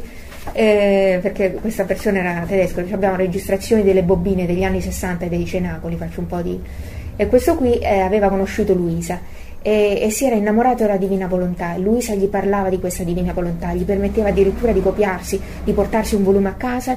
Lui faceva il fotografo, il fotografo ufficiale di Padre Pio. E mh, aveva una segretaria, una signorina che gli faceva, gli copiava tutto, poi lui li riportava a Luisa e negli anni pare 40, 50 fino agli anni 60, fino alla sua morte in 69, faceva questi cenacoli a San Giovanni Rotondo dove lui, proprio prima mano, eh, prima mano forse, aveva, eh, eh, diciamo, eh, trasferiva alle persone quello che lui stesso imparava dai volumi e dalla viva voce di Luisa. Eh, però sappiamo storicamente che lui era forse, abbiamo tra le cento, centinaia di lettere che Luisa scrisse a delle persone, ne scrisse molte a Federico e sappiamo quanto Luisa lo stimasse. Ecco, però a parte lui, diciamo, non è che, a parte siamo al 32, può darsi pure che ancora non l'aveva conosciuto, erano gli inizi, no? Eh, che Luisa fu in contatto con Federico veramente gli ultimi anni della sua vita, insomma. Ma non c'è veramente nessuno, eh, per quanto buone fossero, che veramente vogliono occuparsi di far conoscere ciò che riguarda la divina volontà. Se non opera un prodigio della sua onnipotenza, il regno del fiat divino potrà stare in cielo, ma per la terra inutile pensarci. E qui entra Gesù. Figlia mia, tutto a noi è possibile le impossibilità, le difficoltà, gli scogli insormontabili delle creature si sciolgono innanzi alla nostra maestà suprema, come neve di rimpetto ad un sole ardente. Il tutto sta se noi vogliamo, tutto il resto è nulla. Non successe così nella redenzione. Il peccato abbondava più che mai, appena un piccolo, piccolo nucleo di gente sospiravano il Messia, ed in mezzo a questo nucleo quante ipocrisie, quanti peccati di tutte le specie, spesso idolatravano. Ma era decretato che io dovevo venire sulla terra. Innanzi ai nostri decreti, tutti i mali non possono impedire quello che vogliamo fare. Un atto solo di nostra volontà ci glorifica più che non eh, ci offendano tutti i mali e peccati che si commettono dalle creature un atto di volontà divina è superiore a tutti i peccati e tutte le offese. Perché il nostro atto di volontà è divino e immenso e nella sua immensità abbraccia tutta l'eternità, tutti i secoli, si stende a tutti. Quindi non è della nostra infinita sapienza non dar vita ad un atto solo della nostra volontà per i, mari, per i mali delle creature. Noi ci mettiamo dal nostro lato divino e facciamo quello che dobbiamo fare e le creature le lasciamo nel, nostro, nel loro lato umano e facendo da sovrani signoreggiamo tutto e tutti, anche sul male, e mettiamo fuori i nostri decreti. Ora, come fu decreto nostro la mia venuta sulla terra, così è decreto nostro il regno della nostra volontà sulla terra. Anzi, si può dire che l'uno e l'altro è un sol decreto e che avendo compiuto il primo atto di questo decreto ci resta da compiere il secondo.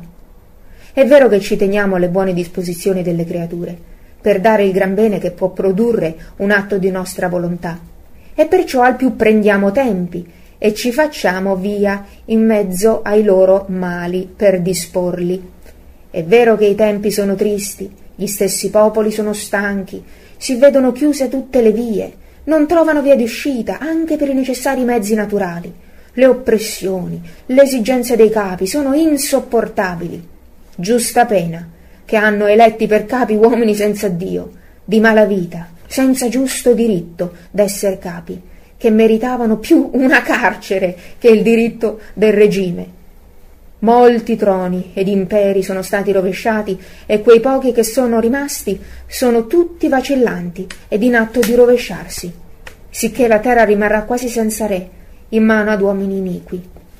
Poveri popoli, poveri figli miei, sotto il regime di uomini senza pietà, senza cuore e senza grazie, di poter fare da guida ai loro dipendenti.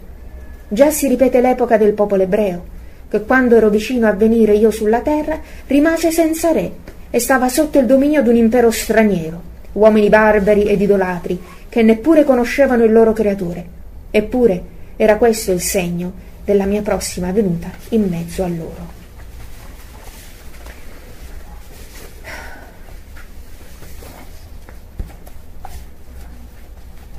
Sembra quasi che, diciamo, il regno della divina volontà potrà veramente eh, arrivare eh, proprio per come è fatta l'umana volontà, che non vuole cedere, non vuole cedere fino alla fine, fino a che non si spezza. Eh, pare che il regno della divina volontà avrà via libera, veramente il Signore si potrà eh, eh espandere eh, con queste conoscenze e le creature saranno disposte, veramente quando le creature non ce la faranno più, quando saremo arrivati ad un punto che rasenta quasi l'autodistruzione, come per dire, eh, quando ci saremo talmente, dico ci saremo come mondo, come nazioni, talmente tanto ingarbugliati, talmente tanto... Eh, eh, siamo quasi, stiamo là. Ecco. Eh, e infatti, ecco, diciamo pure che quando è arrivata la redenzione, quando il popolo ebraico stava proprio sotto la dominazione, loro, eh, orgogliosi del loro tempio, eccetera, venivano presi proprio in giro come dei puzzolenti, dei caproni dai romani. Cioè non era una situazione piacevole, il popolo ebraico, il popolo scelto, aveva un'autostima, una dignità, diciamo una, eh, una considerazione di sé come il popolo di Dio, quello scelto, la più grande nazione, il popolo di tutte le, tutte le profezie delle sacre scritture che in realtà si riferiscono all'umanità cristiana. e, storicamente, l'abbiamo detto pure ieri, diciamo, storicamente sono rivolte al popolo eletto degli, degli ebrei. Però in che situazione si trovava questo popolo eletto? Era la frutta, era la frutta veramente. E adesso veramente come ci, come ci troviamo noi? In una situazione che è molto, molto simile. E sembra che diciamo, le cose positive che possono succedere eh, o le notizie che, positive eh, sono quasi un'eccezione rispetto a tutta la caterva di catastrofi che si verificano, che quasi quasi lasciano pure indifferenti. Si è sviluppato una sorta di cinismo, ho notato anche il tono di voce eh, dei commentatori nei telegiornali, dice è morto, è trucidato, eh, ha intervistato la madre. Così, capito? Eh, oppure, non lo so, tutti questi accoltellamenti, eh, voglio dire, tutto. Eh, eh, non lo so, anche a livello della morale eh, diciamo per le strade, dappertutto, nelle scuole, in tutto. Sì, lasciamo perdere la scuola. Ecco, non è che vogliamo stare qui a fare del moralismo, però veramente vogliamo riconoscere che siamo veramente alla frutta, eh, anche noi. E, e questo è una, una, cosa brutta, però in un certo senso ci dice che eh, siamo veramente pronti a quella manifestazione forte della divina volontà che deve un po' scardinare tutte le, le umane volontà. E, e, non lo so, per esperienza io devo dire, avendo una, cioè, un'umana volontà molto ostinata da quando ero bambina, eh, mi sono trovata insomma, ad essere riportata sulla retta via dai miei genitori quando mi sfasciavo veramente, mi battevo la testa contro il muro. Prima non la volevo capire allora, mi ci è voluto un incidente di motocicletta a 18 anni eh, perché se no ero partita no, per, da quelle sfere. Poi dopo qualche anno mi ci è voluto un altro infortunio, un'altra situazione, un altro dolore per eh, riportarmi su un'altra retta via. Ecco, diciamo che un po' incarno proprio l'ostinazione dell'umana volontà che non pare voglia imparare dai propri errori, eh, che appena diciamo prende un pochettino di confidenza, si ringalluzzisce, dice oh io posso fare da sola e poi boom, un'altra volta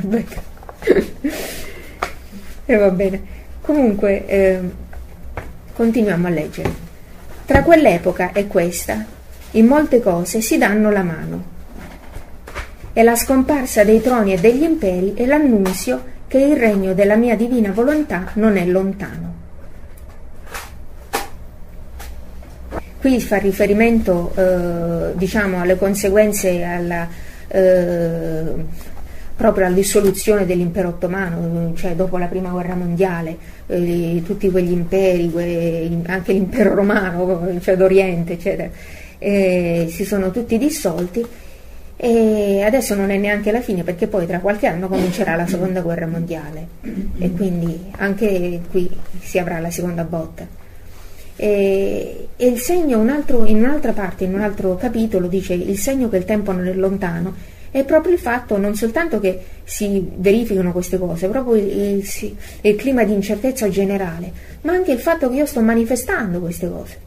Vero, eh, eh, la vera ragione, insomma, il vero fatto, cioè il fatto stesso che sto manifestando queste verità vuol dire che il tempo non è lontano, altrimenti mi sarei, avrei aspettato qualche altro secolo, insomma.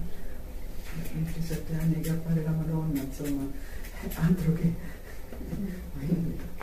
per beh, questo, 27 anni diciamo giornalmente, più tutte quante le apparizioni eh, in tutto il mondo, in Asia, in Corea, in Ruanda, eh, in tutte le parti d'Italia, apparizioni negli Stati Uniti, in Sud America, in Venezuela, in Colombia, chi più in Brasile, chi più ne ha più ne metta. Ecco, questa è proprio la missione preparatoria, quando nel libro della Vergine Santissima, maternalmente premurosa, mi metto all'opera e, e vado da tutti quanti, insomma, per poter preparare il regno della divina volontà. Gesù stesso nell'appello, quando dice se mi darete la vostra volontà e tutto è fatto, mi renderete felice, sarete felici, un altro sospiro che la mia volontà regni in mezzo a voi. Il cielo e la terra vi sorrideranno, la mia mamma celeste vi farà da madre e da regina, già essa conoscendo il gran bene che vi riporterà il regno del mio volere, per appagare i miei desideri ardenti e per farmi cessare di piangere ed amandovi da veri suoi figli, va girando in mezzo ai popoli, delle nazioni, per disporli e prepararli a ricevere il dominio del regno della mia volontà Fu lei che mi preparò i popoli a farmi scendere dal cielo in terra e a lei affido, al suo amore materno, che mi disponga le anime, i popoli, per ricevere un dono sì grande. Tempo che Maria risale su. Immaginiamo che, che, diciamo, che grande onore che abbiamo il privilegio di, avere, di essere stati esposti a queste verità quando tutti quanti diciamo, le, i movimenti carismatici, devozionali, le varie apparizioni di Nostra Maria Santissima, sono missioni preparatorie, sono, sono tutte missioni preparatorie, sono tutte eh, missioni che, funzionali e strumentali per il regno della Divina Volontà. Una volta approdati a questo, non vuol dire necessariamente lasciare, è la stessa Madonna che parla, sia qui che quello di Meggiugorio, non, non parebbe dice no, a Meggiugorio dice le cose, io sono laureato ormai, non ho bisogno di sentire, no, quello no, questo è un atteggiamento che non, non, non è, eh, diciamo, proficuo, però eh, veramente, diciamo, dopo che si approda a questo, non c'è nient'altro a cui gli posso, perché si approda veramente al massimo del dono che Dio vuole dare alle creature. Eh alle creature. Già le nazioni continueranno a dibattersi tra loro, per chi guerra, per chi rivoluzione, tra loro e contro la mia Chiesa. Hanno un fuoco che li divora in mezzo a loro e non dà loro pace e non sanno dar pace. È il fuoco del peccato, il fuoco del fare senza Dio che non dà loro pace e non fanno mai pace se non chiamano Dio in mezzo a loro come regime e vincolo d'unione e di pace. Immaginiamo tutta la storia dei diciamo, palestinesi e gli israeliti, no? questa storia così atroce eh, di guerra civile tra, tra, fratelli quasi di sangue. E finché non ci sarà proprio l'unione, verrà chiamato Dio, l'unico Dio, a fare pace, a voglia, a fare i trattati, le alleanze, siamo vicini o non siamo vicini, ma quello è, è l'esempio lampante di quello che ci sta dicendo Gesù ed io li lascio fare, ai ai ai, e farò toccare con mano che significa fare senza Dio, ai. Questo è Dio, è Dio, diciamo, Dio che rispetta la libertà, ma è anche è Dio che eh, diciamo, deve lui stesso sopportare il dolore di vedere i suoi figli che si sfracellano tra di loro. Perché sa che se facesse il contrario non farebbe loro del bene, perché non avrebbero imparato la lezione. Che se Dio, Dio potrebbe intervenire, potrebbe fare tanti miracoli, diciamo, e mettere pace così colà, ma se l'umana volontà dal profondo non la capisce, E passa un po' di tempo e siamo punte da capo. E poi l'uomo si renderebbe doppiamente colpevole. E lì, come dire, una volta che tu sei stato liberato da una legione e vai a chiamarti tre legioni, a quel punto diventa un po' più difficile. E io li lascio fare, farò toccar loro con mano che significa fare senza Dio, ma ciò non impedisce che venga il regno del mio fiat supremo. Questa è tutta roba di creatura del basso mondo, che la mia potenza, quando vuole, atterra e disperde, fa sorgere dalla tempesta il cielo più sereno e il sole più fulgido. Mi colpisce il fatto che mentre all'inizio della missione di Luisa quasi la sua storia era intrecciata con la storia quasi politiche dell'Italia, della Francia, della guerra, addirittura dei castighi delle vigne, delle grandinate attorno a Corato, c'era tutta questa, eh, questa diciamo, fusione, questo mischiarsi della storia di Luisa come parafulmine per la giustizia divina. Dal volume 12 in poi Gesù dice a Luisa lascia da parte la terra, adesso li dobbiamo lasciare fare. Adesso ti chiamo a te e ad una missione tutta speciale. Eh, devi fare il più, non puoi occuparti del meno. Devi stare tra cielo e terra, non puoi stare lì a spalare eh, diciamo, il fango.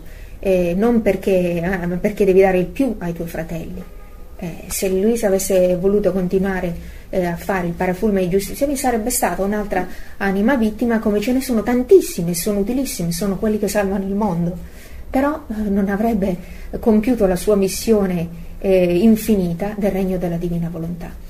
E quindi Gesù chiama proprio Luisa a dire adesso lasciamo da banda la terra, fai che facciano quello che gli pare, tu ti devi.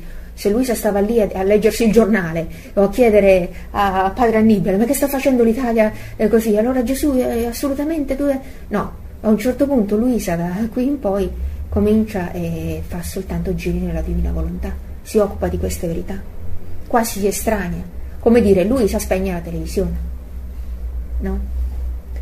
Che è un po' quello che nostra Madre Santissima ci dice pure a noi, non è la stessa cosa? Eh? non so se l'ha detto spe, spe, specificamente, però sì. Poi l'ha detto, l'ha detto anche ah, l'ha detto, a chi ha detto spiegate la televisione che è gestita da Satana. Ecco, quindi diciamo, eh, Nostra Madre Santissima proprio oggi ci fa vedere come sta facendo tutto in modo assolutamente armonioso e preparatorio a quello che vuol compiere Gesù con la divina volontà.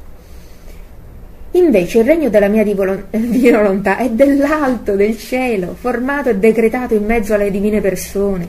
Nessuno ce lo può toccare né disperdere. Prima lo tratteremo con una sola creatura, formando il primo regno in essa, poi con pochi e poi, facendo uso della nostra onnipotenza, lo divulgheremo dappertutto. È interessante come, ecco, prima con, con una sola creatura, questa creatura viene isolata quasi messa in una camera iperbarica proprio, eh, addirittura ispirato da, dallo Spirito Santo, Sant'Annibale diceva alle, alle, creature, non la baciate e non le state a toccare sempre Luisa, oh, eh, perché c'era questo attaccamento umano così, dice questa creatura è una creatura più, dice lui aveva una venerazione proprio per Luisa, diciamo, magari era lui che se la voleva abbracciare, povera Luisa, no. Però ecco, eh, voglio dire, la gelosia di Gesù nei confronti di questa creatura è insuperabile. L'ha voluta isolare diciamo, da tutti, l'ha voluta isolare da qualsiasi forma di affetto, di attaccamento umano, perché la doveva concentrare una missione talmente forte, talmente potente, e come immaginiamo un primo astronauta che deve andare sulla Luna, non si può mettere... A, a fare altre cose, deve preparare tutta la sua mente, il suo corpo e la sua psiche eh, a quella missione. E lo stesso pure Luisa è dedicata al 100% alla missione della Divina Volontà. Poi pochi, e i pochi iniziano con il sacerdote. Il sacerdote era l'unico che dopo che Luisa scriveva, e arrivava la mattina dopo, il sacerdote diceva, ah, vabbè Luisa, che ti ha detto Gesù la notte scorsa? Allora iniziava a leggere e poi questo a porte chiuse e poi addirittura questo eh, iniziò soprattutto il padre Gennaro di Gennaro, che forse non lo conosciamo abbastanza perché è uno dei confessori di cui si parla poco. Fu il terzo confessore di Luisa e fu confessore per un periodo lunghissimo, penso di 24 anni. Eh, sì, dal, mm, non lo so, dal eh, fino al 1922, qualcosa dal, dal 98 al 22, 1898 fino al 22, e fu lui che diede appunto l'ubbidienza a Luisa di scrivere. Eh, fu Luisa che iniziò il volume 2 a scrivere per obbedienza al confessore, dico quello che inizio a scrivere quello che passa tra me e Gesù, ah, obbedienza soltanto per te, riesco a superare questa mia riluttanza, come monti insormontabili mi vorrebbe far sfuggire. E questo confessore eh, diciamo, scriveva pure dei poemetti, eh, si mi diceva Luisa ho tenuto il tuo libro sotto il mio cuscino questa notte eh, sperando di poter eh, trovare lumi eccetera una persona molto diciamo soprassunta avendo scritto, ha, ha pubblicato qualcosa de, di Padre Gennaro. E lei ha grande stima e diciamo, lo promuove moltissimo perché si parla molto anche degli altri confessori, di mm, Benedetto Calvi, di eh, Sant'Annibale, ma poco si sa veramente di questo grandissimo confessore, di, cioè questo speciale confessore di Luisa che fu il primo ad essere ispirato e il primo che veramente si dedicò a lei, anima e corpo, andando da lei tutte le mattine, andandola a svegliare da quello stato di diciamo, rigidità, rigor mortis, eccetera. Ecco.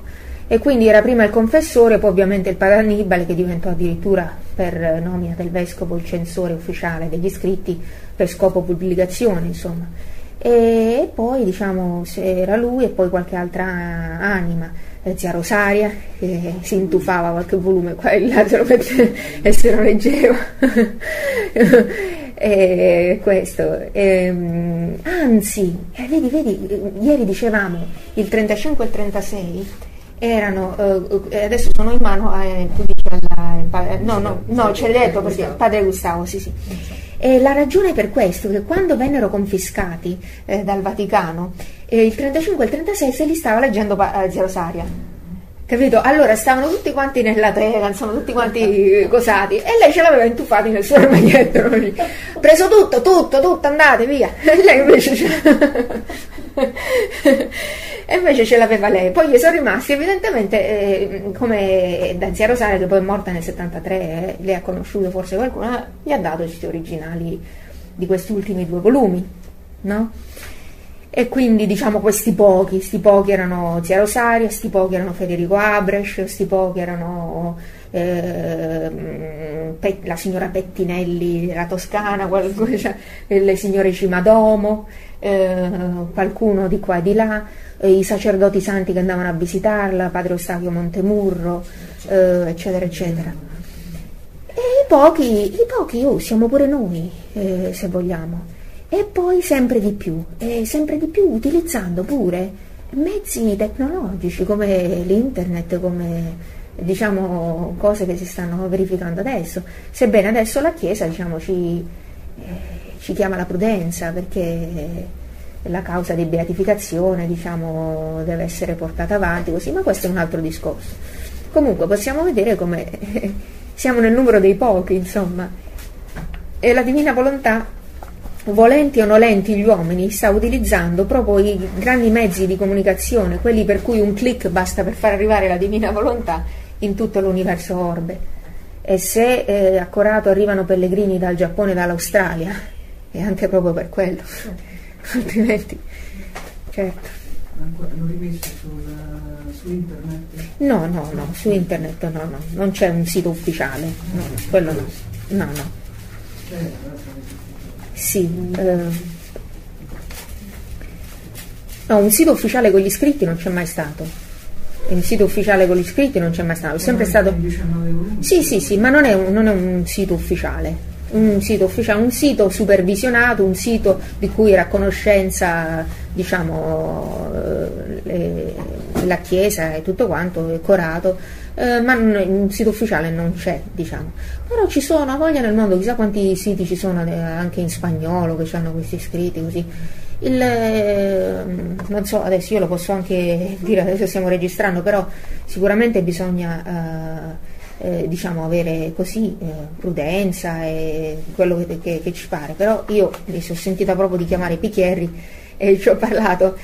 sì, sì, e gli ho detto, no, io volevo semplicemente dare una testimonianza positiva, sono italiana ma vivo negli Stati Uniti da 14 anni, eh, dove ci sono anche dei gruppi nella Divina Volontà, volevo dire, sa, sa Sua Eccellenza, è impossibile fermare gli iscritti di Luisa. L'ho fatto, me ne rendo conto.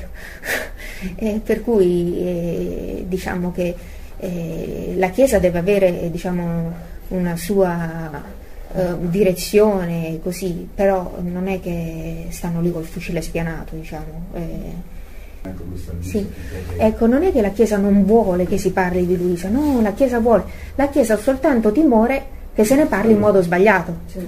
E allora, perché eh, infatti il, se ne parla in modo sbagliato, ma non è che non vuole, vuole, ha voglia, perché quello fa diffondere. Però eh, nel dubbio funesto non parte non resto, ma provo il patire che avrei nel partire e che avrei nel restare. No? Cioè, eh, perché il, l'arcivescovo ha detto, eh, senza una guida sicura è difficile, mi ha detto lui, certo, senza una guida sicura è difficile. Ma come si fa a sapere qual è la guida sicura? No, Appunto. In Gesù c'è la guida sicura, chi è l'unica eh, sicura? Sì, certa, non ti preoccupare, che i mali peggiorano, peggiorano. La nostra potenza, il nostro amore vincitore che tiene virtù di sempre vincere, la nostra volontà che tutto può e che con pazienza invita sa aspettare anche secoli ma quello che vuol fare deve fare. Vale più di tutti i mali delle creature. Davanti alla sua potenza invincibile ed il suo valore infinito saranno come goccioline d'acqua i mali di esse, come tanti non nulla che serviranno al trionfo del nostro amore ed alla maggior gloria della nostra volontà compiuta. E poi, quando avremo la grande gloria di formare questo regno dentro di una sola creatura, essa sarà come sole e che tutti hanno diritto di godere e possedere. La sua luce, più che sole, darà il diritto a tutte le creature di far possedere un regno sì santo. E noi, con sapienza infinita, abbonderemo di grazie, di luce, di aiuti, di mezzi sorprendenti, perché facessero regnare il regno della mia volontà in mezzo a loro. Perciò lasciami fare. Quando te l'ha detto Gesù, basta. E come già fatto. Tutti i mali e tutte le creature insieme non hanno potere né diritto sulla nostra volontà, né possono impedire un atto solo della nostra volontà voluta, con decreti della nostra sapienza. Amen. A noi pare quasi, eh, ci sembra quasi strano, dice, ma Gesù, ma perché aspetti? Eh, ma perché eh, eh, indugi? Eh, perché sembra che tutto vada male? E Gesù fa queste, come dire, queste sparate, queste eh, arringhe. E a noi sembra quasi che questo vada a detrimento della gloria divina. Lui invece dice tutto il contrario, dice questo andrà a aumentare la mia gloria divina. E questa è una cosa che noi non riusciamo, non riusciamo a comprendere. E, come dire, nella sapienza divina c'è anche il fatto di volere, di saper attendere e questa è una delle cose più difficili per la creatura umana, il fatto di volere e saper aspettare. E invece Dio con pazienza invita, eh, conosce tutti gli atti e tutte le conseguenze di tutti gli atti, sa qual è il momento opportuno per agire, così come sa qual è il momento opportuno per chiamare ciascuna creatura all'eterno, all'eternità, il momento opportuno della morte, è il momento di massimo beneficio della creatura. Se quella creatura, eh, diciamo, morisse un secondo prima, un secondo dopo, eh, sarebbe peggio per quella creatura. E Dio chiama tutte quante le creature, ciascuna creatura, quando questa creatura ha dato il meglio di se stessa, il massimo di quello che poteva fare. Che poteva fare. Magari la chiama prima che questa creatura avesse commesso magari un peccato grave, oppure la chiama dopo, immediatamente dopo che ha commesso un atto eroico, eh, oppure la chiama in un momento in cui, ecco, questo, questo è il diciamo, è un atto, sempre un atto di misericordia. Quindi anche questo attendere, anche se sembra che la gloria deve aspettare, però è la misericordia e l'amore che gridano più forte e la gloria sa tacere per un momento. Eh? sarebbe sor- una sorta di uh, armonia tra tutti gli attributi divini. Uno si mette un attimino più in basso, gli altri sembrano prevalere, però eh, diciamo che in un tutt'uno, se uno li somma tutti, si viene sempre massimizzata la somma onde seguiva a pensare il fiat divino e il mio dolce Gesù ha soggiunto. Figlia mia, la mia volontà è luce, la volontà umana è la stanza oscura in cui vive la povera creatura. Come entra in questa stanza oscura il mio volere, così resta tutta investita da questa luce che tutto illumina, anche i più remoti e piccoli nascondigli dell'anima. La mia volontà si fa luce del pensiero, della parola, delle opere, dei passi, ma con una diversità meravigliosa. Il pensiero prende una varietà di colori animati dalla luce, la parola prende un'altra varietà di colori, l'azione, il passo, altre varietà di colori. E come la creatura ripete il pensiero, la parola, l'azione, il passo, animata dalla luce della mia volontà, così si formano le sfumature dei colori divini. E la bellezza è che tutti i colori sono animati dalla luce. Oh, com'è bello vedere la creatura animata dall'iride dei nostri colori divini. È una delle scene più belle che essa ci presenta e ci fa godere. La guardiamo e vediamo che non sono altro che il riflesso dei nostri pensieri, delle nostre azioni e così di seguito, che ha formato la varietà dei nostri colori divini. È la nostra volontà che fa sfoggio di luce negli atti della creatura che col suo dolce incanto ci rapisce e ci fa spettatori degli atti nostri. E oh, come aspettiamo con tutto amore la ripetizione di queste scene sì belle e dilettevoli. Sì, è bello vedere in quest'ultima parte, quest'ultima, diciamo, paragrafo, il, tutto il tema della luce, dove il vivere nella divina volontà è sempre luce e mi pare nel volume 17 dice ma che è sta luce? Si parla sempre di sta luce, la luce di eh, Gesù è la luce. La luce la definisce come la verità conosciuta, amata e messa in pratica.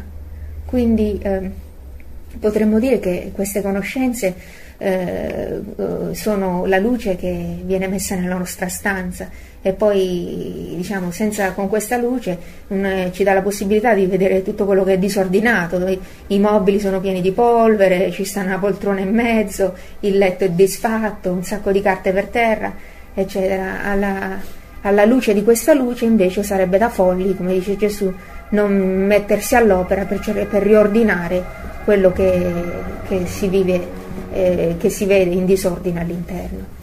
E poi diciamo che il vivere nella divina volontà non è vivere nella stanza di se stessi, ma proprio uscire dalla stanza. Infatti il primo gradino è quello di eh, ricevere attraverso la finestra un po' di luce nella stanza. Il secondo gradino è il vivere nella divina volontà e uscire fuori, mettersi al sole, no? Dice, eh, dice, già, comunque c'era ancora i piedi per terra, attaccata, diciamo magari un po' rassegnata, però almeno si è messa in ordine eh, con le passioni. Il terzo gradino è quella invece in cui eh, la creatura è completamente eclissata eh, ne, dalla luce, è proprio inondata, fa un bagno completo di sole. Però questa creatura sta ancora in terra, diciamo. Eh, il quarto gradino è quello in cui la creatura viene addirittura assorbita dalla luce stessa, dalla luce del sole. Questi sarebbero i, quarti, i quattro livelli del vivere nella divina volontà, insomma e ogni volta che uno si vuole magari vedere, dice ma io a che livello sto, c'è sempre qualcosa ancora da riordinare nella stanza. A pagina 119 in fondo dice, ci penso lui. 119 in Grigio. fondo, Gesù ci ricorda, mia figlia benedetta, è tanto grave fare la propria volontà, l'8 maggio del 32. Sì, bravo. 8 maggio 32, sempre del volume 30. È tanto grave fare la, mia, fare la propria volontà che sarebbe male minore se la creatura impedisse il corso al sole, al cielo, al vento, all'aria, all'acqua. Eppure impedendo questo corso succederebbe tale disordine e terrore che l'uomo non potrebbe più vivere.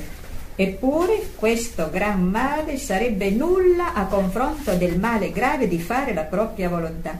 Mm. Perché con questo impedisce il corso non alle cose create, ma al suo stesso creatore. Adamo, col sottrarsi dalla nostra volontà, arrestò il corso dei doni che essa doveva dare alla sua amata creatura. Se avesse potuto avrebbe costretto Dio all'immobilità. Il nostro ente supremo, col creare la creatura, voleva stare in corrispondenza continua con essa, voleva darle ora un dono, ora un altro, voleva farle tante belle sorprese non mai interrotte. Ora, come la creatura fa la sua volontà, Così tacitamente dice al suo creatore, ritirati, non ho dove mettere i tuoi doni. Se tu mi parli, non ti capisco. Le tue sorprese non sono per me. Io basto a me stessa. E il Coragione dice ciò, che non, non ritirati, non, non, le tue sorprese non sono per me, io basto a me stessa. Perché senza della mia volontà, che è, sua, che è sua vita primaria, ha perduto la vita la capacità dove mettere i miei doni, di comprendere il nostro linguaggio celeste e si rende estranea alle nostre più belle sorprese. La creatura, col non fare la, pro- la nostra volontà, perde la vita divina, l'atto più bello, più interessante, più necessario della, della sua creazione e del come fu creata da Dio.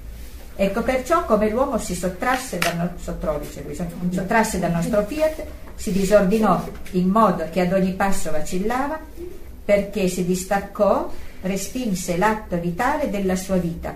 La volontà divina è l'atto vitale della nostra vita. E si distaccò dall'atto stabile e permanente che doveva vivere, che doveva vivere con lui come una sola vita quale la nostra divina volontà. Di modo che ci sentiamo, Dio eh, si sente immobilizzato, ci sentiamo immobilizzati dall'uomo, perché vogliamo dare e non possiamo, vogliamo dire e non ci intende. È come se da lontano facciamo sentire i nostri dolori, dolorosi lamenti col dirgli, oh uomo, finiscila, richiama in te quella volontà che respingesti, essa non bada ai tuoi mali, e se la chiami è pronta a prenderne il possesso e a formare il suo regno in te il dominio di pace, di felicità, di gloria, di vittoria per me e per te. Dei non voler essere più schiavo, né vivere nel labirinto dei tuoi mali e miserie. Tale non ti creai, ma ti creai re di te stesso, re di tutto. Perciò chiama la mia volontà come vita, chiama la mia, cioè, ripete più volte, chiama la mia volontà come vita e ti farà conoscere la tua nobiltà e l'altezza del tuo posto in cui fosti messo da Dio Oh, come ne sarai contento e contenterai il tuo creatore.